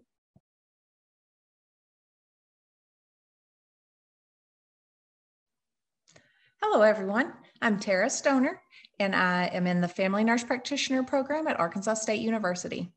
My quality improvement project is titled Low Dose CT Screenings for Lung Cancer, a work in progress. In the year 2013, the U.S. Preventative Services Task Force recommended implementing the utilization of low dose CT scans for patients who are at high risk for developing lung cancer. Individuals noted to be at the highest risk were those aged 55 to 80 with a 30 or more pack year smoking history. The purpose of this quality improvement project was to evaluate a local family practice clinic's compliance with the recommended screenings and then compare the results with the national data. A retrospective chart review was completed within the local clinic in Northeast Arkansas for the calendar year of 2018. The data was gathered from the electronic health records of all high risk patients who were seen that year to evaluate the providers in this clinic and how compliant they were with the preventative scans. The data from that year for the national average was 12.5%. Now, the local clinic average for recommended screenings in 2018 was only 10%. The local patients who actually met the criteria that were not screened was 25%. Some of the limitations that we ran into within this local clinic was that most of the patients had no smoking history recorded at all. That accounted for 7% of the low dose CT lung cancer screenings that were ordered. One patient that had a low dose CT screening was noted to have less than a 30 pack year smoking history. And that leaves only two patients that met the criteria and received the low dose CT scan. That's a total of 2% of the patients seen in the local clinic in 2018 that met the inclusion criteria for a high risk patient and received the recommended screening. To show you on the charts, that is the national patient data was 12.5% compliance and 87.5% non-compliance for high risk patients who received or did not receive a low dose CT screening. For the local clinic, the two is the only two patients who met the criteria and received the CT scan. The eight is the patients who received a CT scan but had no pack smoking history recorded. The 26 is the patients who met the age compliance, the low, the smoking history compliance, but did not receive a low dose CT scan. The 65 is the number of patients who met the age range but had no smoking history noted. The benefits that are provided from this quality improvement project is that it should raise awareness with providers when they can see where they fall short from the recommendations. This should also bring attention to what these providers can do to reduce the mortality rates that are associated with lung cancer. The project should also bring attention to the importance of gathering smoking history from all patients, especially those who are aged 55 and above. The long-term benefit is the greatest benefit, and that is for the patients. It should lead to a reduction of late-stage lung cancer diagnoses, which will also lead to slower progression rates, lower risks of mortality, and overall patient wellness. And that is our goal. Thank you, and I appreciate your attention today.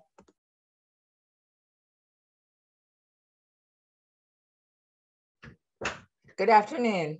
My name is Lori Strider, and the title of my project is Percentage of Type 1 Diabetes Following American Diabetes Association Treatment Recommendations. I am a, a family nurse practitioner student at Arkansas State. This subject is of great interest to me both personally and professionally.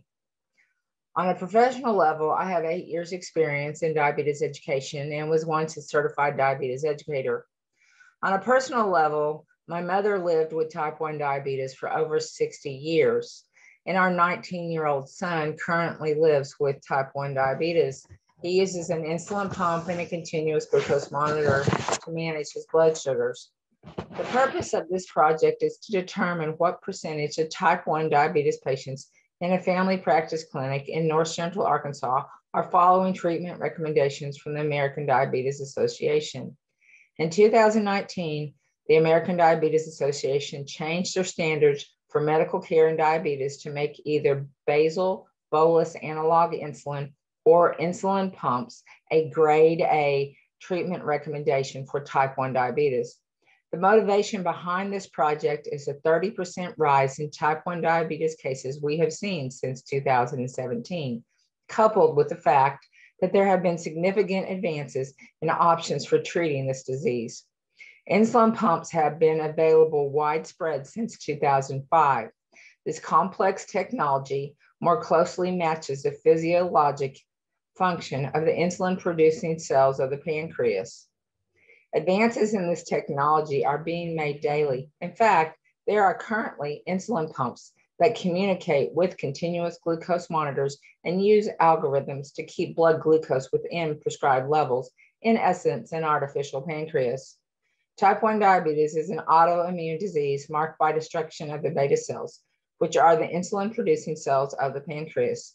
The cause of type 1 diabetes is multifactorial. Genetics and environment both play a role. It is thought that a trigger in the environment, such as a virus, provokes this autoimmune destruction of the beta cells. An interesting note, there is a limited small study being done currently in the United Kingdom that reflects a bump up in type 1 diabetes cases post-COVID. This project is important because these recommendations are based on years of scientific evidence that blood glucose control is better when they are followed. Better blood glucose control equals fewer complications, and fewer complications represents an important and improved quality of life and lower medical costs long term. This is particularly valuable in type 1 diabetes because 60% of these patients are diagnosed before age 14 and thus have potentially many years to live.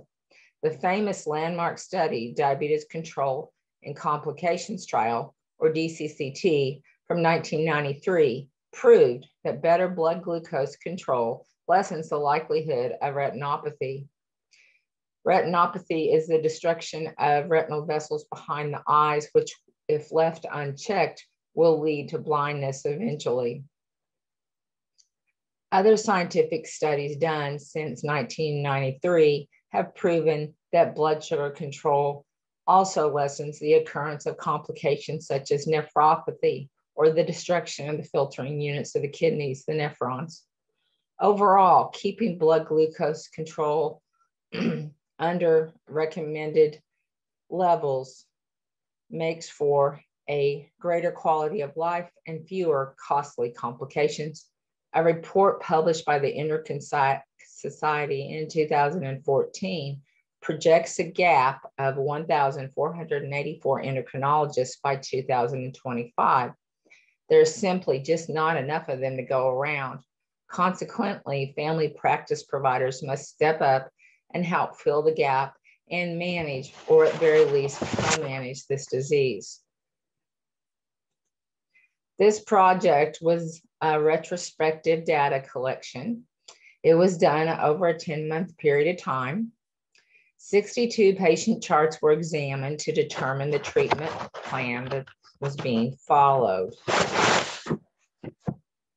62 patient charts with the ICD 10 code of E10 were examined with the following results. And honestly, they were quite surprising. 47% of patients used a basal or bolus insulin regimen. 35% of patients were using an insulin pump, and 18% were using non analog insulins. A total of 82% were following American Diabetes Association treatment recommendations for type 1 diabetes. That is a surprising part to me. In a family practice clinic in North Central Arkansas, 82% of their type 1 patients are following ADA's treatment recommendations.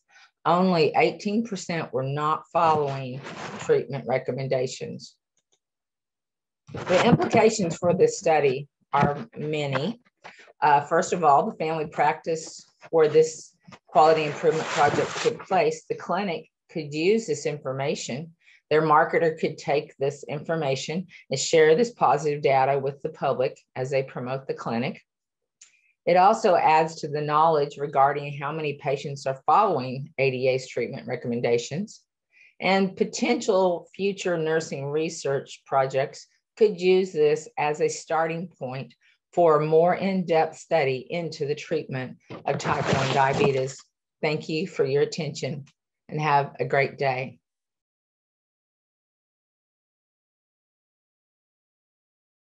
Hello, my name is Kakisha Taylor. I'm an FNP student at Arkansas State University. The title of my quality improvement project is Evaluation of Lifestyle Changes on Lowering Blood Glucose Levels Prior to the Initiation of Metformin Therapy. Diabetes-related deaths have been on the rise in the United States. On an average, there are 80,000 reported deaths annually related to diabetes. The cost of care will increase if proactive measures are not implemented. Efforts to prevent the chronic condition are targeted at lowering glucose levels and stopping the progression from prediabetes to type 2 diabetes.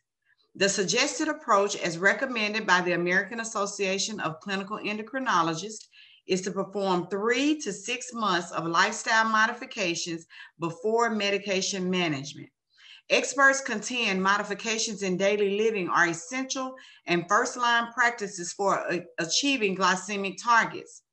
Specific lifestyle changes recommended are those of weight loss, physical activity, dietary modifications, smoking cessation, and self-care education. Efforts to prevent type 2 diabetes should begin systematically before diagnosis.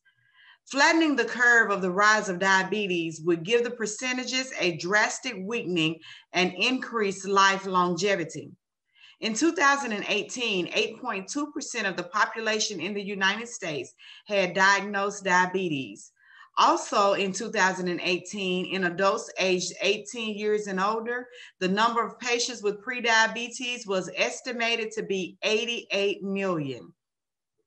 The purpose of this quality improvement project is to analyze the compliance with AACE recommendations for initiating lifestyle modification therapy prior to starting metformin in pre-diabetic patients in a primary care clinic in rural Mississippi. Lifestyle therapy has been noted and duly expected to lower blood glucose levels and prevent type 2 diabetes. Compliance with the proposed strategies has shown a 27% patient success rate compared to metformin's reduction rate of 31% over three years. A retrospective chart review was conducted on approximately 25 charts with visits from January 1st, 2020 to November the 1st, 2020 to gather data for this project. The exclusion criteria uh, included all patients under the age of 18 and all patients over the age of 65 years old and all non-established patients. As you can see here with the pie charts, with the established patients with prediabetes with the ICD-10 code of R7303 was 40% and the established patients with diabetes ICD-10 code E11.9 was at 60%. Here are four pie charts that distinguish the lifestyle modifications, um, the blood glucose levels before the modifications, after the modifications, before metformin and after metformin. The graph showed the reduction in fasting blood glucose levels were significantly lower in patients who adhered to the lifestyle modification versus those who were prescribed metformin. Establishing and understanding the importance of adherence to evidence-based recommendations provide encouraging results. This information will be useful to the clinic in determining the extent of adherence to the recommendations. This project will also allow the clinic to set goals for future education and prescribing practices. Providers are encouraged to provide more focused care to those patients with abnormal glucose levels. Offering the lifestyle modifications before metformin therapy initiation has the potential to increase overall self-care responsibility and decrease blood glucose levels in the high-risk population. The overall focus, considering limitations, is to secure advances in glycemic control as medical evidence and clinical guidelines are developed on all platforms. Morbidity rates will be lowered and premature mortality prevented. Acknowledgements uh, to the Oakland Medical Clinic and also to my faculty mentor, Ms. Randy Davis. References available upon request. This concludes my quality improvement project. Thank you.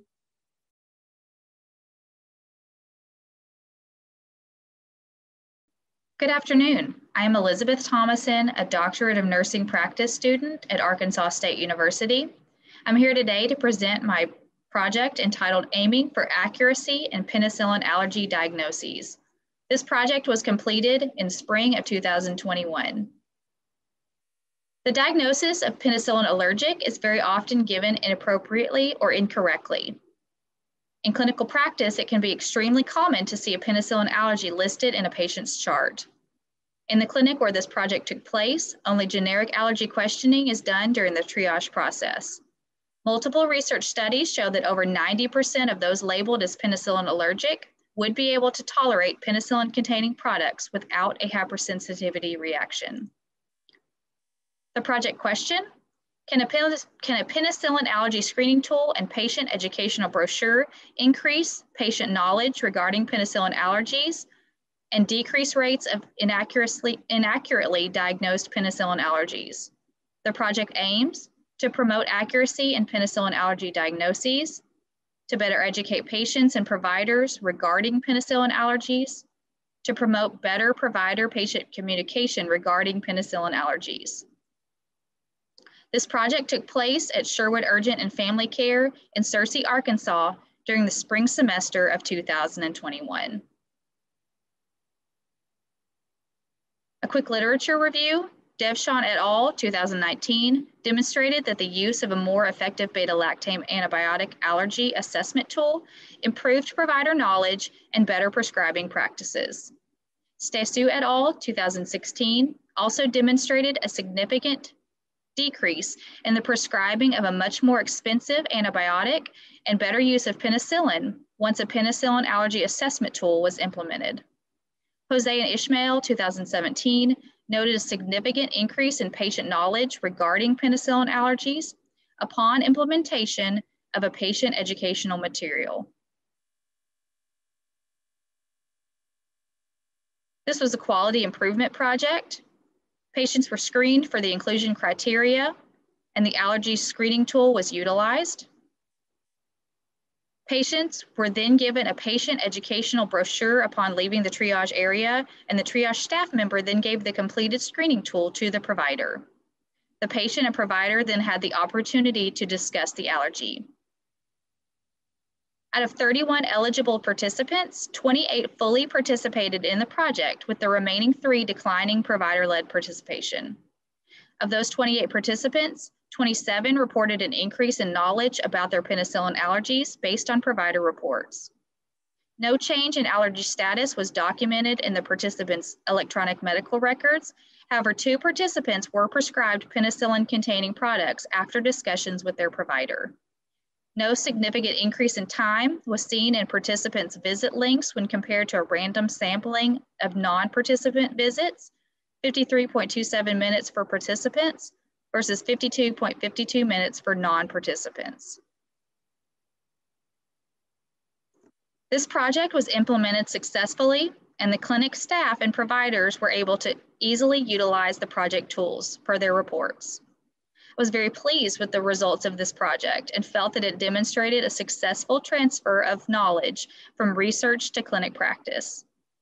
As a nurse leader, I will be in a position to continue implementing this project in this clinic as well as potentially implementing future quality improvement projects that can benefit nursing practice. This particular work expounds upon the work of others as demonstrating the effectiveness of utilizing more effective allergy screening tools and patient education material to aim for more precise accuracy in diagnosing penicillin allergies. Thank you for the opportunity to present my project today.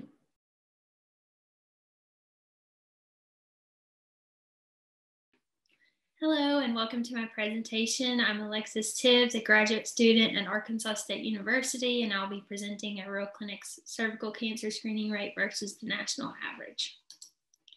The purpose of my project is to identify the cervical cancer screening rate of female patients aged 21 to 65 in a rural family practice compared to the national average of 81.1%.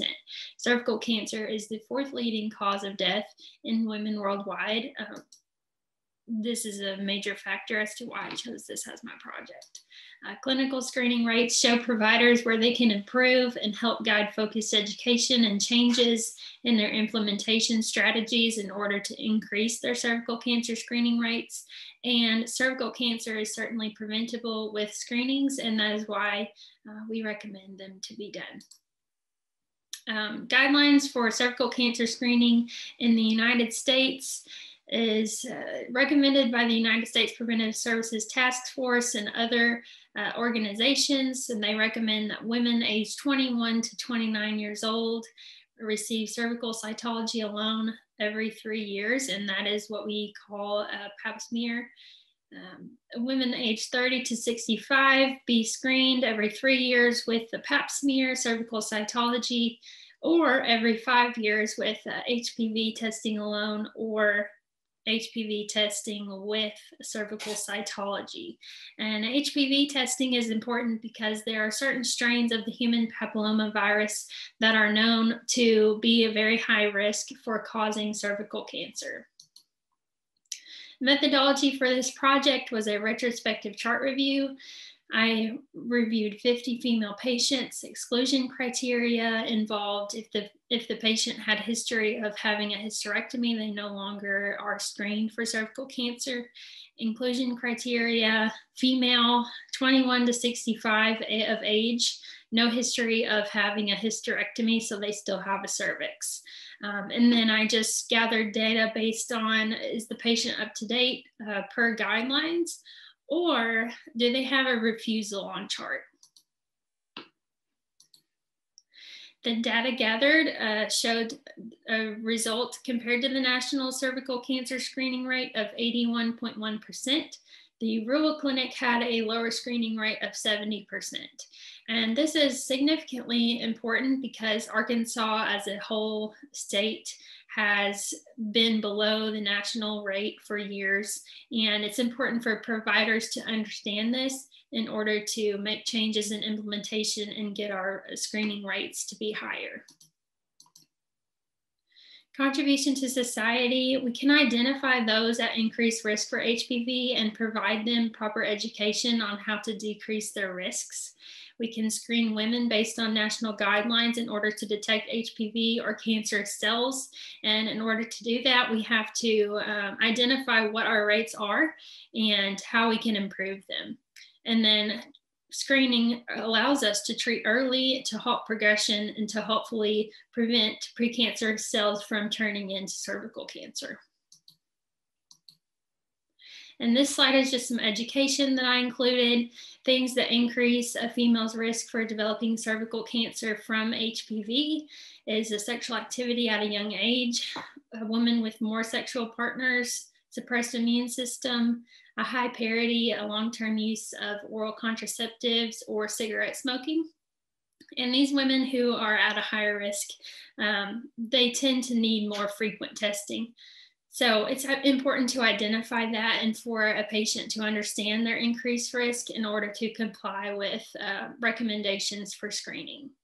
And then factors that can decrease incidence of cervical cancer due to HPV are early detection, which is screening per the national recommendations. And then um, there is a vaccination available for both males and females. And so education regarding this is important.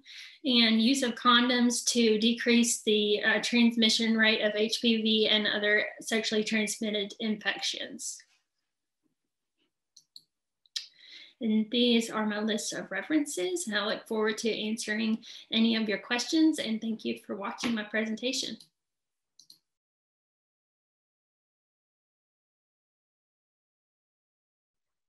Hello, my name is Tracy Tucker. I'm a family nurse practitioner student.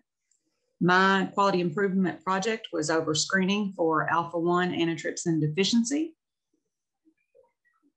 Alpha 1 Antitrypsin deficiency is a codominant genetic type of COPD. It is caused by the mutation of the SERPINA1 gene.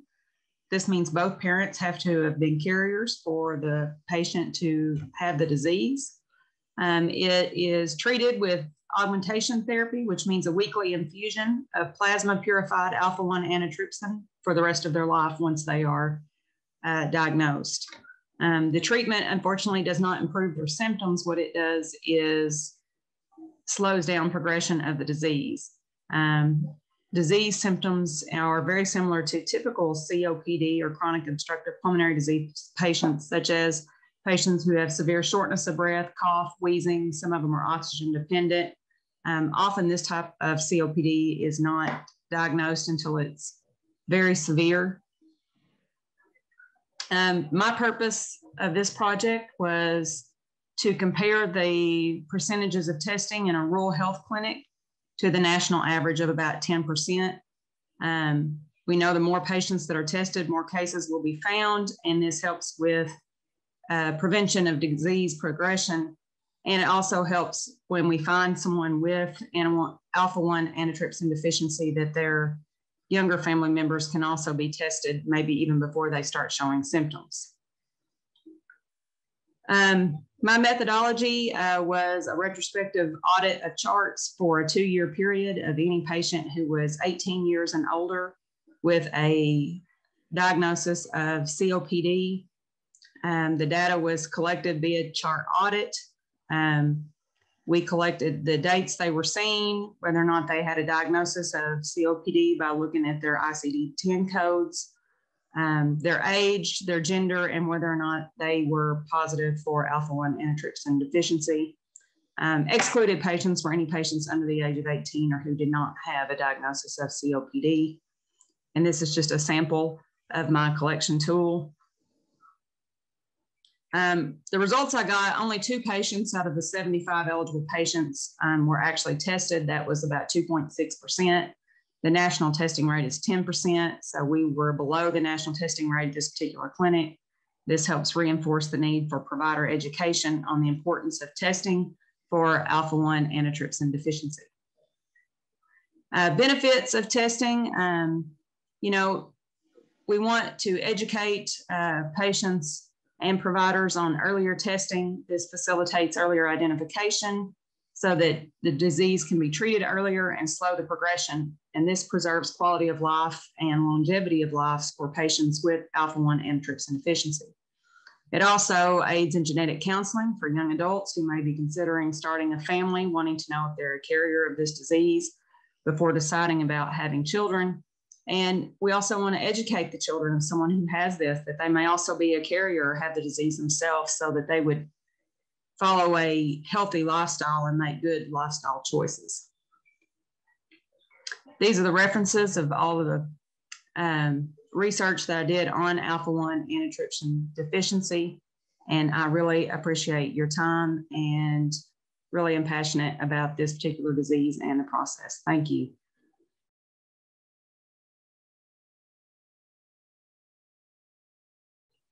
Hello, my name is Shay Tyler. The title of my project is Evaluation of a Rural Family Practice Clinic's Compliance with Hepatitis C Screening Recommendations.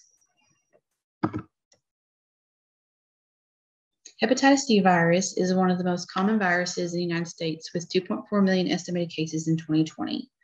More than half of infected individuals do not even know that they are infected. Current recommendations for screening um, include screening patients who were born between 1945 and 1965.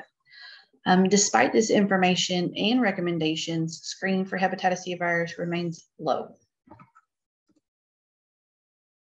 The purpose of this quality improvement project is to compare hepatitis C screening rates of a local family practice clinic in Greene County, Arkansas to the national average of 17.3%.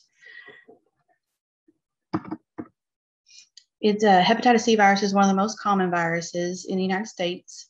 Um, as mentioned before, 2.4 million estimated cases uh, were in 2020. Um, more than half of people with hepatitis C virus do not realize they have the virus, um, placing them at risk for a life-threatening liver disease, cancer, and unknowingly transmitting the virus to others.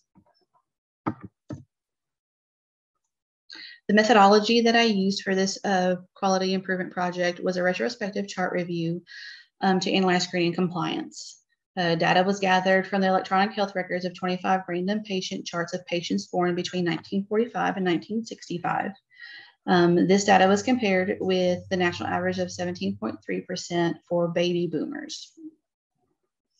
Um, charts were reviewed for office encounters from January 1st of 2015 to August 25th of 2020. Inclusion criteria included age, gender, and whether or not there was documentation for hepatitis C virus in the patient's chart. The results compared to the national average was 0%.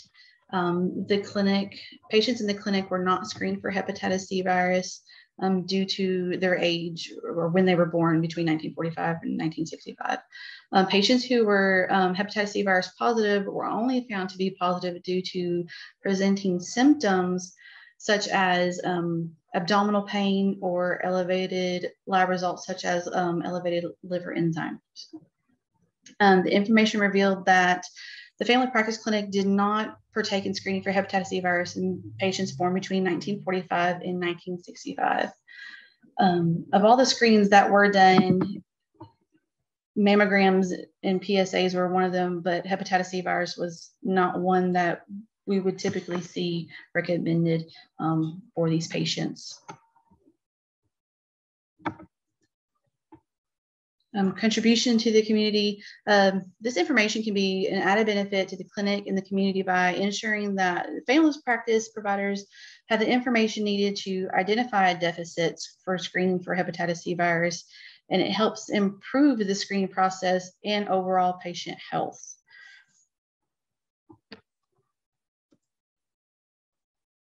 And this uh, concludes my presentation. Thank you.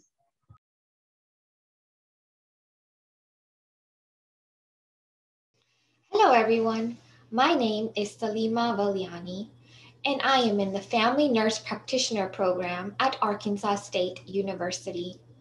My quality improvement project is titled Breast Cancer Screening Rate in a Local Clinic versus the National Average Screening Rate. Breast cancer is the most frequent cancer among women worldwide. It impacts about 2.1 million women each year and it is the main cause of cancer related death in women globally. Breast cancer is frequently diagnosed in women aged 55 to 64 years, and the median death age is 68 years. Early diagnosis is a key strategy in providing timely access to treatment and improving effective diagnostic services. The purpose of my quality improvement project is to compare mammography screening rates of women aged 50 to 74 years in a local family practice clinic in Little Rock, Arkansas, to the national average of 72.8% of women aged 50 to 74 years who are up to date on their mammography screenings. The National Cancer Institute has forecasted in a study that will be there will be an increase in US breast cancer cases being diagnosed each year. The cases will grow from 283,000 cases in 2000, 2011 to 441,000 cases in 2030. That is more than a 50% increase. It is crucial that early screening is done through secondary prevention guidelines to prevent the projected increase of breast cancer. This project was conducted using a retrospective chart review, and data was gathered from the electronic health records.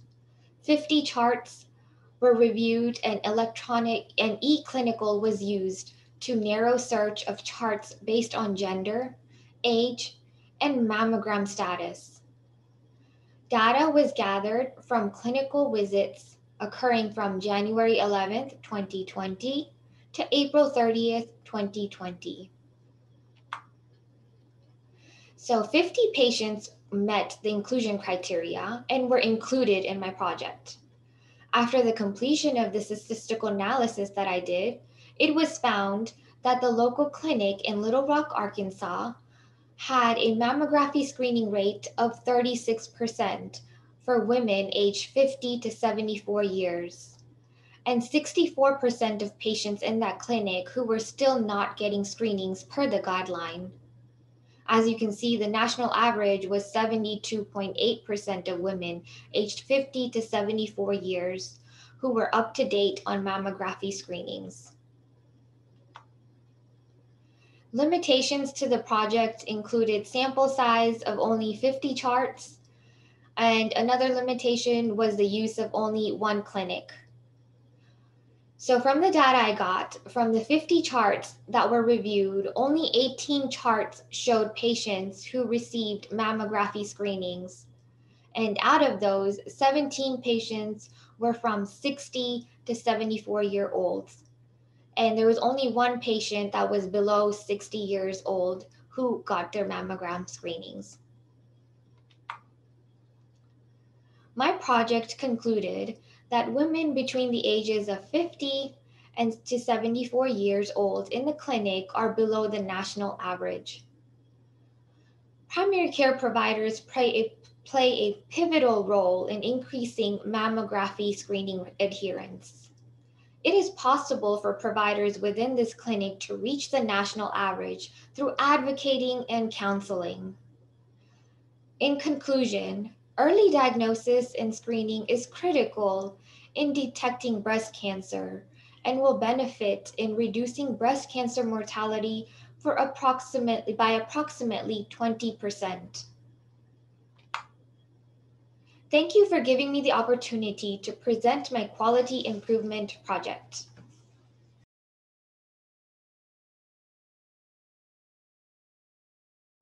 Hi, my name is Lauren Bond, and I'm going to be talking to you all about my quality improvement project titled A Local Clinic's Clinical Breast Exam Screening Rate versus Arkansas's Breast Care Average. I have a little background information about my project. Um, breast cancer continues to be a leading cause of cancer related deaths among women in America today. And there's a lot of different professional organizations that vary slightly with recommendations of screening ages for um, women. But for this quality improvement project, I focused more on the American College of Obstetricians and Gynecologists. So the past screening recommendations are as follows the self breast examination, which is at any age after 21, a clinical breast examination at any age after 21, and mammograms from 45 to 50 years old based on your history and risk factors. And the current screening rate, which is now after 2019, shows that the mammograms are a little bit earlier at 40 to 45 years of age, again, based on your history and risk factors. Um, show when you can initiate how early you can initiate that examination. But they no longer recommend the clinical breast exam nor the self breast exam. And this was just because of research and literature that really showed that there was no benefits to the exam that outweighed potential risks. And these risks were like false positives, um, leading to unnecessary further testing, and then an increase in anxiety for the patient as they awaited these results of testing. So, though breast cancer is more seen in older women, those who are younger can still be at risk for the development. In fact, those who have yet met parameters for mammograms or those aged 21 to 45 years of age can be at risk for breast cancer. And if developed, it tends to be a little bit more of an aggressive type of cancer just because of the cancer feeding off of estrogen in the woman's body, the natural produced estrogen, which means it can be more aggressive. It can spread a little bit quicker, metastasize a little bit easier, and then be a little bit harder to treat. So, if the use of the clinical breast exam is no longer recommended, then how are we going to better serve this population of women who don't yet meet parameters for a routine mammogram? So, the purpose of this project was to compare the rate of the clinical breast examination in women who are aged 21 to 45 of a local clinic in Northeast Arkansas to that of Arkansas's breast care program of about 40.8%. The methodology used for this project followed a descriptive design method with a randomized convenience sampling of about 50 charts through a 50 charts through a retrospective chart review. So I have the inclusion, exclusion, and additional data listed as follows, but in summary, the charts were selected based off of an ICD code that narrowed down to a well woman visit within the last year, and 50 charts were sampled from that year to see who of that population chose to have a clinical breast exam and who opted out of one. This data was then collected, analyzed, and compared to the Arkansas's average. And the results are as follows. The local clinic screening rate was actually 76.8 76% compared to the Arkansas Breast Care Program, about 40.8%. So it showed about a 36% variance between the two. And some important information, or just interesting information, is of the six charts that showed a history of familial breast cancer, only one patient opted out of receiving that clinical breast examination. And then of the three charts that showed a prior abnormal screen through a clinical breast examination, those three continue to have a routine clinical breast examination at those well woman visits. So in conclusion, the local clinic has a higher rate of a clinical breast exam performed in performed in their clinic compared to that of Arkansas. And this can be interpreted as being seen as an important tool for women's health within that population. So, if this tool is used for these women who are still considered at risk, it can help in identifying early forms of cancer and potentially lead to better outcomes for these women.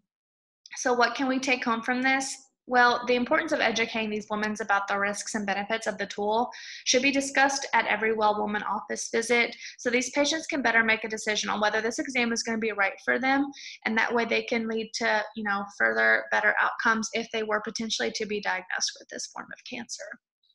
So thank you all for listening to my project. Here are my references. I look forward to answering any questions you guys might have and having a great day.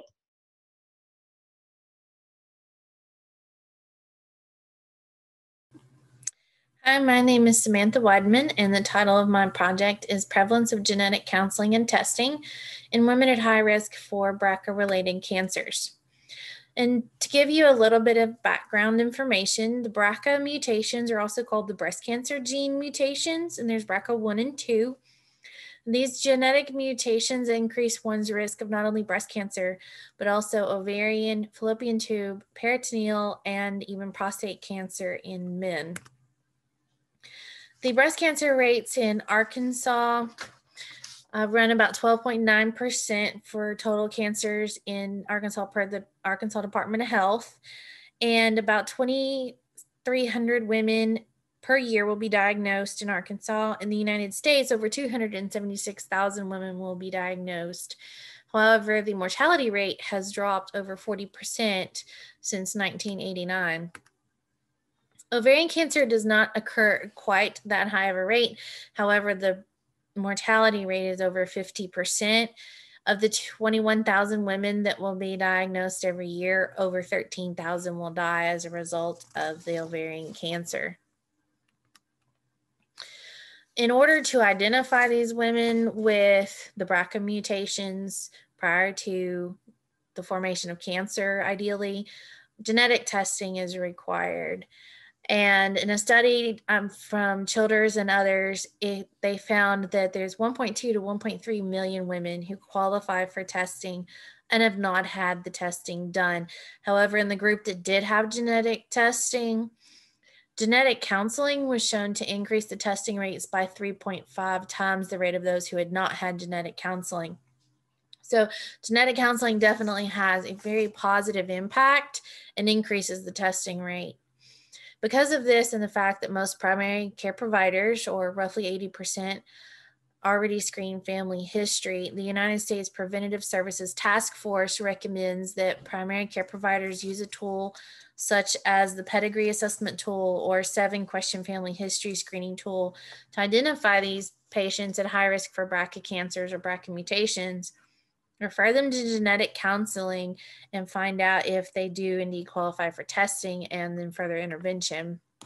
So, the purpose of my study was to identify the rate that a clinic, eh, primary care clinic in Central Arkansas is following these recommendations, and then look at their genetic counseling and genetic testing rates. I did this through a retrospective chart review of 100 charts of women aged 21 to 80 years old and the visit dates were ranged from November of 2019 to November of 2020. And a, a, search of their electronic medical record was conducted using keywords such as BRCA, genetics, and then the referral history. These pie charts break down both the diagnoses and the age groups for these women in the 100 chart review. And the older generation in breast cancer by far make up the greatest number, which is consistent with the statistics for Arkansas. My results revealed that only one patient out of the 100 was referred genetically, I mean, excuse me, re- referred directly by primary care to genetic counseling. And it was a patient with only a family history of BRCA mutations. She was then identified to have BRCA mutations. So now further intervention can be planned for that patient. The primary care providers did have in their records, though, that 22 other women had testing by outside providers, such as by their oncologists. and 18 of those women had re- record of genetic counseling being done. So you can definitely see a correlation between the counseling and the testing there. However, again, 1% or one out of 100 was referred directly by primary care. Um, the limitations of my study were that the clinic that I utilized for the study does not actually use a screening tool as recommended by the US Preventative Services Task Force. Some of the women also had a very remote cancer history. So, in those charts, a few of their records may have been missing, which may be one reason why eight of the charts were unclear on whether or not genetic counseling was done or referral was made. However, this did identify a significant care gap for patients in the state, in the central area of Arkansas, and shows us that more education is needed for providers. The screening tools need to be implemented so that these patients can be identified.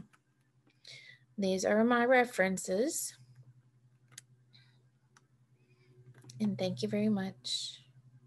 Some presentations are the results of a classroom project, oral history, service training, assessment, journalism, or quality improvement activities. Such activities may have been deemed not to meet HHS OHRP definitions of human subject research designed to develop or contribute to generalizable knowledge and thus did not undergo IRB review.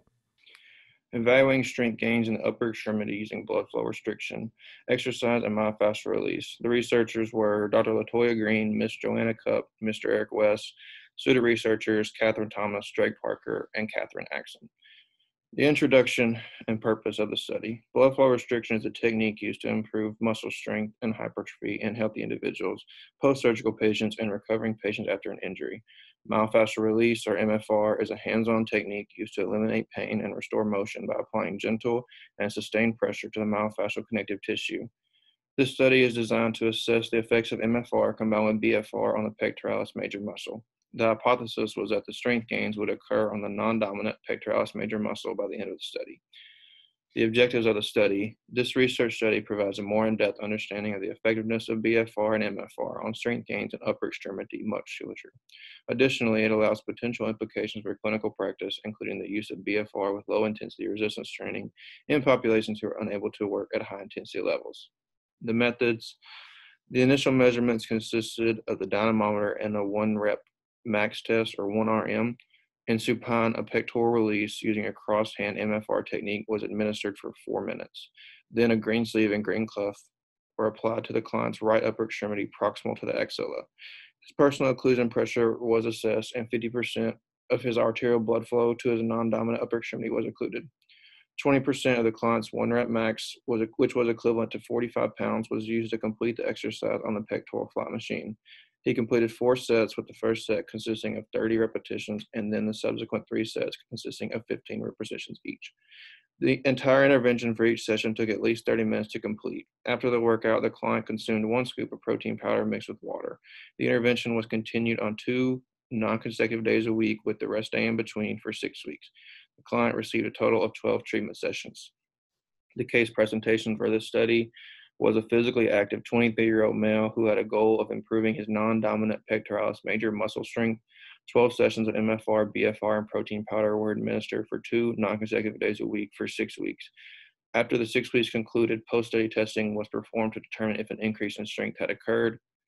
The outcome of the study was that the results showed an overall improvement in the client's strength in his right pectoralis major muscle. Compared to the initial measurements, the client's strength improved in his non-dominant upper extremity by 5.491 pounds, which is an 18.82 increase in strength. This strength gain corresponds with our hypothesis. Some discussion and action plan. Um, BFR and the consumption of protein powder resulted in the strength gains to the non-dominant pectoralis major muscle. The combination of these interventions were beneficial to the client and correlated with the hypothesis of this study.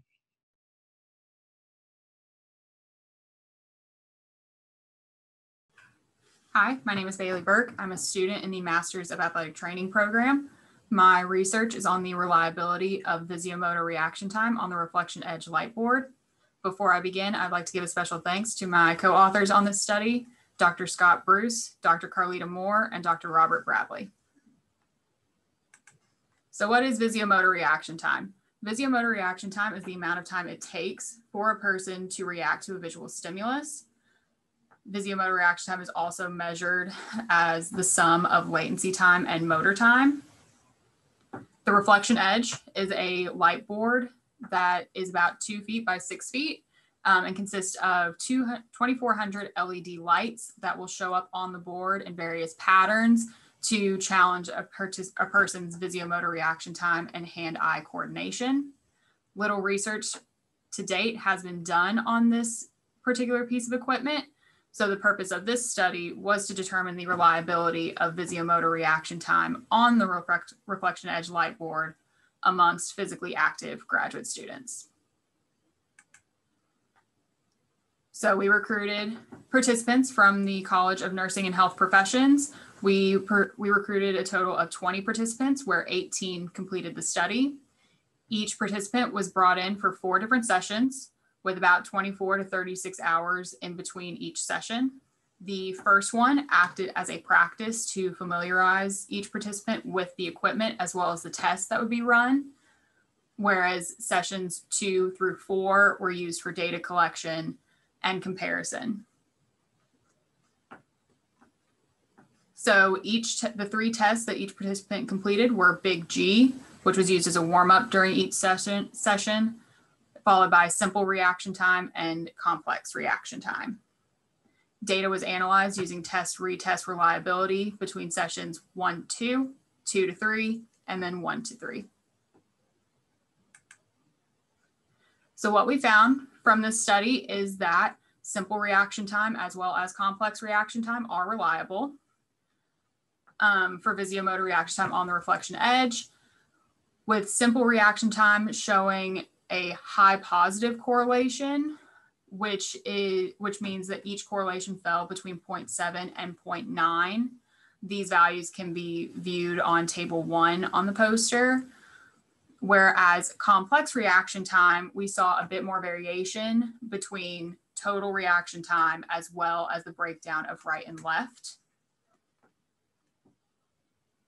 With complex reaction time showing going from moderate positive to low positive reliability. And as you can see, big G, since it was used as a warm up and we are unable to differentiate between right and left performance, showed low to negligible correlation. So here's a breakdown of our findings. As you can see up at the top with big G, we aren't showing any statistical significance except between trials one to two and two to three. But again, because we could not differentiate between right and left performance, this was used as a warm up. Right down here with simple reaction time, as you can see, each amongst all trials, each correlation was shown to be statistically significant on the 0.01 level. And then right down here in table three with complex reaction time, you can see the variation between each session as well as the total reaction time and then the right and left reaction times. Here are my references. Thank you again um, to my co-authors on this study, as well as each participant that took the time to participate in this study. Thank you.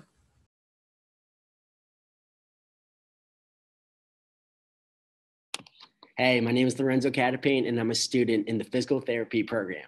And I'm here today to present our research study, which is called The Effects of Blood Flow Restriction and Myofascial Release at the Upper Extremity, a case study report. So I'm going to begin by talking about the introduction and purpose of our study. Strength gains have typically been achieved through high intensity exercises. Research shows blood flow restriction, or BFR, is a type of training where low intensity exercise is combined with blood flow occlusion to produce similar results to high intensity training. Flexibility is important for efficient movement. So, myofascial release, or MFR, is a manual technique using gentle sustained pressure to stretch myofascial tissue and increase flexibility which promotes efficient movement. The purpose of this case study was to determine if BFR with MFR would produce increased strength gains of the pectoralis major. Next, our objectives. This research was to see the effects of BFR and MFR on a healthy subject before we started the larger research study. We believe that a combination of BFR and MFR training will produce more strength gains at the proximal upper extremity musculature than BFR training alone. Next, for our interventions. This study was conducted two times per week for six weeks. Every session included an MFR for three minutes on the participant's pectoralis major before obtaining his occlusion pressure. Once the occlusion pressure was obtained, the patient performed 75 repetitions at 20% of his one rep max, which was 40 pounds, on a pect pectoral fly machine. The 75 reps was broken down into four sets, one set of 30 reps followed by three sets of 15 reps and had seven minutes to complete the 75 reps. A scheme of 75 reps and four sets is very common and frequently used in BFR. The participant was instructed while performing the reps to hold concentrically for one second and eccentrically for two seconds. After he completed the exercise, he was given one scoop of whey protein with water, which contained 60 grams of, pro of protein. The participant received a total of 12 treatment sessions. Now for the case presentation. The participant is a 24 year old male who is a full time doctor of physical therapy student um, at Arkansas State University. He lives an active lifestyle and tries to implement protein from his food intake. He is right hand dominant and engages in exercise, mainly resistance training, 45, uh, 45 days per week for about two to three hours. The, the participant has no previous experience of BFR or MFR. Now for our outcome. Pre and post intervention measurements were taken using a dynamometer, for pectoralis strength and using the pectoral machine for one repetition maximum, one RM, to, discern, to determine strength gains. The participant's one rep max chest fly increased by 55 pounds. However, there was no significant change in the pectoralis major muscle strength. Lastly, for our discussion, the case study observed the effects of low intensity exercise in combination with BFR, MFR, and the intake of protein powder to determine if the participant's upper extremity strength will increase. The dynamometer results for the non-dominant upper extremity did not show a significant change. However, this could be the result of the participant compensating during the initial me measurements, and therefore preventing an accurate show of improvement. The participant did increase the weight of the 1RM on the pectoral fly machine, the participants 1RM improved using a low load intensity exercise with BFR and MFR. However, caution should be taken with generalizability because this study had only one participant. More research is needed to investigate the relationship between BFR and MFR. So that concludes my presentation today. So I appreciate you guys taking your time out to listening to our presentation. Have a good day.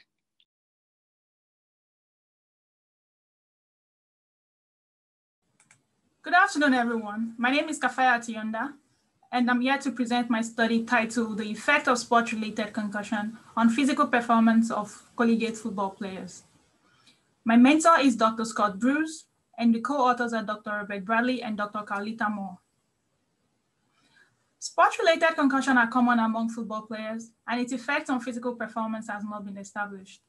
Underreporting of concussion is a significant problem in all sports and at all levels of competition with 55% of these athletes either with or suspected of having a concussion, failing to report this information to an authority figure.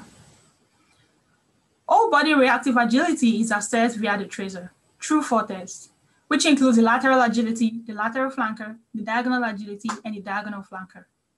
Standardization of data allows comparison across groups, and the Z-scores and T-scores are two ways to standardize scores. The T-score has a mean of 50 and a standard deviation of 10. The purpose of this study was to examine the physical performance of Division One collegiate football players with and without a history of concussion. Baseline testing on Trazer was done on all participants, with the test including the lateral agility and the diagonal agility. This involves the athletes either moving to the left or right or to the back. The lateral flanker and the diagonal flanker incorporates the cognitive aspects into the test, which involves the athletes either resp responding to the center or the middle arrow. Statistical outputs included averages and asymmetries of each test and metric with 95% confidence interval provided. The participants of this study included two NCAA Division I intercollegiate football teams with a total of 182 players. Paired t-tests found no statistical difference between the two teams. where the independent t-tests were run to determine the differences between those with and without a concussion history, with a p-value set at less than or equal to 0.05. Concussion history was obtained from the pre-participation physical exam and the ImPACT test data. Analyses were performed in two ways, the skill position only and the lineman only. The skill position players included the quarterback, the running back, the wide receiver, the defensive back, the linebacker, and the kicker. While the linemen included the offensive line, the defensive line, the tight ends, and the defensive ends. The raw data were converted to the T-scores to aid in the standardization and interpretation of the data. The ROC analyses and the area under the curve of greater than or equal to 0.600 were selected. Predicted probabilities were calculated through logistic regression. From the results of this study, three variables provided the greatest discrepancy between those with and without a concussion history for the skill players, with two of these variables indicating those that do not have a concussion history. The odd ratios range from 1.64 to 3.07. For the lineman players, five variables provided the greatest discrepancy between those with and without a concussion history. All five variables were measures of averages with the odd ratio ranging between 1.98 to 2.94 with a tight confidence interval. Predicted probability provide an estimate of the weight for the model's positive factors. The first table shows the results for the skill position players only, with the first and last variable indicating those that do not have a concussion history. Table two shows the results for the linemen only, with the five variables indicating those that do have a concussion history. This figure shows the ROC analysis with the area under the curve. For the skills players, the area under the curve was 0.717, and for the linemen was 0.642. This shows how the model best fits the participants. The clinical relevance of the study. From this study, it was discovered that there is a difference between the physical performance of those with and without a concussion history, which is inconsistent with other studies. T-scores allows clinicians to make comparison between these teams. This study provides metric-specific data to aid in the identification of Division One college football players who may underreport their concussion history. These are my references. Thank you for listening. And thank you to everyone who participated in this study. Hi, my name is Anna Lefebvre. I'm a second year grad student here at Arkansas State University in the athletic training program. The title of my research is Comparison of Trazer Performance Across Three Different Levels of NCAA Division I Football Classifications. Co-authors on my project include Dr. Scott Bruce, Dr. Carlita Moore, and Dr. Robert Bradley.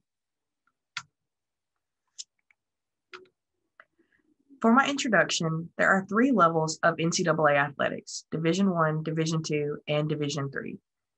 My study focused on Division One, which is the highest level of competition. Division One is broken down into two subdivisions, FBS and FCS. The FBS includes the Power Five and Group of Five, and FCS is also known as the 1AA division. For my study, we used the Trazer, which is a relatively new piece of technology that no normative data has been established for yet. Using this, we assessed four metrics, speed, reaction time, acceleration, and deceleration as well. Most of these tests focus on using only one metric, although with the Trazer, we were able to assess all four at one time. My purpose statement is to compare Trazer performance between the different D1 football levels and to establish normative data for each of these metrics. All of my data was obtained from the Trazer corporate office. This include data from 11 football programs and 374 total football players. They were assessed on four tests, lateral agility, diagonal agility, lateral flanker, and diagonal flanker. For the lateral agility, targets will pop up and it will tell the athlete if they need to move to the right or the left. Diagonal agility is very similar. Instead of side to side, they're going diagonally back to the left or back to the right.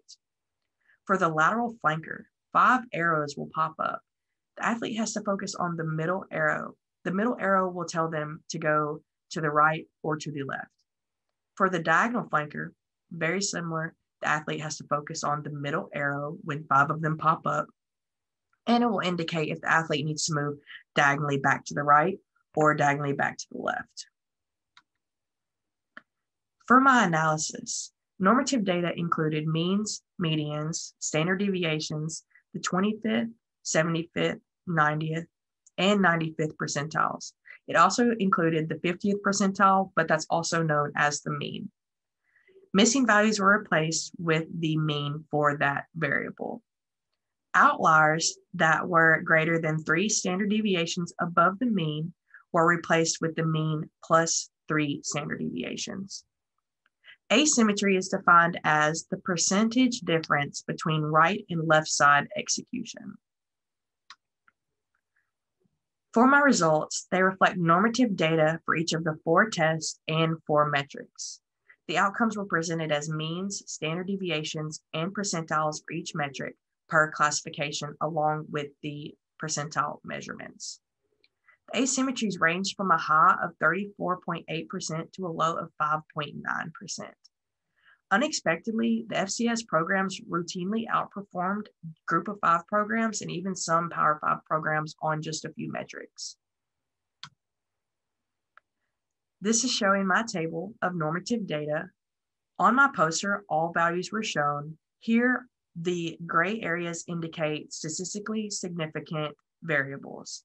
Their superscripts and footnotes indicate where those differences are.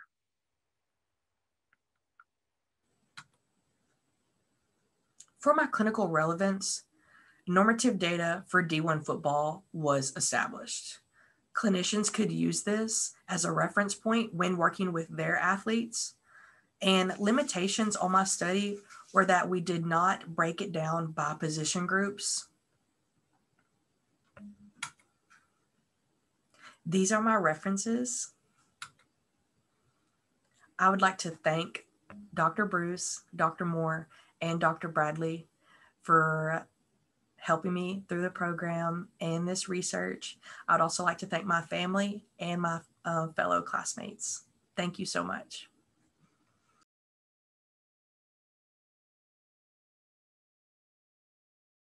Hi, my name is Laura Lynn, and my research was comparative baseline game statistic data for intercollegiate men's and women's basketball. My mentors were Dr. Scott L. Bruce, Dr. Robert Bradley, and Dr. Carlita M. Moore. For this project, physical performance and functional movement were assessed in order to find a relationship between them and game statistical data. Functional movement was assessed using whole body reactive agility. Reaction time, speed, acceleration, and deceleration were used to test fitness factors. Game statistical data and Trazer data were standardized using Z and T scores. This project's purpose was to determine if a correlation between intercollegiate men's and women's basketball game statistics and whole body reactive agility measures exist. In this study, 29 men's basketball players and 31 women's basketball players were baseline tested on the Trazer prior to the start of the 2019-2020 and 2020-2021 seasons. The demographics for each team is listed below. The Trazer used four tests that utilizes visual targets and arrows as directional cues. The agility test showed the participants visual targets, while the flanker test had the participant respond to the middle arrow that only showed for one second. Game statistics from the 2019, 2020, and 2020, 2021 seasons were used. Trazer data and game statistics were compared using correlation analysis. 30 Trazer factors were used, with 16 being averages and 16 being asymmetries. Asymmetry is the percentage difference between right and left performance. Between Trazer factors and basketball statistical categories, there were 640 combinations found. In the end, Trazer did a better job of predicting the basketball performance for the women's basketball team compared to the men's basketball team. For the women's basketball team, 31 out of 640 combinations were found to be statistically significant, while the men's basketball team showed only 25 out of 640 to be statistically significant. In the beginning, we hypothesized that turnovers, steals, and blocks would be the best correlation. The women's basketball team showed that turnovers and steals were significantly st significant, while the men's basketball team showed turnovers and blocks to be significant. Surprisingly, the Trazer correlated to field goals made for the women's basketball team and field goal percentage for both teams. Overall, the women's basketball correlations range from 0.379 to 0.486, while the overall men's basketball correlations range from 0.403 to 0.529. Due to space limitations, tables one and two only show basketball statistical categories deemed statistically significant. The correlations found only reflect a single baseline performance on the Trazer prior to the start of the preseason workouts. In the future, research could divide players into positions of guards and forwards for more specific outcomes. These are my references. I would like to thank my mentors, Dr. Scott L. Bruce, Dr. Robert Bradley, and Dr. Carlita M. Moore. I would also like to thank the Arkansas State men's and women's basketball teams for their participation in this study.